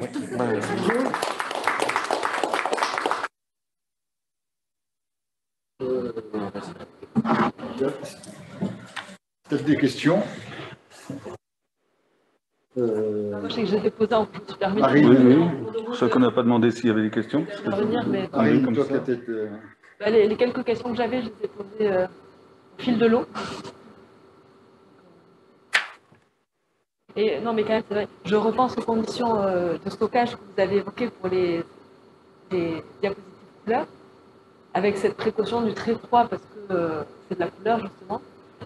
Est-ce que, donc ça, c'est l'idéal, est-ce qu'il y a une limite de l'acceptable? Serait euh, un peu moins basse Les limites de l'acceptable. Alors, c'est. Euh. Non, mais relativement bas. Chez nous, on est à 12 degrés. Vous voyez On va pas non plus. euh, on garde pour les pour les, le, très froid pour les nitrates et les autochromes. Mais euh, pour les diapos, on est à entre 12 et 16 degrés.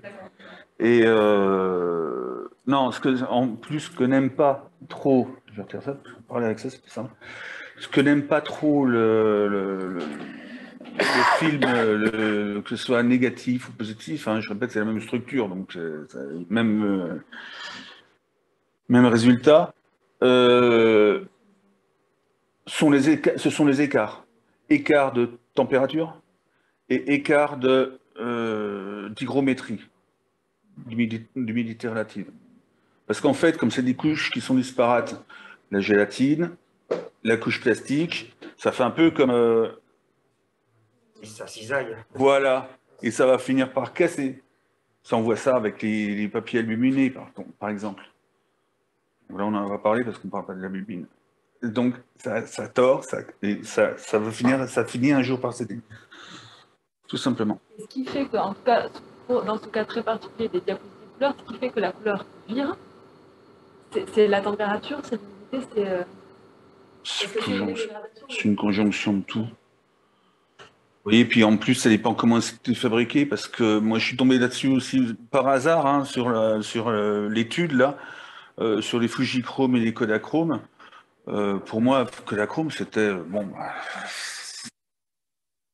je suis pas Kodak, mais c'était Kodachrome, quoi. C'est autre chose. Mais là, vous voyez, il y en a un qui résiste moins à la lumière, puis l'autre qui supporte pas, enfin, supporte pas, faut pas exagérer, l'obscurité. Hmm. Bon. C'est- Après, ça surveiller.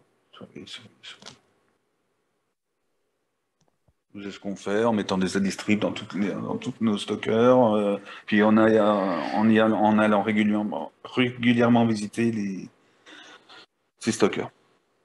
Oui, pour pouvoir faire ce contrôle justement des couleurs, euh, le conditionnement, il faut que ce soit un conditionnement euh, qui laisse la diapositive visible, plutôt en pochette et pas en, en stockage individuel. Parce que sinon, on ne peut pas se rendre compte en fait, de la couleur. Il faut vraiment que ce soit.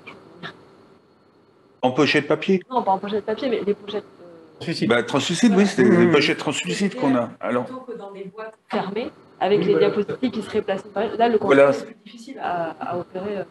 nous, c'est ce qu'on a aussi pour toutes les diapos, c'est des dossiers suspendus, comme, euh, bah, comme, vous- comme on a vu là, tout à Mmh. l'heure. euh, Mmh. C'est suspendu avec euh, les pochettes, euh, soit les pochettes Millard. Maintenant, euh, c'est- on a choisi une autre- un autre. euh, La solution des boîtes de c'était pas la bonne. En carton. C'est acide, c'est acide. C'est acide. Et Les l'humidité. boîtes qui avaient servi, qui faisaient de la beau. Ouais, mais c'est comme c'est comme dans le temps euh, quand dans- quand on retrouve quand on tombe sur des plaques, les gens les laissaient dans leur euh, dans leur boîte, les boîtes lumière, les boîtes euh, hein, moins, voilà, ils les laissaient. C'est régulier quand on a des dons euh, qui nous parviennent, c'est dans les boîtes, mais des boîtes elles deviennent finissent par devenir acides. Après, il y a un truc qui, est par- qui, est- qui- qui peut se faire aussi. Euh, c'est, euh, mais par contre, il ne faut pas que ça soit euh, découpé. C'est laisser les bobines dans les, les boîtes plastiques. J'en ai pas parlé là, mais c'était dans le, dans le, dans le texte.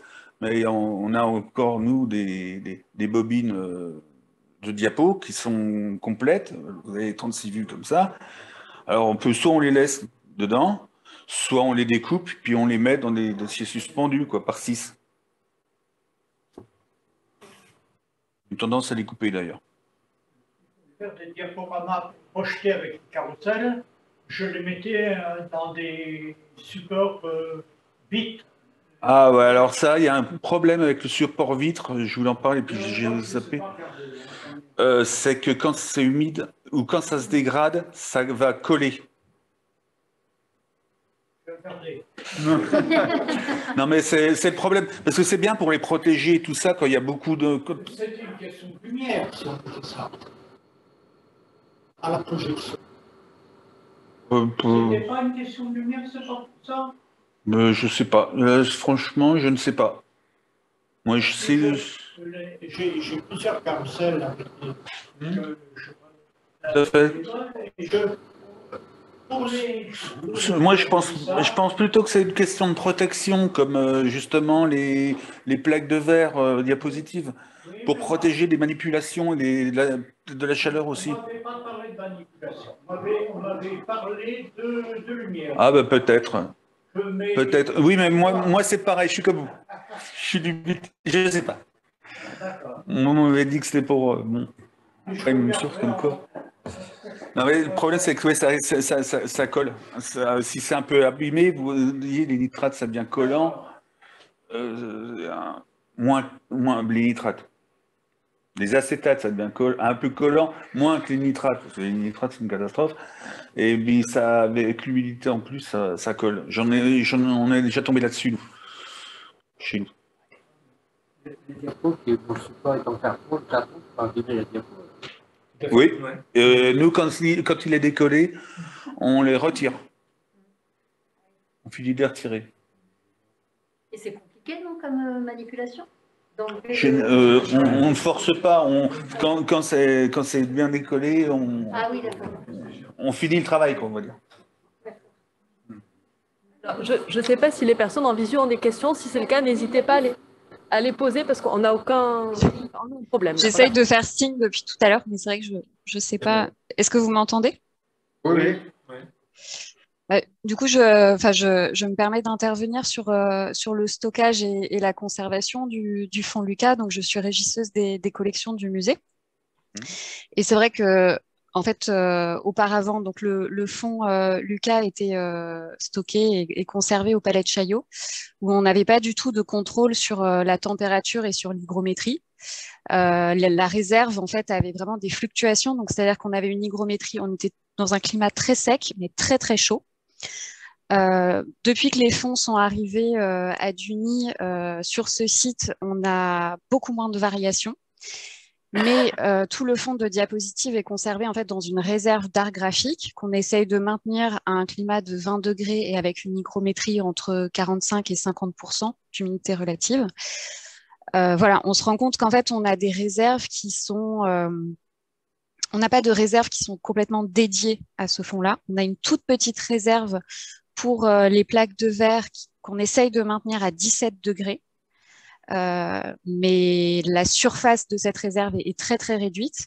Donc aujourd'hui, en fait, le, le nombre de mètres linéaires euh, de classeurs qui contiennent ces diapositives, enfin, on aurait beaucoup de mal. Enfin, faudrait faire vraiment des, des choix euh, drastiques pour euh, se dire bon bah qu'est-ce qu'on choisit de mettre à 17 degrés, ou alors et ça pose aussi des questions sur l'accroissement des collections. En fait, il faudrait euh, presque qu'on recrée euh, une réserve spécifique, une réserve froide, euh, si on voulait aussi enfin, enrichir ce fonds, euh, acquérir d'autres diapositives. Donc c'est vrai qu'à la régie des collections, nous, ça, ça nous pose question.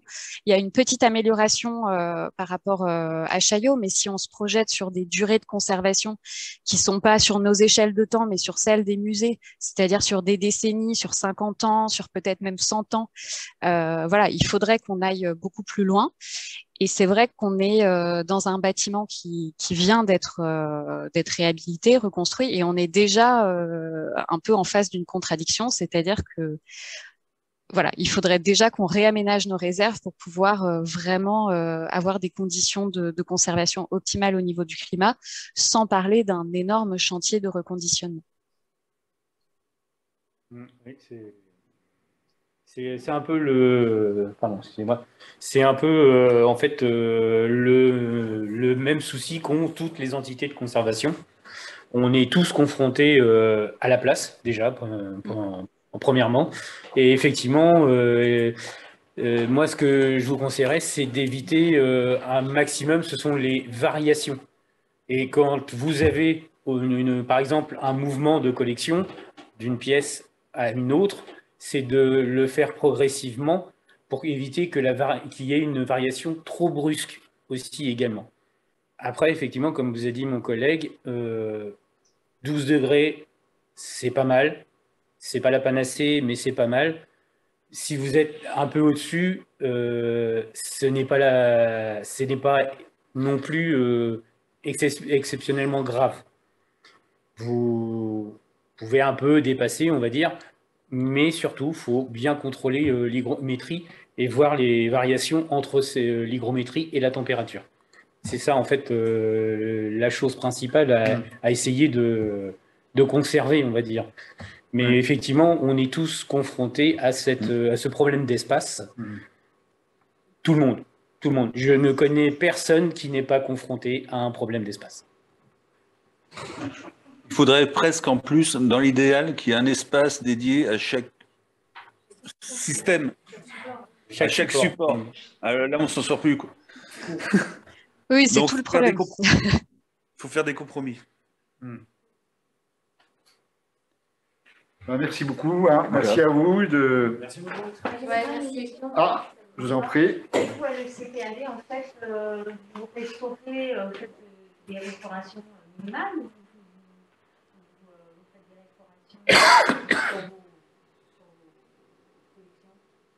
on restaure jusqu'à... Euh, pardon, euh, sur, les plaques de verre, par exemple, euh, là, on ne peut plus le faire parce que c'est des produits chimiques, mais on allait jusqu'à décoller complètement la gélatine du verre. C'est des produits chimiques super sympas. La médecine du travail dit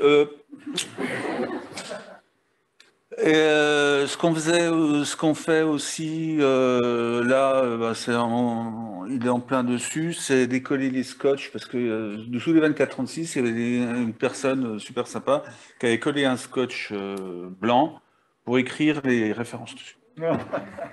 Donc, Donc effectivement, oui, avec, avec l'écrasement des collections, il y a eu de la dispersion de colle à travers les perforations des négatifs 24-36 qui se sont retrouvées sur l'émulsion. Donc il a fallu intervenir euh, pour euh, pouvoir supprimer euh, cette dispersion de colle. Alors qui, selon effectivement encore une fois, ou la température ou l'hygrométrie, j'en reviens encore une fois à ça, parfois la colle reste en état de colle liquide, c'est-à-dire qu'elle elle reste collante, et parfois elle devient complètement sèche, selon effectivement ces fameuses euh, conditions de conservation. Donc, euh, qui dit liquide, on peut essayer de retirer la colle euh, avec des produits de nettoyage. Euh, mais euh, qui dit séchage dit euh, que à part gratter, et si on gratte, forcément, on va, déco- on va euh, endommager le, le support. Donc il y a tout un tas de process sur lesquels on opère. Mais de toute façon, les restaurations que nous opérons ne sont pas invasives. Après, ça, c'est des, des restaurations physiques, des restaurations numériques, comme je vous ai montré. Là, là, euh, nous, on l'a fait au début, mais on n'a plus le temps. C'est le laboratoire qui fait ça. Euh, maintenant, euh, quand on fait une numérisation, on la fait euh, au plus proche et on ne touche plus. Après, c'est à la post-prod de voir tout ça. Mais nous, personnellement, là, le maximum qu'on fasse, si, au- si au niveau des tirages papier, on va les recoller derrière pour les renforcer. Enfin, les recoller, du- c'est de la colle, c'est de l'amidon avec euh, du papier japon. Hein. C'est pas, on va pas s'amuser à recoller quelque chose. Voilà. Oui. Mais,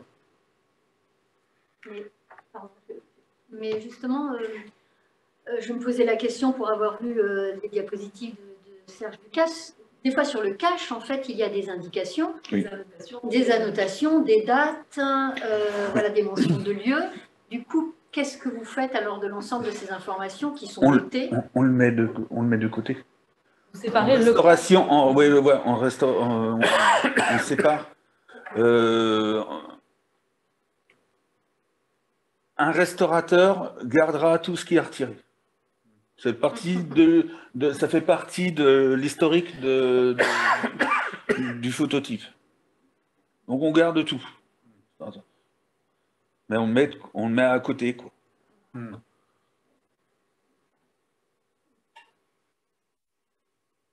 Après, on peut, au niveau de la numé- on peut aussi, au niveau de la numérisation, prendre l'image avec le cache. document. Et conserver effectivement les indications manuscrites qui ont pu être portées sur le, le cache en carton ou en plastique, qui ce qu'on très souvent aussi. sont, sont euh, manuscrites. Ah, Merci beaucoup. Alors, oui. À une prochaine fois, j'espère. Ouais.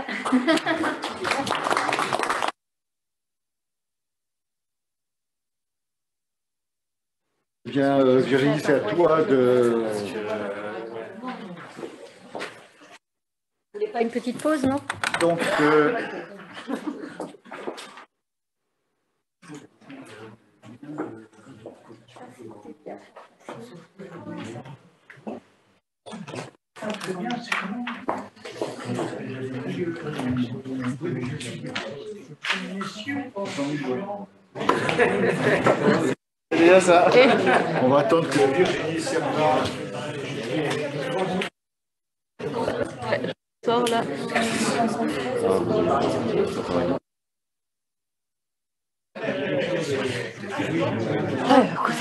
fait soif. Il fait soif. Alors, est-ce qu'il y a l'heure euh, dessus 15h26 Elle va disparaître. Ah merde, alors il me faudrait On fera euh, des une signes. Moi, montre. j'ai l'heure. Ouais. Non, Eric, tu avais ta montre, toi Oui. Tu, la- tu pourrais me la laisser Ça t'embête Super, et donc, Attends, euh. Euh, donc 40 minutes, hein, on a dit. À peu près. ouais. À peu près, je vais faire peut-être un peu moins. Sur le réseau, sur le réseau local. Ou alors c'est un problème de serveur. Tout le monde aurait des problèmes. quoi.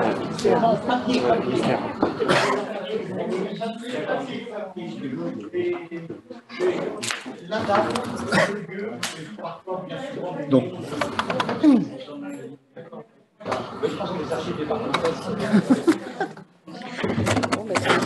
c'est bon, Marine.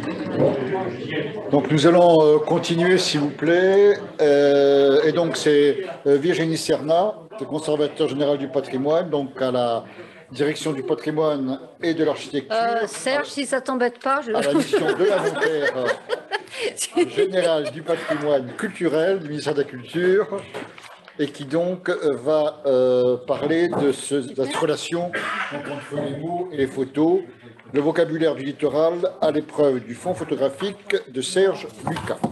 Virginie, à toi. Merci beaucoup, merci beaucoup de l'invitation à cette journée. Je remercie en particulier donc euh, Marine Desormeaux, Eric Ritt, euh, mais aussi Arnaud Fuchs pour euh, avoir fait l'ensemble de la numérisation dont j'avais bien besoin, et puis Lise Brett également, et toute l'équipe du musée de la Marine que j'ai eu la chance en fait de re-rencontrer et de revoir avec un grand plaisir le 8 février dernier, donc à Duny, endroit mythique pour moi. Euh, pour moi, il était impensable que le, musée de la Marine un jour déménage et d'autant plus à Duny. Ben, c'est possible et c'est fait avec de grandes équipes et euh, je trouve que c'est vraiment déjà assez euh, émouvant et encourageant pour les autres institutions qui pensent aussi à des déménagements. Alors, euh, j'ai toujours pensé qu'il était effectivement euh, passionnant en fait de s'interroger au sein des musées sur euh, la place des fonds documentaires. Qu'est-ce que c'est que la doc la documentation au sein d'une institution, muséale ou non d'ailleurs, et effectivement de s'interroger, comme tu l'as fait Marine, sur le processus d'acquisition dans nos institutions patrimoniales, sur les notions d'indexation, sur la forme ou sur les formes que peuvent prendre ces fonds documentaires, et également sur leurs utilisations.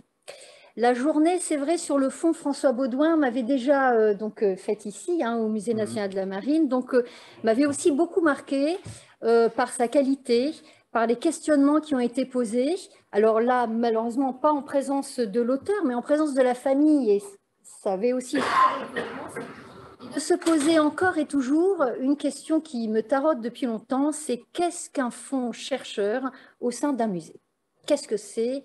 Comment faut-il faire? Et quelles revendications peut avoir le musée ou les chercheurs à venir proposer leurs fonds alors je dis effectivement volontiers fonds chercheur parce que comme je l'ai dit ce matin, il me semble que le fonds Serge Lucas est au-delà de la photothèque, mais c'est déjà pas si mal d'être une photothèque ou d'une diathèque. Euh, euh, voilà, il me semble qu'il y a derrière aussi des questions qui se posent sur euh, euh, voilà l'ensemble en fait euh, du parcours et là en particulier de Serge Lucas. Ce qui est aussi intéressant au travers de cette journée d'études, c'est sa date. Nous sommes en 2022 et comme on se le rappelait effectivement à Serge Lucas, il me semble que c'est en 1997 ou 98, enfin en tout cas j'étais en poste à ce moment-là au musée de la Marine, que la première rencontre s'est faite. Donc l'acquisition, je l'ai apprise donc 2011 et aujourd'hui 2022. Ça veut dire aussi qu'on est sur un pas de temps, on en a parlé aussi euh, à plusieurs reprises dans la journée, qui est un pas de temps qui peut paraître très long, mais qui est aussi un pas de temps euh, d'abord avec des étapes et qui montre aussi la lenteur, mais la pérennité aussi de la fabrication patrimoniale. Et que ce n'est pas quelque chose qui se fait comme ça, et que ça demande du temps, et que entre ces dates, étapes, eh bien, il y a des processus, il y a des équipes, il y a des modifications aussi de matériaux, on a vu des altérations. Voilà, donc euh, ce pas de temps, ce temps long, en fait, aussi bien de la recherche que du, que du, du matériau et que du fonds patrimonial, il faut le revendiquer, je pense, au sein des, institutions, de nos institutions. Alors nous voici donc face à un fond, alors euh, allez, on va l'appeler photographique, mais que je qualifierais volontiers de fond d'un chercheur, tant effectivement par sa cohérence, par ses entrées, par son histoire, par l'histoire même des prises de vue, qui raconte au-delà des planches de diapositives un regard. Et un regard qui est porté sur un espace bien particulier. On va aussi raconter au travers donc, de ce fond photographique le temps de quelque chose dont on a parlé aussi ce matin, c'est la commande photographique, parce qu'il me semble que ça c'est important. Donc pour ma part et au cours de cette intervention, je vais limiter en particulier à l'espace du littoral. Euh, c'est ce qui m'a un peu été demandé, et je découperai euh, mon exposé donc en, ben, en, quatre temps, hein, pas trop long j'espère. Donc euh, déjà en vous présentant un petit peu l'inventaire général du patrimoine culturel, la place de la photographie à l'inventaire, euh, le projet éditorial du vocabulaire du littoral, et puis on y verra justement la spécificité du fonds Serge Lucas, pris dans les mailles en fait, ou pas, du vocabulaire du littoral.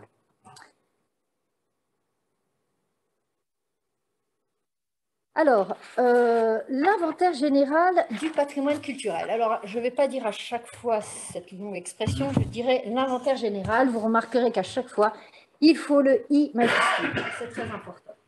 Donc, en créant en 1964, en fait, l'inventaire général des monuments et des richesses artistiques de la France, c'est André Malraux qui va assigner donc euh, à des équipes donc la tâche de recenser étudier et de faire connaître chaque œuvre qui, je cite, du fait de son caractère artistique, historique, archéologique ou ethnologique, donc constitue un élément. L'originalité donc de cet inventaire général va tenir à l'exhaustivité de sa démarche, au primat donc de l'observation des œuvres in situ et à son ancrage territorial, couvrir toute la France. Le pays entier doit être examiné par des chercheurs usant d'une seule et même méthode pour analyser donc chacun des éléments du patrimoine, commune par commune, et c'était même canton par canton, objet par objet. Donc on a là affaire à une méthode qui est rigoureuse, qui se veut rigoureuse, je dirais même à l'heure actuelle obsessionnelle, mais qui va avoir la grande particularité de garantir en fait l'homogénéité des résultats et qui va rendre aussi possible, ce qui était demandé tout de suite par André Malraux dès 1964, des comparaisons en fait entre les œuvres, entre les régions, et donc des synthèses également. Donc depuis 1964, bien entendu, le contexte a changé, le champ d'étude du patrimoine s'est considérablement étendu, avec notamment l'arrivée en 1986, va réveiller euh, les esprits et, je revendique aussi que le mot industriel, ce n'est pas un gros mot.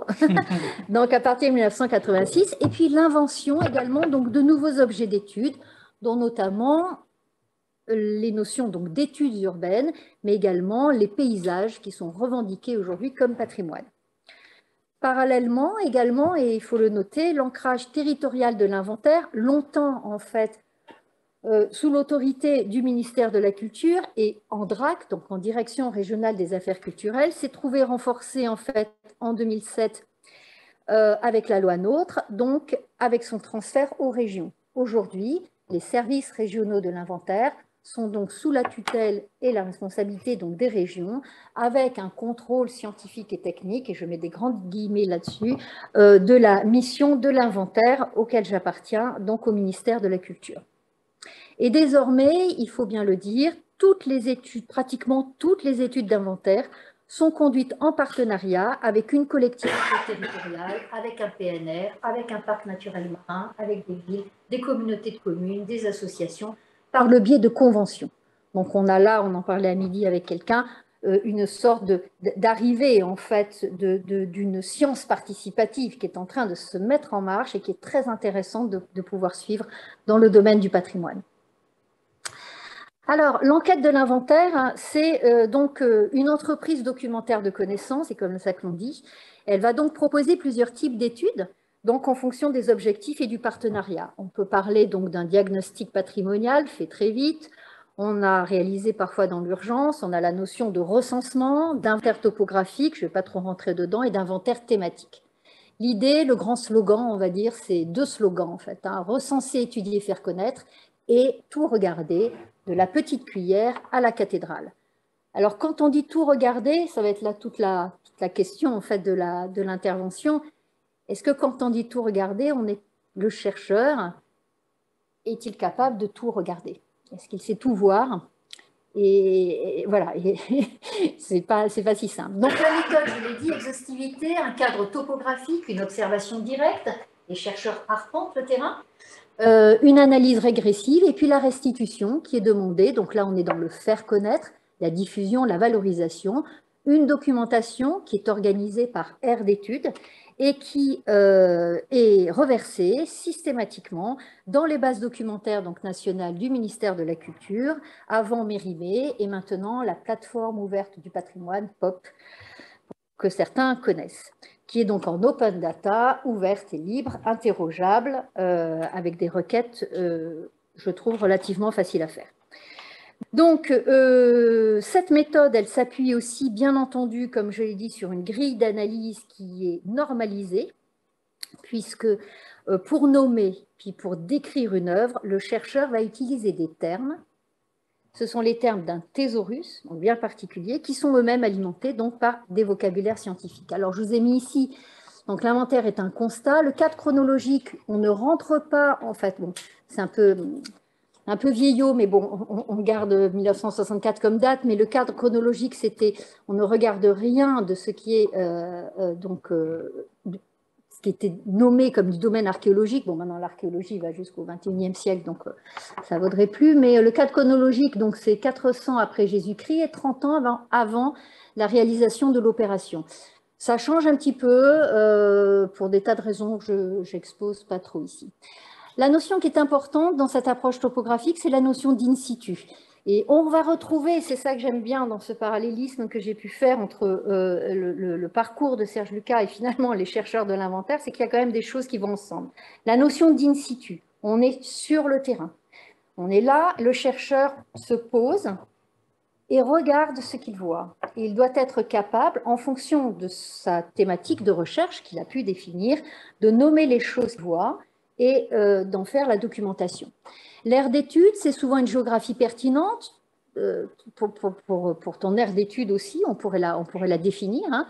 Euh, une géographie pertinente avec une problématique définie, ça peut être les réseaux, le patrimoine des sports, le vitrail, la statuaire publique, la délimitation d'un champ d'application, le protocole de recherche il est le même pour tous les chercheurs, et c'est ça qui est très important, et des ressources, des ressources terminologique.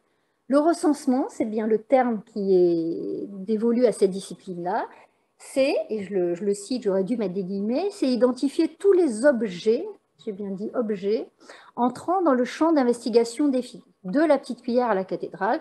Et je pense qu'à l'heure actuelle, en fait, on est...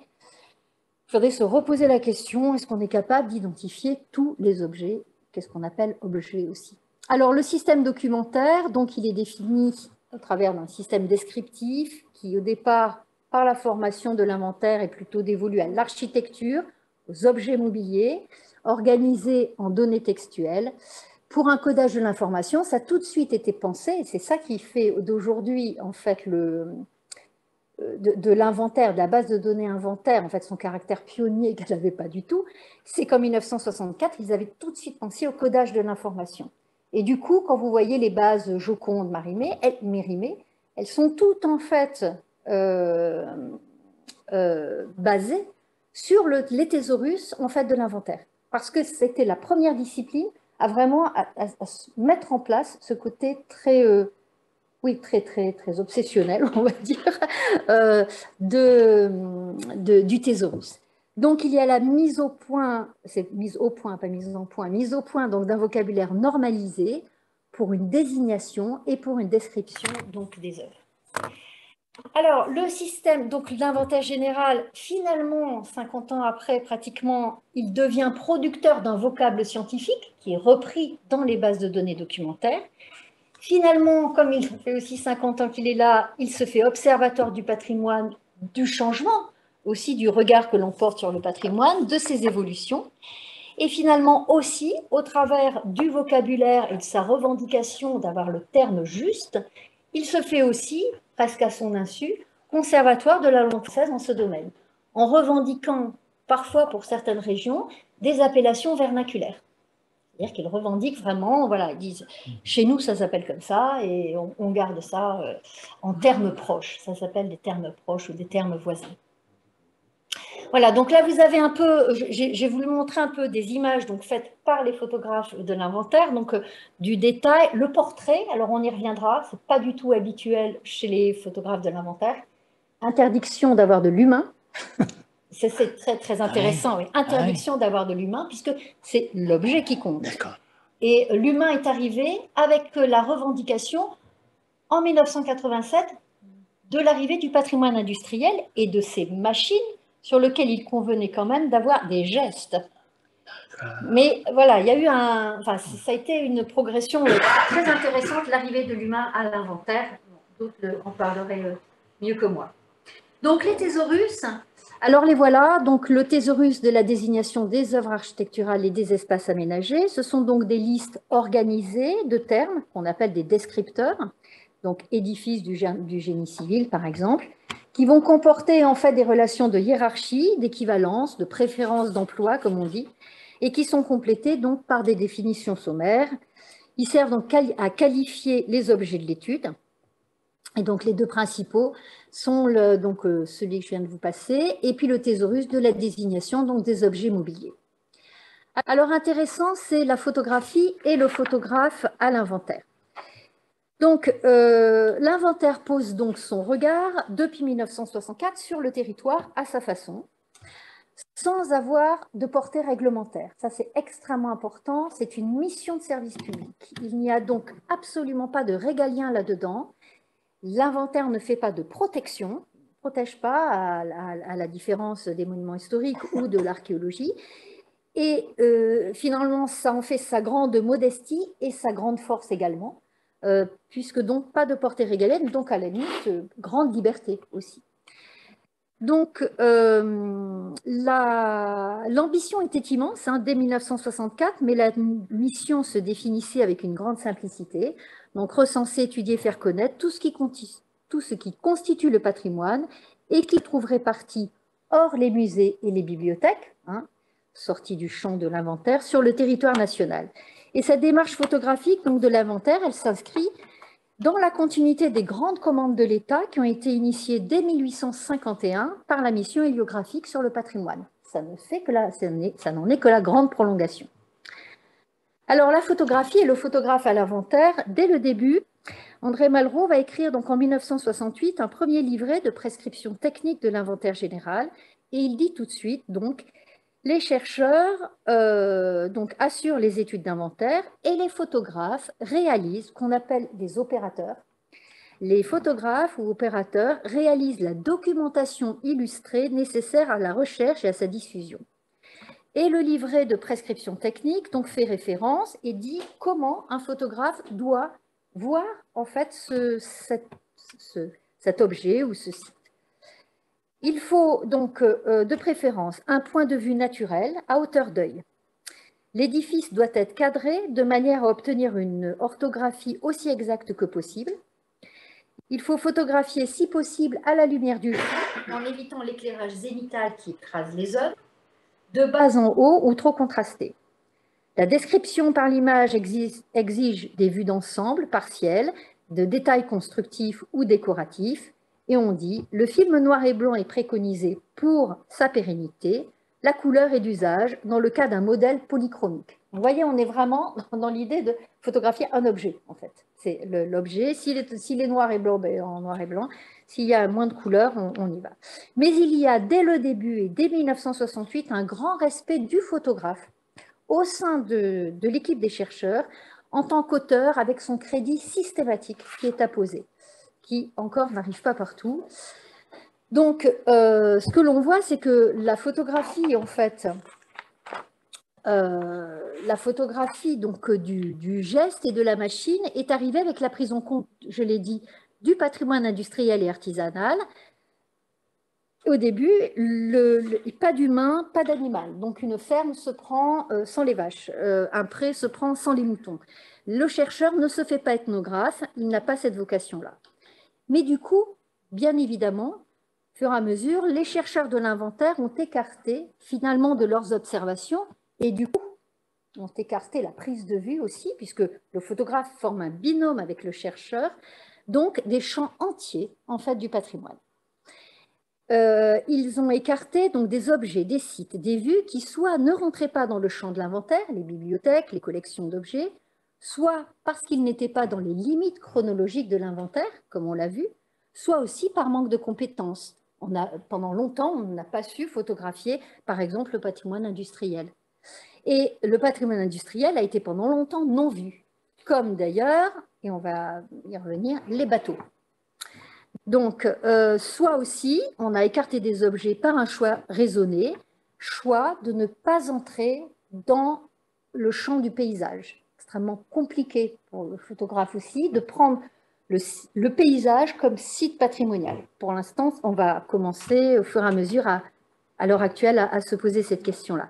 Choix aussi de moyens humains. Il n'y a pas tant de photographes comme ça. Il y a, je vois, un ou deux photographes par équipe. Donc voilà. Euh, c'est pourquoi aujourd'hui, en fait, presque 50 ans après, il y a des territoires entiers qui sont manquants, en fait, à l'appel.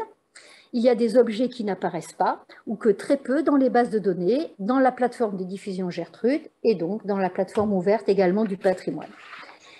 Et donc, on va se poser la question, justement, au sein d'un vocabulaire du littoral, donc qui est en cours, euh, le, voilà, la, la, la, question de la photographie. Alors, pardon, je reviens tout petit peu en arrière, c'est sur la démarche photographique de l'inventaire, je n'ai pas dit. Le procédé se déroule en deux temps. On a généralement donc le euh, chercheur qui fait sa description euh, de l'objet in situ, dans le cadre d'une opération d'inventaire, et où il demande donc ensuite des prises de vue photographiques. Les deux événements donc sont normalisés et encadrés donc au travers de livrets méthodologiques qui forment en fait un binôme, mais le photographe est là en appui, en appui euh, à la recherche donc de l'inventaire. Euh, pendant longtemps, donc, euh, le chercheur euh, a travaillé, je l'ai dit, plutôt sur l'architecture, donc l'objet roi, des cathédrales aux silhouettes industrielles, avec des répertoires de formes, avec des exigences documentaires, bien photographier les seuils, les sols, les fenêtres, les passages, les couloirs, le clos, le couvert, l'escalier, l'intérieur. Et quand on arrive sur le littoral, effectivement, sur l'objet bateau, on a l'impression que là, il n'y a plus personne. Et c'est ce en quoi cela m'a intéressé effectivement de, euh, voilà, de, projeter mon regard sur euh, ce fond euh, Serge Lucas. Alors ça s'est fait donc à partir donc, du projet éditorial, donc du vocabulaire du littoral. Alors c'est un projet donc, qui est interministériel du ministère de la Culture et de du ministère de la Transition écologique et solidaire, mais maintenant ils sont plus solidaires. Et donc c'est arrivé à un moment bien particulier, une attention soutenue de l'inventaire général surtout sur les notions de villégiature, station balnéaire, une appétence de l'inventaire vers les paysages, aller donc euh, voir plus loin, élargir le regard, de nouvelles collaborations avec les PNR et les parcs naturels marins. Et puis euh, aussi, quelque chose qui est important dans ce vocabulaire, c'est l'acceptation et l'adaptation euh, du changement climatique, comme aussi comme levier culturel. Alors, ce vocabulaire du littoral, euh, il s'appuie sur des opérations d'inventaire, vous voyez ici, qui sont faites un peu partout sur le territoire en France par des équipes de chercheurs et euh, qui, euh, vous le voyez dans les intitulés, sont bien sur l'espace du littoral, mais embarquent peu sur des bateaux. Et, voilà, et qui pourtant, quand même, ont choisi l'espace du littoral comme vraiment opération d'inventaire. Alors, le vocabulaire, cette collection, donc euh, l'ouvrage du vocabulaire du littoral s'inscrit dans une collection, donc euh, ça c'est important, euh, dans une collection qui existe déjà, vous connaissez peut-être pas, je ne sais pas, le vocabulaire de l'architecture, du vitrail, du métal, voilà, qui effectivement ne sont pas des dictionnaires, ne sont pas des lexiques, et en fait, ils sont euh, là, ils ont avec des entrées, euh, un ordre méthodique en fait, et des entrées thématiques Et euh, c'est une nouvelle façon, en fait, de voir certains espaces ou certains matériaux ou certaines, voilà, comme l'architecture, le vitrail, l'espace urbain. Alors, ces vocabulaires, la particularité, c'est un mot, une définition, un commentaire, une image.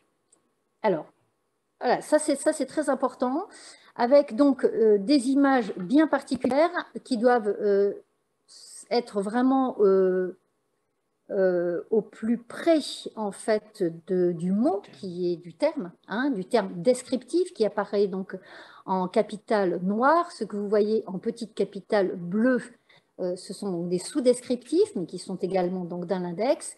Et vous avez donc là, par exemple, le dernier qui est sorti, c'est le vocabulaire de l'ornement, sous la direction de Laurence de Finance et Pascal Liévaux. C'est un, vocabulaire voilà, qui va s'attacher, à, pour le terme ray de cœur, à montrer vraiment la, bonne image qui va vraiment venir étayer, en fait, euh, et se mettre en miroir par rapport à la définition. Euh, au départ, ces, ces, ouvrages étaient uniquement euh, en fait pour les chercheurs de l'inventaire, pour les aider à rentrer en fait dans la base de données on s'aperçoit en fait ils sont bien, lus par euh, bien d'autres personnes avec un public averti, un public d'amateurs qui y trouvent soit un ouvrage d'image, soit effectivement qui cherchent effectivement le, terme et le mot juste. Le rôle de l'illustration euh, est extrêmement important à l'intérieur de ce vocabulaire. Le mot et l'image doivent être placés à côté afin de permettre d'établir un dialogue de l'un à l'autre systématiquement. Ce n'est pas un roman, on ne part pas de la page 1, on picore. Donc il faut que sur une même page, on puisse effectivement euh, lire, euh, lire et voir. Voilà, donc là vous avez les différents niveaux en fait qui vous montrent euh, comment se présente à une définition donc du terme. Et euh, voilà, là aussi, pour, euh, bah pareil, c'est pour l'ornement, donc euh, voilà, qui, est aussi donc le, c'est pas le dernier. En fait, le dernier, c'est le vocabulaire du protestantisme qui est sorti il y a, deux ans. Alors, le projet éditorial du vocabulaire, bah, je l'ai déjà dit, ça, donc ça c'est bon. Alors, le contexte de la production de ce vocabulaire du littoral, je vais faire rapidement, c'est le Grenelle de la mer en 2009 effectivement euh, engage en fait l'ensemble des institutions à réaliser et publier des ouvrages de vocabulaire et glossaires du littoral et de la mer. Donc on part là-dessus, vous voyez qu'on est aussi sur le temps long, hein, 2009. Euh, et euh, là, donc on commence en fait un contexte de production, on n'est pas les seuls à travailler sur le, sur le littoral. Des dictionnaires existent, le dictionnaire de la mer et des côtes biosec, il y a des projets donc déjà d'opération nationale qui donc a un, long travail en fait déjà, euh, un énorme travail méthodologique. Ben là, vous voyez le glossaire nautique JAL qui a été fait donc euh, aussi euh, quelque part sous la direction aussi du Musée national de la marine. Hein, et puis des formations qui ont été faites puisque dès le départ, l'idée c'était pour moi qui coordonne cet ouvrage d'assembler, de rassembler et en même temps que l'ouvrage se produit, de faire des formations sur la rédaction et la fabrication donc, euh, de ce vocabulaire très particulier. Le périmètre de l'ouvrage, les dit par dictionnaire, pas une encyclopédie, ne pas dépasser 1300 termes et des domaines qui ne sont pas traités. Et là, il va falloir le dire tout de suite.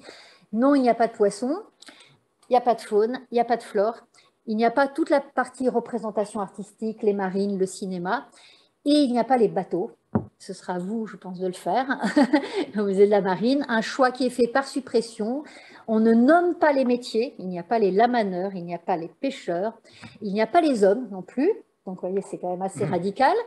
Il y a très peu d'outils et on n'entre pas dans les vêtements. J'essaie de faire rentrer bikini et caban, mais je pense que je vais être censurée. Donc euh, voilà, donc c'est un choix radical, une façon de faire et de procéder effectivement, qui euh, va manquer quelque part de sensibilité ou peut-être de, oui, de, oui, ça de, de, social, on va dire, mais qui a, c'est sa construction intellectuelle, c'est comme ça qu'il rentrera dans la collection ou n'y rentrera pas. Euh, et donc, du coup, effectivement, euh, il a bien une spécificité.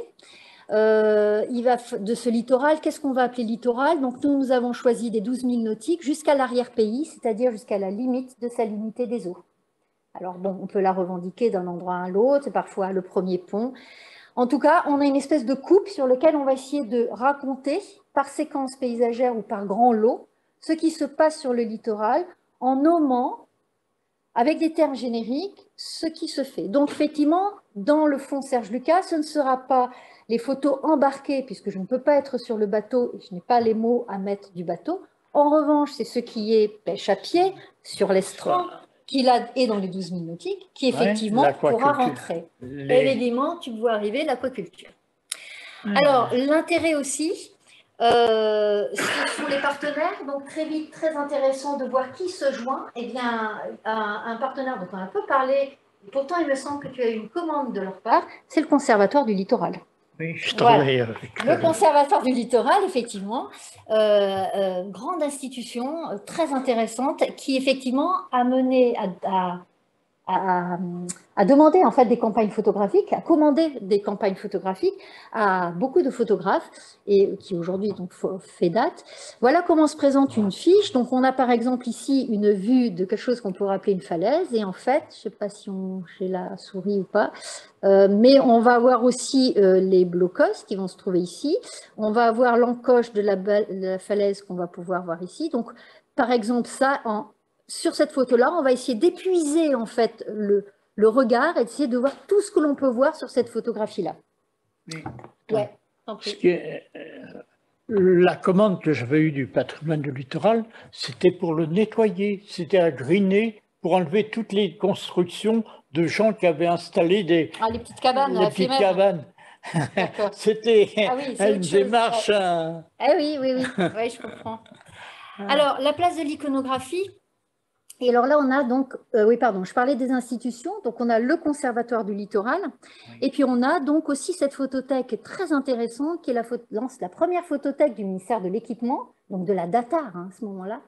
Ministère de l'Équipement qui maintenant, donc, ministère de la Transition écologique, et donc c'est Terra.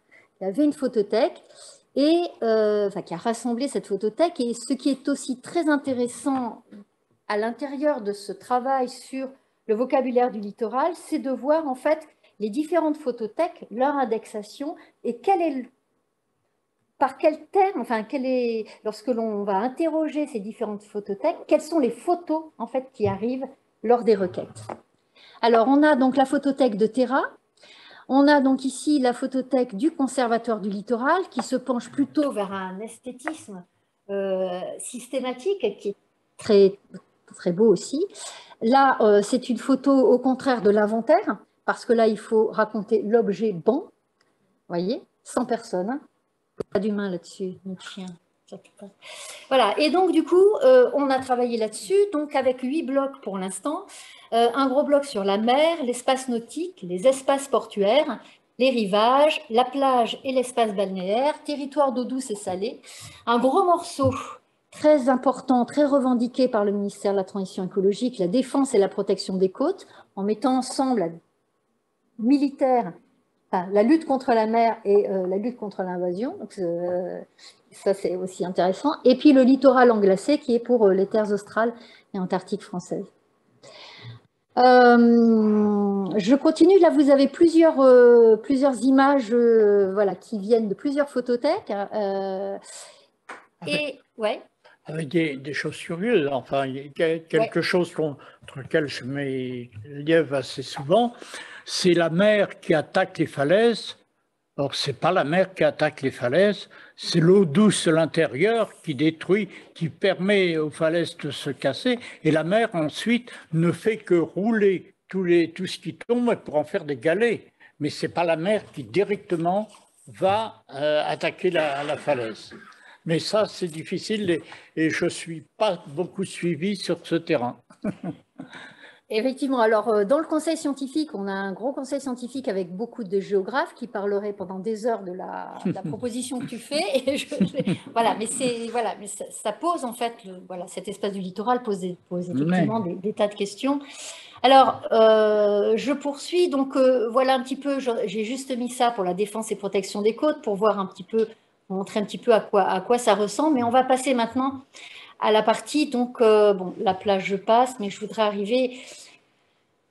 Euh, au fond, Serge Lucas. Donc euh, la plage, c'est le chapitre 4. On a plusieurs façons de présenter la plage. Pour certains, donc c'est surtout des enfants. Pour les géographes, c'est une séquence paysagère qui se raconte avec des formes géomorphologiques. Euh, pour d'autres, donc, il va falloir travailler sur la plage aménagée, raconter la douche de plage, euh, raconter donc également les épis, la, voilà, ce que c'est qu'aujourd'hui une plage aménagée. Et puis, euh, il y a d'autres plages également, donc la défense des plages, tout ce qui est autour donc, du, des, comment, dans le mur de l'Atlantique, qu'il va falloir aussi raconter, qui est dans ce littoral également. Et puis, euh, toujours se poser la question, est-ce que l'objet que j'ai devant moi est-il bien spécifique? Sa construction, enfin, y a-t-il une spécificité littorale dans l'objet que je vois devant moi? Si par exemple, euh, on pourrait prendre une tour isolée, et une tour isolée peut se trouver effectivement sur le littoral, elle peut se trouver aussi en pleine montagne, est-ce qu'elle a une spécificité dans sa construction littorale? Si oui, elle rentre dans le vocabulaire, sinon, elle s'en va.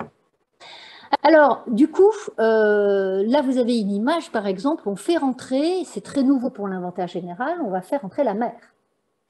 Et on va faire rentrer, c'est très nouveau parce que ce n'est pas un objet. Et là, il va falloir faire rentrer les vagues, donc l'état de la mer.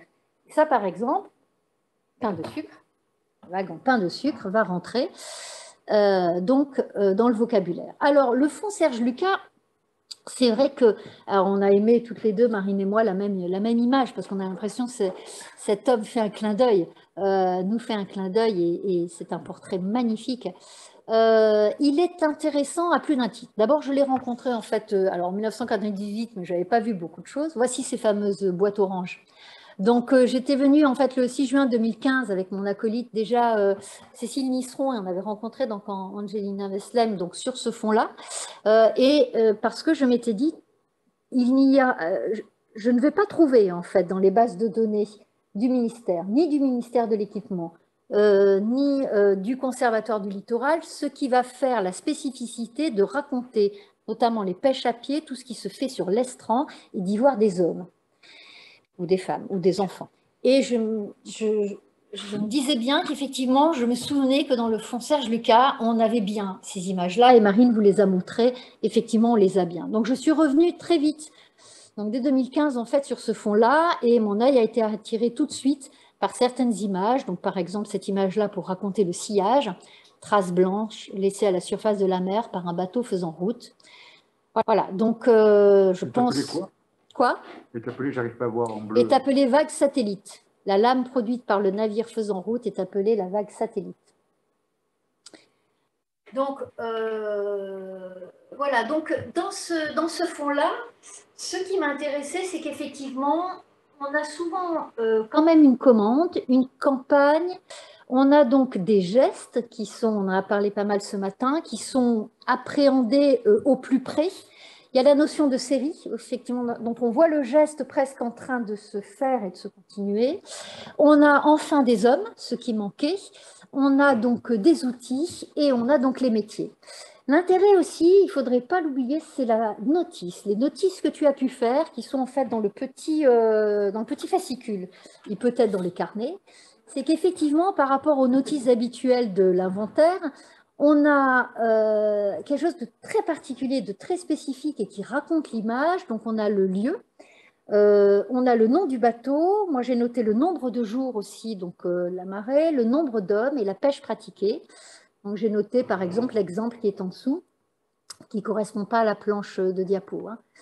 Et euh, on voit 12 heures de mer pour chaluter les langoustines. Voilà, il faudrait surtout pas perdre en fait cette spécificité très particulière euh, d'indexation en fait de la photo. Euh, alors, on a effectivement des photographies qui sont aussi des photographies sans hommes.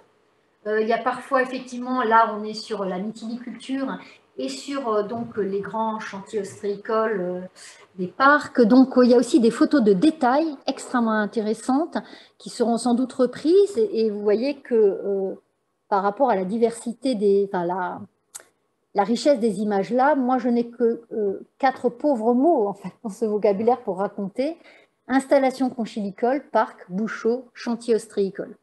Vous voyez qu'il y a aussi une sécheresse dans, le vocabulaire du littoral qui va être un peu euh, âpre, mais bon, euh, qu'il va falloir euh, gérer. Alors, Par rapport à l'inventaire aussi, Serge Lucas est entré dans les bâtiments. Les chercheurs de l'inventaire le font aussi, mais d'abord, le chercheur de l'inventaire articulera son image, sa prise de vue sur l'extérieur, sur l'architecture. Là, au contraire, très peu d'architecture dans l'ensemble, il me semble, hein.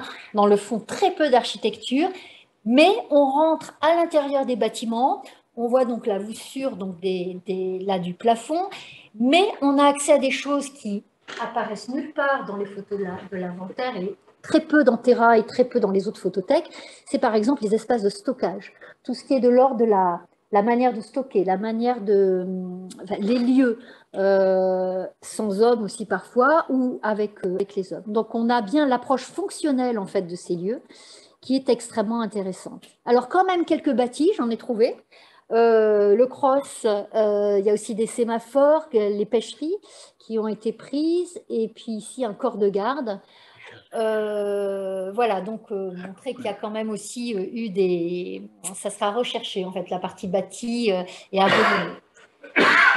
Alors, bien entendu, par exemple, sur installation conchilicole, parc Bouchot, tu le disais, tu n'es jamais rentré à l'intérieur de la chambre, à l'intérieur des salles à manger. Donc, on a par contre des intérieurs, effectivement, de lieux, qui sont des lieux de travail, hein, et dans lesquels on voit des choses sur lesquelles je, je m'attendais à ce qu'il y ait des, des photographies, mais peut-être que je ne les ai pas vues, je n'ai pas vu les 60 000, mais tout ce qui est, euh, tout ce qui fait aussi les objets un peu de dévotion, euh, les objets de hum, sociabilité, de rituel. Par exemple, là, on voit euh, au mur euh, l'encre de marine.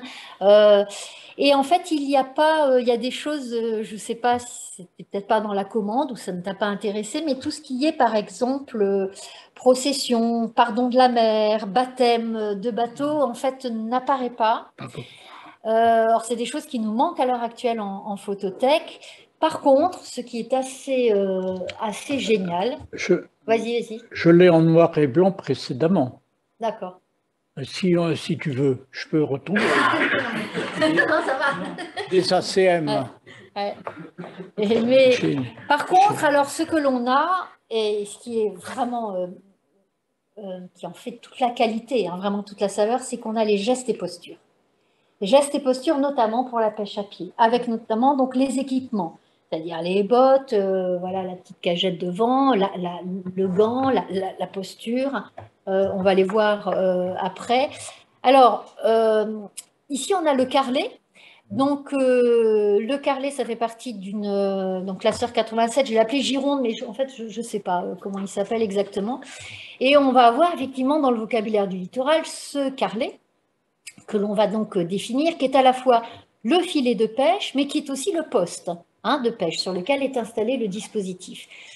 Euh, donc, voilà un petit peu ce que nous, on va en dire à l'intérieur du vocabulaire du littoral pour vous montrer un petit peu comment ça se présente. La définition en gras, le commentaire et en dessous, donc les références qui racontent aussi l'évolution du terme, donc de Duhamel du Monceau, euh, voilà, à, aujourd'hui, avec notamment les choses dont on parlera. Vous voyez en bas, là tout en bas, la pêche au carlet sur l'arc atlantique, inventaire du patrimoine culturel immatériel, le fameux PCI, sur lequel effectivement, il me semble que les 60 000 diapositives euh, donc du fonds Lucas seront un, haut lieu en fait du patrimoine culturel immatériel pour tout ce qui est la pêche. Notamment, il y a aussi la construction navale, euh, mais euh, je pense que le patrimoine culturel immatériel pourra puiser euh, dans cette euh, dans, cette, dans, dans ce fond-là. Alors là, pour vous montrer justement, je me suis, j'ai fait l'exercice de me dire, voilà, si je cherche Carlet, euh, qu'est-ce que va me donner le conservatoire du littoral? Donc, euh, on a vu ce qu'a donné, euh, si je puis me permettre l'expression, euh, le fonds Serge Lucas. Alors, je n'ai pris que cette diapo, hein, il y en a peut-être beaucoup plus. Donc, un Carlet sans homme, aussi, là. Euh, si on va euh, sur euh, conservatoire du littoral, on est dans un esthétisme. Donc là, ce sont euh, les photos de. Drone. En, drone. Non, non, non, en- c'est pas en drone, c'est en hélicoptère. En hélicoptère, ça En hélicoptère, et, pardon, ah, comment il s'appelle? Oh mince, j'arrive pas à trouver le nom du photographe. Larrey, Larrey, le photographe Larrey. Donc, C'est très esthétisant, c'est très beau aussi. On comprend bien la cabane, le poste, on voit bien le filet. Il n'y a pas d'homme non plus. On voit bien l'organisation, ce qui pourrait nous, nous intéresser.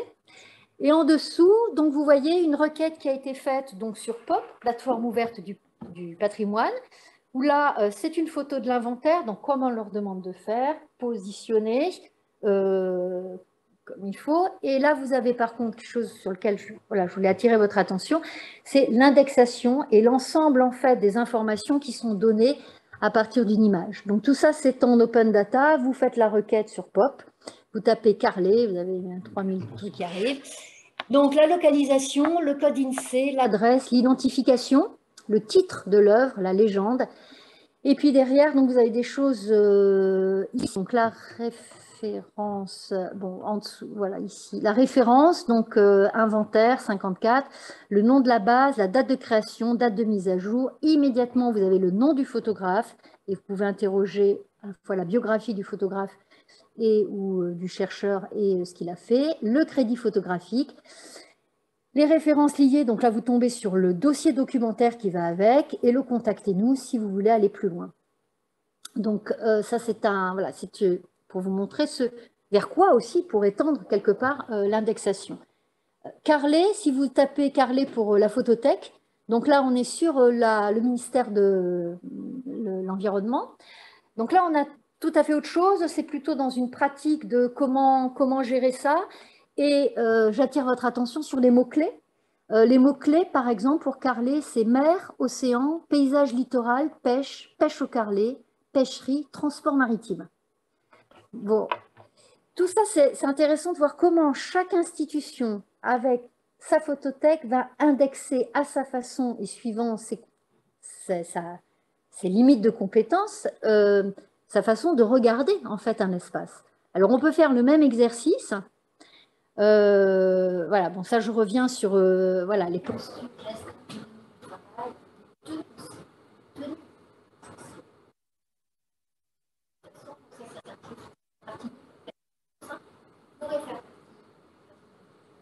Elle me semble.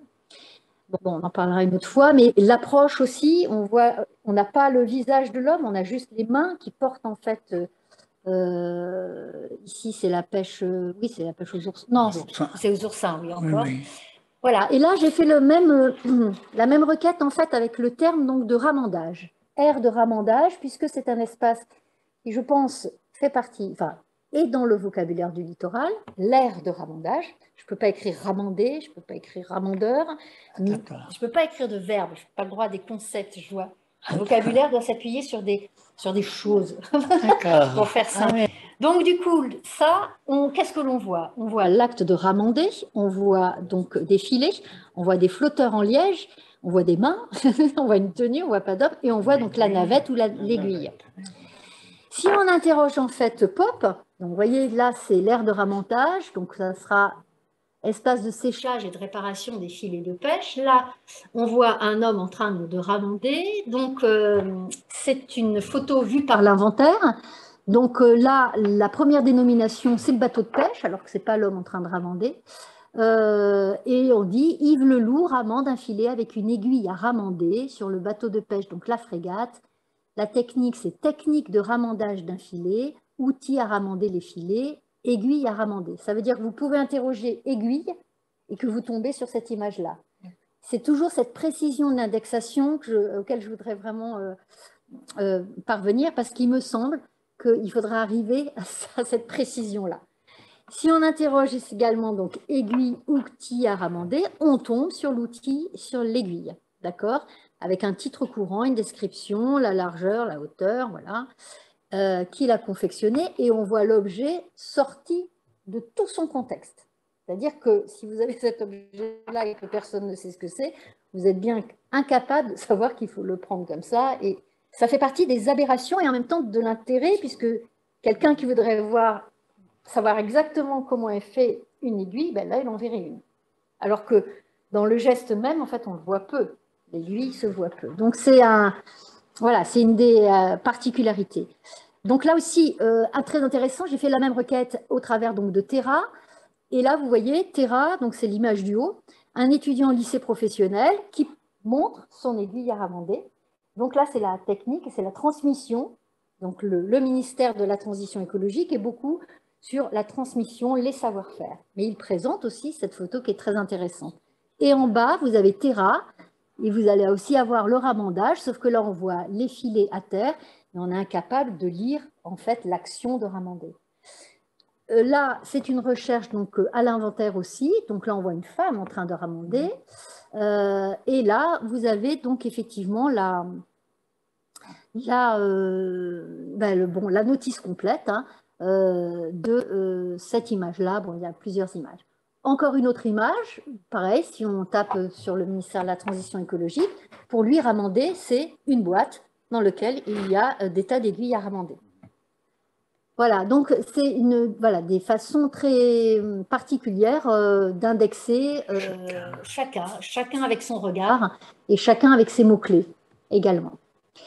La même chose est faite, euh, par exemple pour le cross, sur lequel en fait, qui est un élément extrêmement important du, du, littoral et donc avec une entrée dans le vocabulaire du littoral, dans les photographies de l'inventaire du littoral, j'ai été absolument, je n'ai absolument pas trouvé en fait de photographie de l'intérieur du cross avec cette phrase que l'on dit euh, comme une vigie dans le paysage littoral, cette vaste salle s'impose dans le volume architectural extérieur du cross, la ligne horizontale de ses ouvertures traduisant la vue panoramique nécessaire à l'observation de l'horizon marin eh bien, il n'y a que pour l'instant chez toi que j'ai trouvé effectivement là, cette image qui colle exactement avec ce que l'on veut dire, au moins sur cette phrase pour le cross.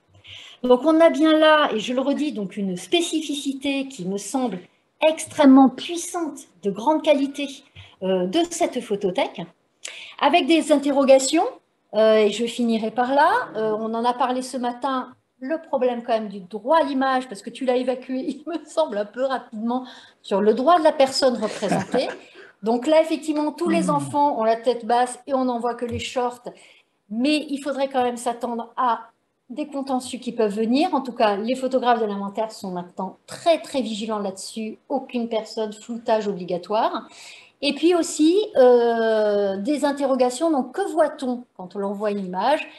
Par exemple, si je prends cette image, bah, qui est une image de toi aussi, donc euh, on pourrait, euh, l'indexation pourrait être mer, horizon, plage, estran, baïne, puisqu'il y en a quelques-unes qui sont juste devant, dune, la nappe de retrait, donc la, vague qui repart, on pourrait voir trait de côte aussi, cap. Bon, ça, signifie qu'effectivement, au travers d'une image, en fait, le vocabulaire du littoral et, d'autres va essayer d'épuiser autant que faire se peut tout ce qu'il y a dans l'image. Et je finis, je crois, euh, là-dessus. Voilà, pour dire qu'effectivement, il me semble que le fonds Lucas, c'est un apport considérable pour une histoire du regard sur le littoral, une histoire aussi des commandes institutionnelles. Comment l'Ifremer en 1978 a fait sa commande à, Comment le conservatoire du littoral s'est approché en, en 1990 Comment, euh, oui, l'Ifremer, je l'ai dit, euh, euh, la Fondation Cousteau aussi, tu as une commande. C'est vrai, c'est vrai. Comment les institutions, pendant ce laps de temps, ont porté leur regard et n'ont pas voulu voir certaines choses? Un fonds de chercheurs donc, qui participera à la sauvegarde, à la mémoire de pratiques littorales, enfin en tout cas pour là, ce qui m'intéresse, je n'ai vu que le littoral. Et il me semble aussi, pour ce qui est la question de toutes les photothèques et de toutes les bases de données, c'est comment se fait l'interrogation comment vont se faire les, requêtes Parce qu'on en parlait aussi à midi avec monsieur. Voilà, c'est pour tout le monde. Donc, ça veut dire que la personne qui cherche bah, aiguille à ramander, bah, elle doit pouvoir, euh, elle doit pouvoir trouver aiguille à ramander dans l'indexation. Ça signifie effectivement que ce fonds devra faire l'objet, il me semble, et tant pis si c'est sur un grand ton long, on a le temps, d'une indexation qui est très fine, euh, mais qui je l'espère, pourra utiliser justement le vocabulaire du littoral voilà, dans sa façon de regarder. Euh, voilà, donc on a là euh, montré également, donc, euh, au travers de, de ce fond-là, que euh, non seulement euh, ce fonds photographique ou ce fonds de chercheurs, maintenant qu'on sait qu'il y a des carnets, donc ça s'appelle un fonds de chercheurs, je pense, a enregistré non seulement l'information à un instant T, et tu as été le seul à le faire, et c'est ton mérite aussi, et que ce fonds participe également par le cadrage, par le sujet ou les sujets, par euh, les expositions, les choix que tu as fait d'embarquer, de partir à une éducation du regard, à des choses que nous n'avons pas vues, les gens du patrimoine n'ont pas vues à un moment donné, mais il est temps de le voir. Et tes photos sont là pour euh, justement euh, éduquer en fait euh, le regard euh, des chercheurs patrimoniaux. Voilà, donc un, grand merci. Merci.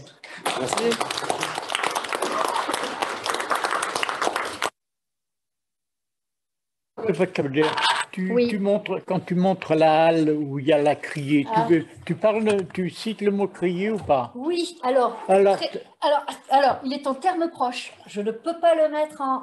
C'est à la marée, à la marée, La halle à marée, à la marée en termes descriptifs. Et en dessous, dans le commentaire, j'ai un terme proche qui il y a marqué terme proche, crier. tu ajouteras en camp. Je n'ajouterai pas ce, terme-là.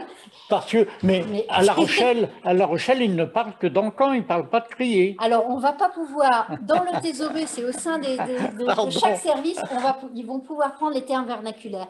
Il est Ah totalement impossible de, Ah, de prendre les termes vocabulaires quand tu parles des salines ou des marais salins.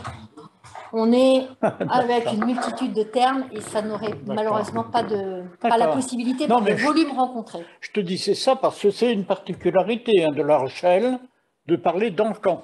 Par- C'est à l'encan. Ouais. Et ce qui est un beau terme, un, beau, un beau vieux mot français, l'encan. Vendre à l'encan. Ouais. C'est, mais bon. Ça va pas, ça va pas le faire. Le. Une chose, je, je- je reviens sur le tout début parce que je l'ai noté. Tu dis les commandes. Euh, il y a un domaine que j'ai oublié ce matin de parler. J'ai essayé d'avoir des commandes de la part d'entreprises, parfois pour le sujet. Les entreprises, oh, regardez, on a un appareil dans le, tiroir, on le donne à la secrétaire ou on donne à d'aller faire des photos. Le, le monde industriel, celui que j'ai approché, hein, je ne dis pas que j'ai tout approché, a été très contre-productif par rapport à l'image qu'il voulait donner. Il a pas, il devait, c'est pas moi qui serais allé, c'est d'autres confrères qui seraient allés photographier l'entreprise et les détails de l'entreprise, mais il avait un infini euh, gain à avoir à le faire faire par un professionnel plutôt que de demander à, à la secrétaire, au secrétaire de, de faire les photos. Je sais pas ce que... Bah, ils vont s'en mordre les doigts. Hein? Non, non, mais ça, ça fait partie. Je dis, c'est toi qui m'as fait penser, je vais pas. Mais j'ai rencontré ça. On n'a pas besoin de vos photos. ça. Il y a que les chantiers de la Manche qui m'avaient un peu aidé. Euh, comment il s'appelle Avez-vous des, des- peut-être des questions à, à Virginie? Après, je- j'en avais une. C'est c'est pas une question, plus une remarque pour rebondir sur les, les derniers mots là, sur cette histoire d'indexation. Les images, c'est vrai qu'au Musée national de la marine, il y a cette particularité de existence d'une photothèque. On appelle photothèque une personne qui s'occupe de euh, la conservation, de l'indexation et de la diffusion des images. Et c'est vrai que jusqu'à présent, ce travail d'indexation euh, ne se fait pas forcément par les personnes qui étudient le fond. Par exemple, sur le fond Serge Lucas, euh, je pourrais y participer, mais la conservation fait un autre travail dessus. Donc c'est vrai que là, euh, et avec des outils qui sont qui sera, sera celui c'est le moment où la, la collaboration, en fait, ces deux regards semble indispensable, puisqu'il y a vraiment, on le voit selon les institutions, selon ce qu'on veut dire, selon ce qu'on veut voir dans l'image, plusieurs manières de l'indexer, et donc là, c'est vrai que ces deux regards gagneront complètement à être associés. C'est-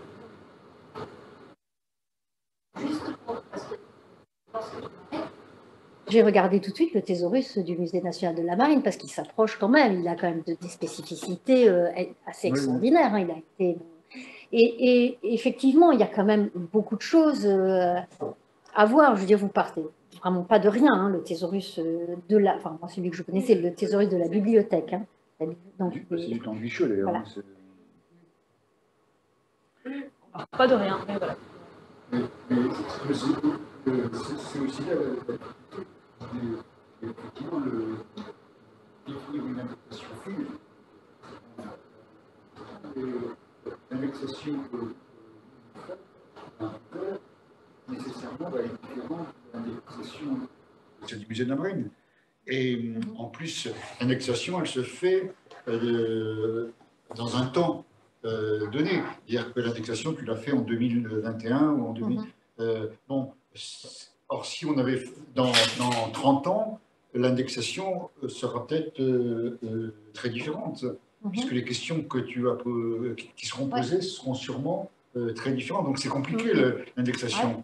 Euh, Bah, il faut l'appliquer dans le temps. Faut le- on la signe, on, tu signes le temps. Dire euh, c'est fait tel date à l'instant T, c'est ça. Oui, Mais ça non. se pose pour les bibliothèques, ça se pose pour Euh, tout.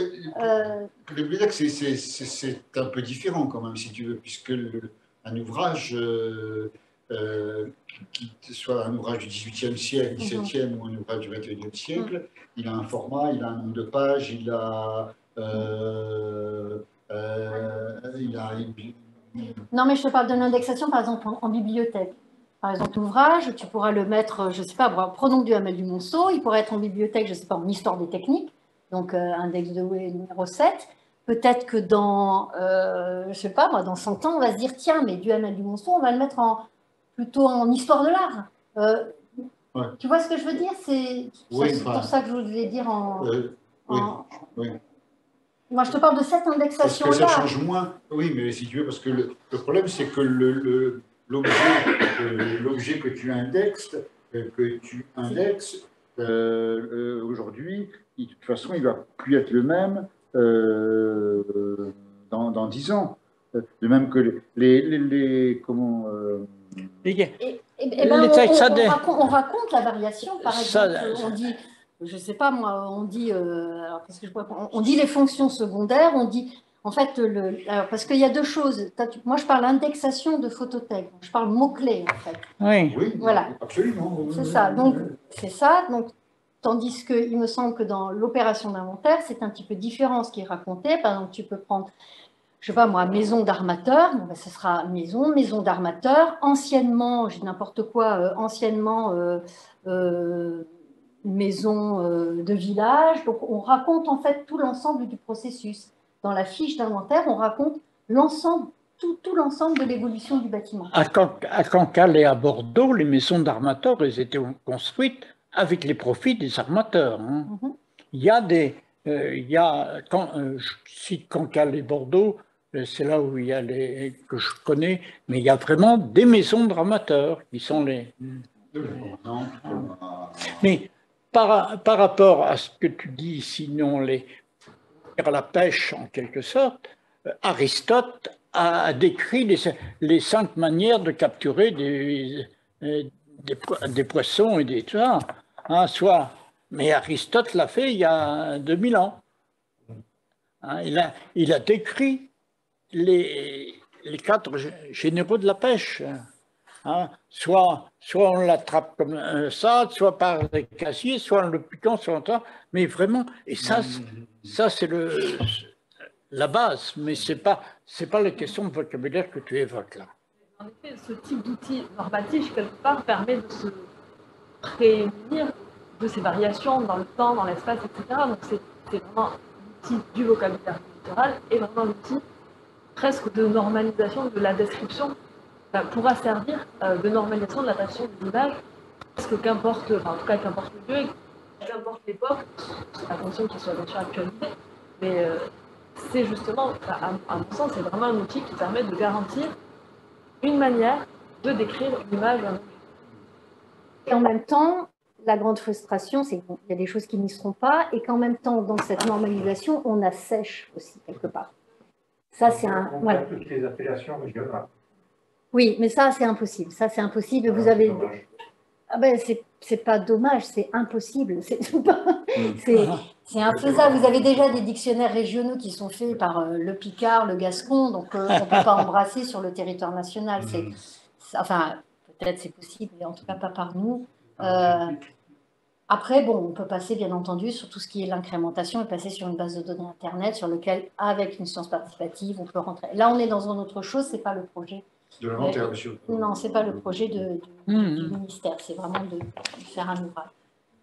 Non, c'est quelque chose qui me paraît Personnellement, moi, ce, ce- je l'attends, ce genre oui. d'ouvrage.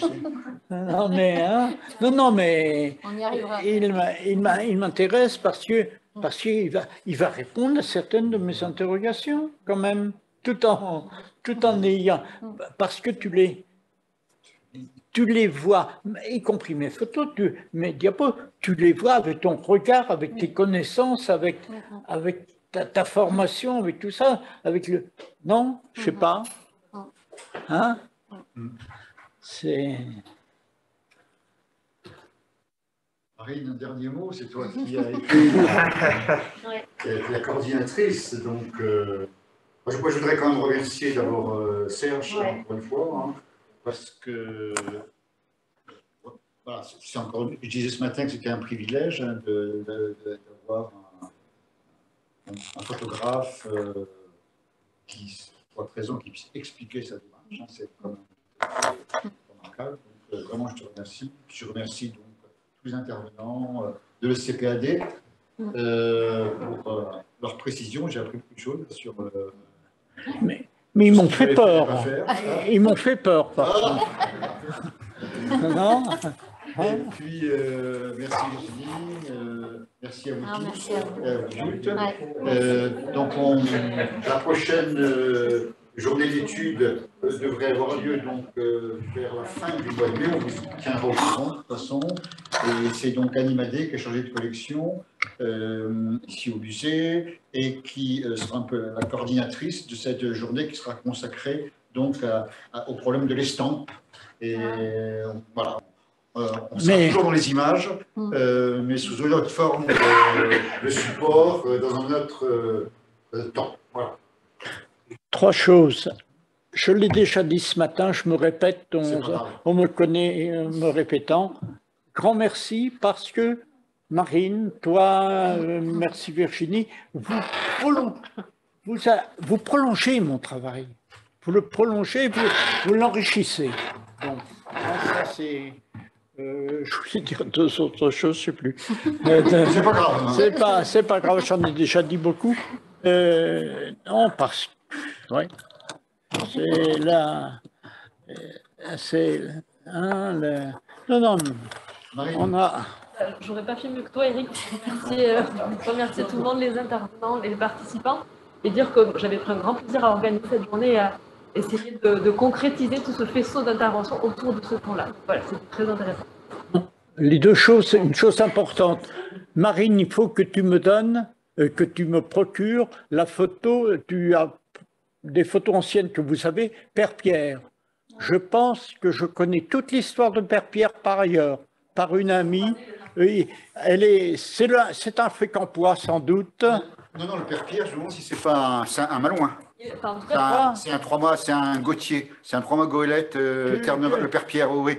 un certain- ah, si, c'est ça. François Gauthier, c'est le, je confirme, c'était Saint-Malo. c'est François Gauthier parce que je connais bien un Ah descendant bon, de François sinon, Gauthier. parce que je connaissais un. Je connais. il y a peut-être un père Pierre à, à- à Fécamp, mais, Il y, a, il y a eu Père Pierre, parce que toute la famille l'appelait Père Pierre, et c'était. mais le père Pierre, le de encore à, goélette, euh, à un Sasto. De- Et c'est un François Gauthier, celui qui a euh, construit le, le français du, de Ouais. Chercot, le, pourquoi pas Chercot, etc. Et je voudrais ajouter simplement ce que vous avez. J'ai regretté, j'aurais su pour François Baudouin, je serais venu. Parce que j'ai connu François Baudouin, j'ai navigué, j'ai j'ai mangé à le, le feu qu'il a fait sur son bateau, Ah sur le cocher. Coche d'eau. Coche d'eau, ouais. Coche d'eau. c'est- Cocher, le cocher, le cocher, le cocher. Le cocher. Hein, il avait un. J'ai j'ai passé Ah, une journée avec lui, avec François. François qui était marine, mais en, en, en eau douce aussi, hein, car c'est tout le, euh, tout le, ma- le, le domaine euh, rivière et tout ça. Il a beaucoup travaillé dessus. Il avait, il a, et il a apporté un vocabulaire, il a apporté des connaissances. C'est lui qui, qui dit que à un moment donné, je suppose que vous l'avez évoqué, dans une vallée, on construit quelque chose, on découvre quelque chose, et dans une vallée à 30 km de là, au même moment, sans qu'il y ait de relation, les mêmes choses naissent. Absolument. Ah, mais bon, En tout cas, merci euh, et, et à bientôt à, à vous tous et à ceux et à celles qui sont euh, en ligne. quelque part en France. euh, Ouais. Merci à tout le monde. euh, Est-ce que tout le monde a dû remplir, je pense hein, euh, euh, Oui. Marine, c'est bon, tout le monde a rempli?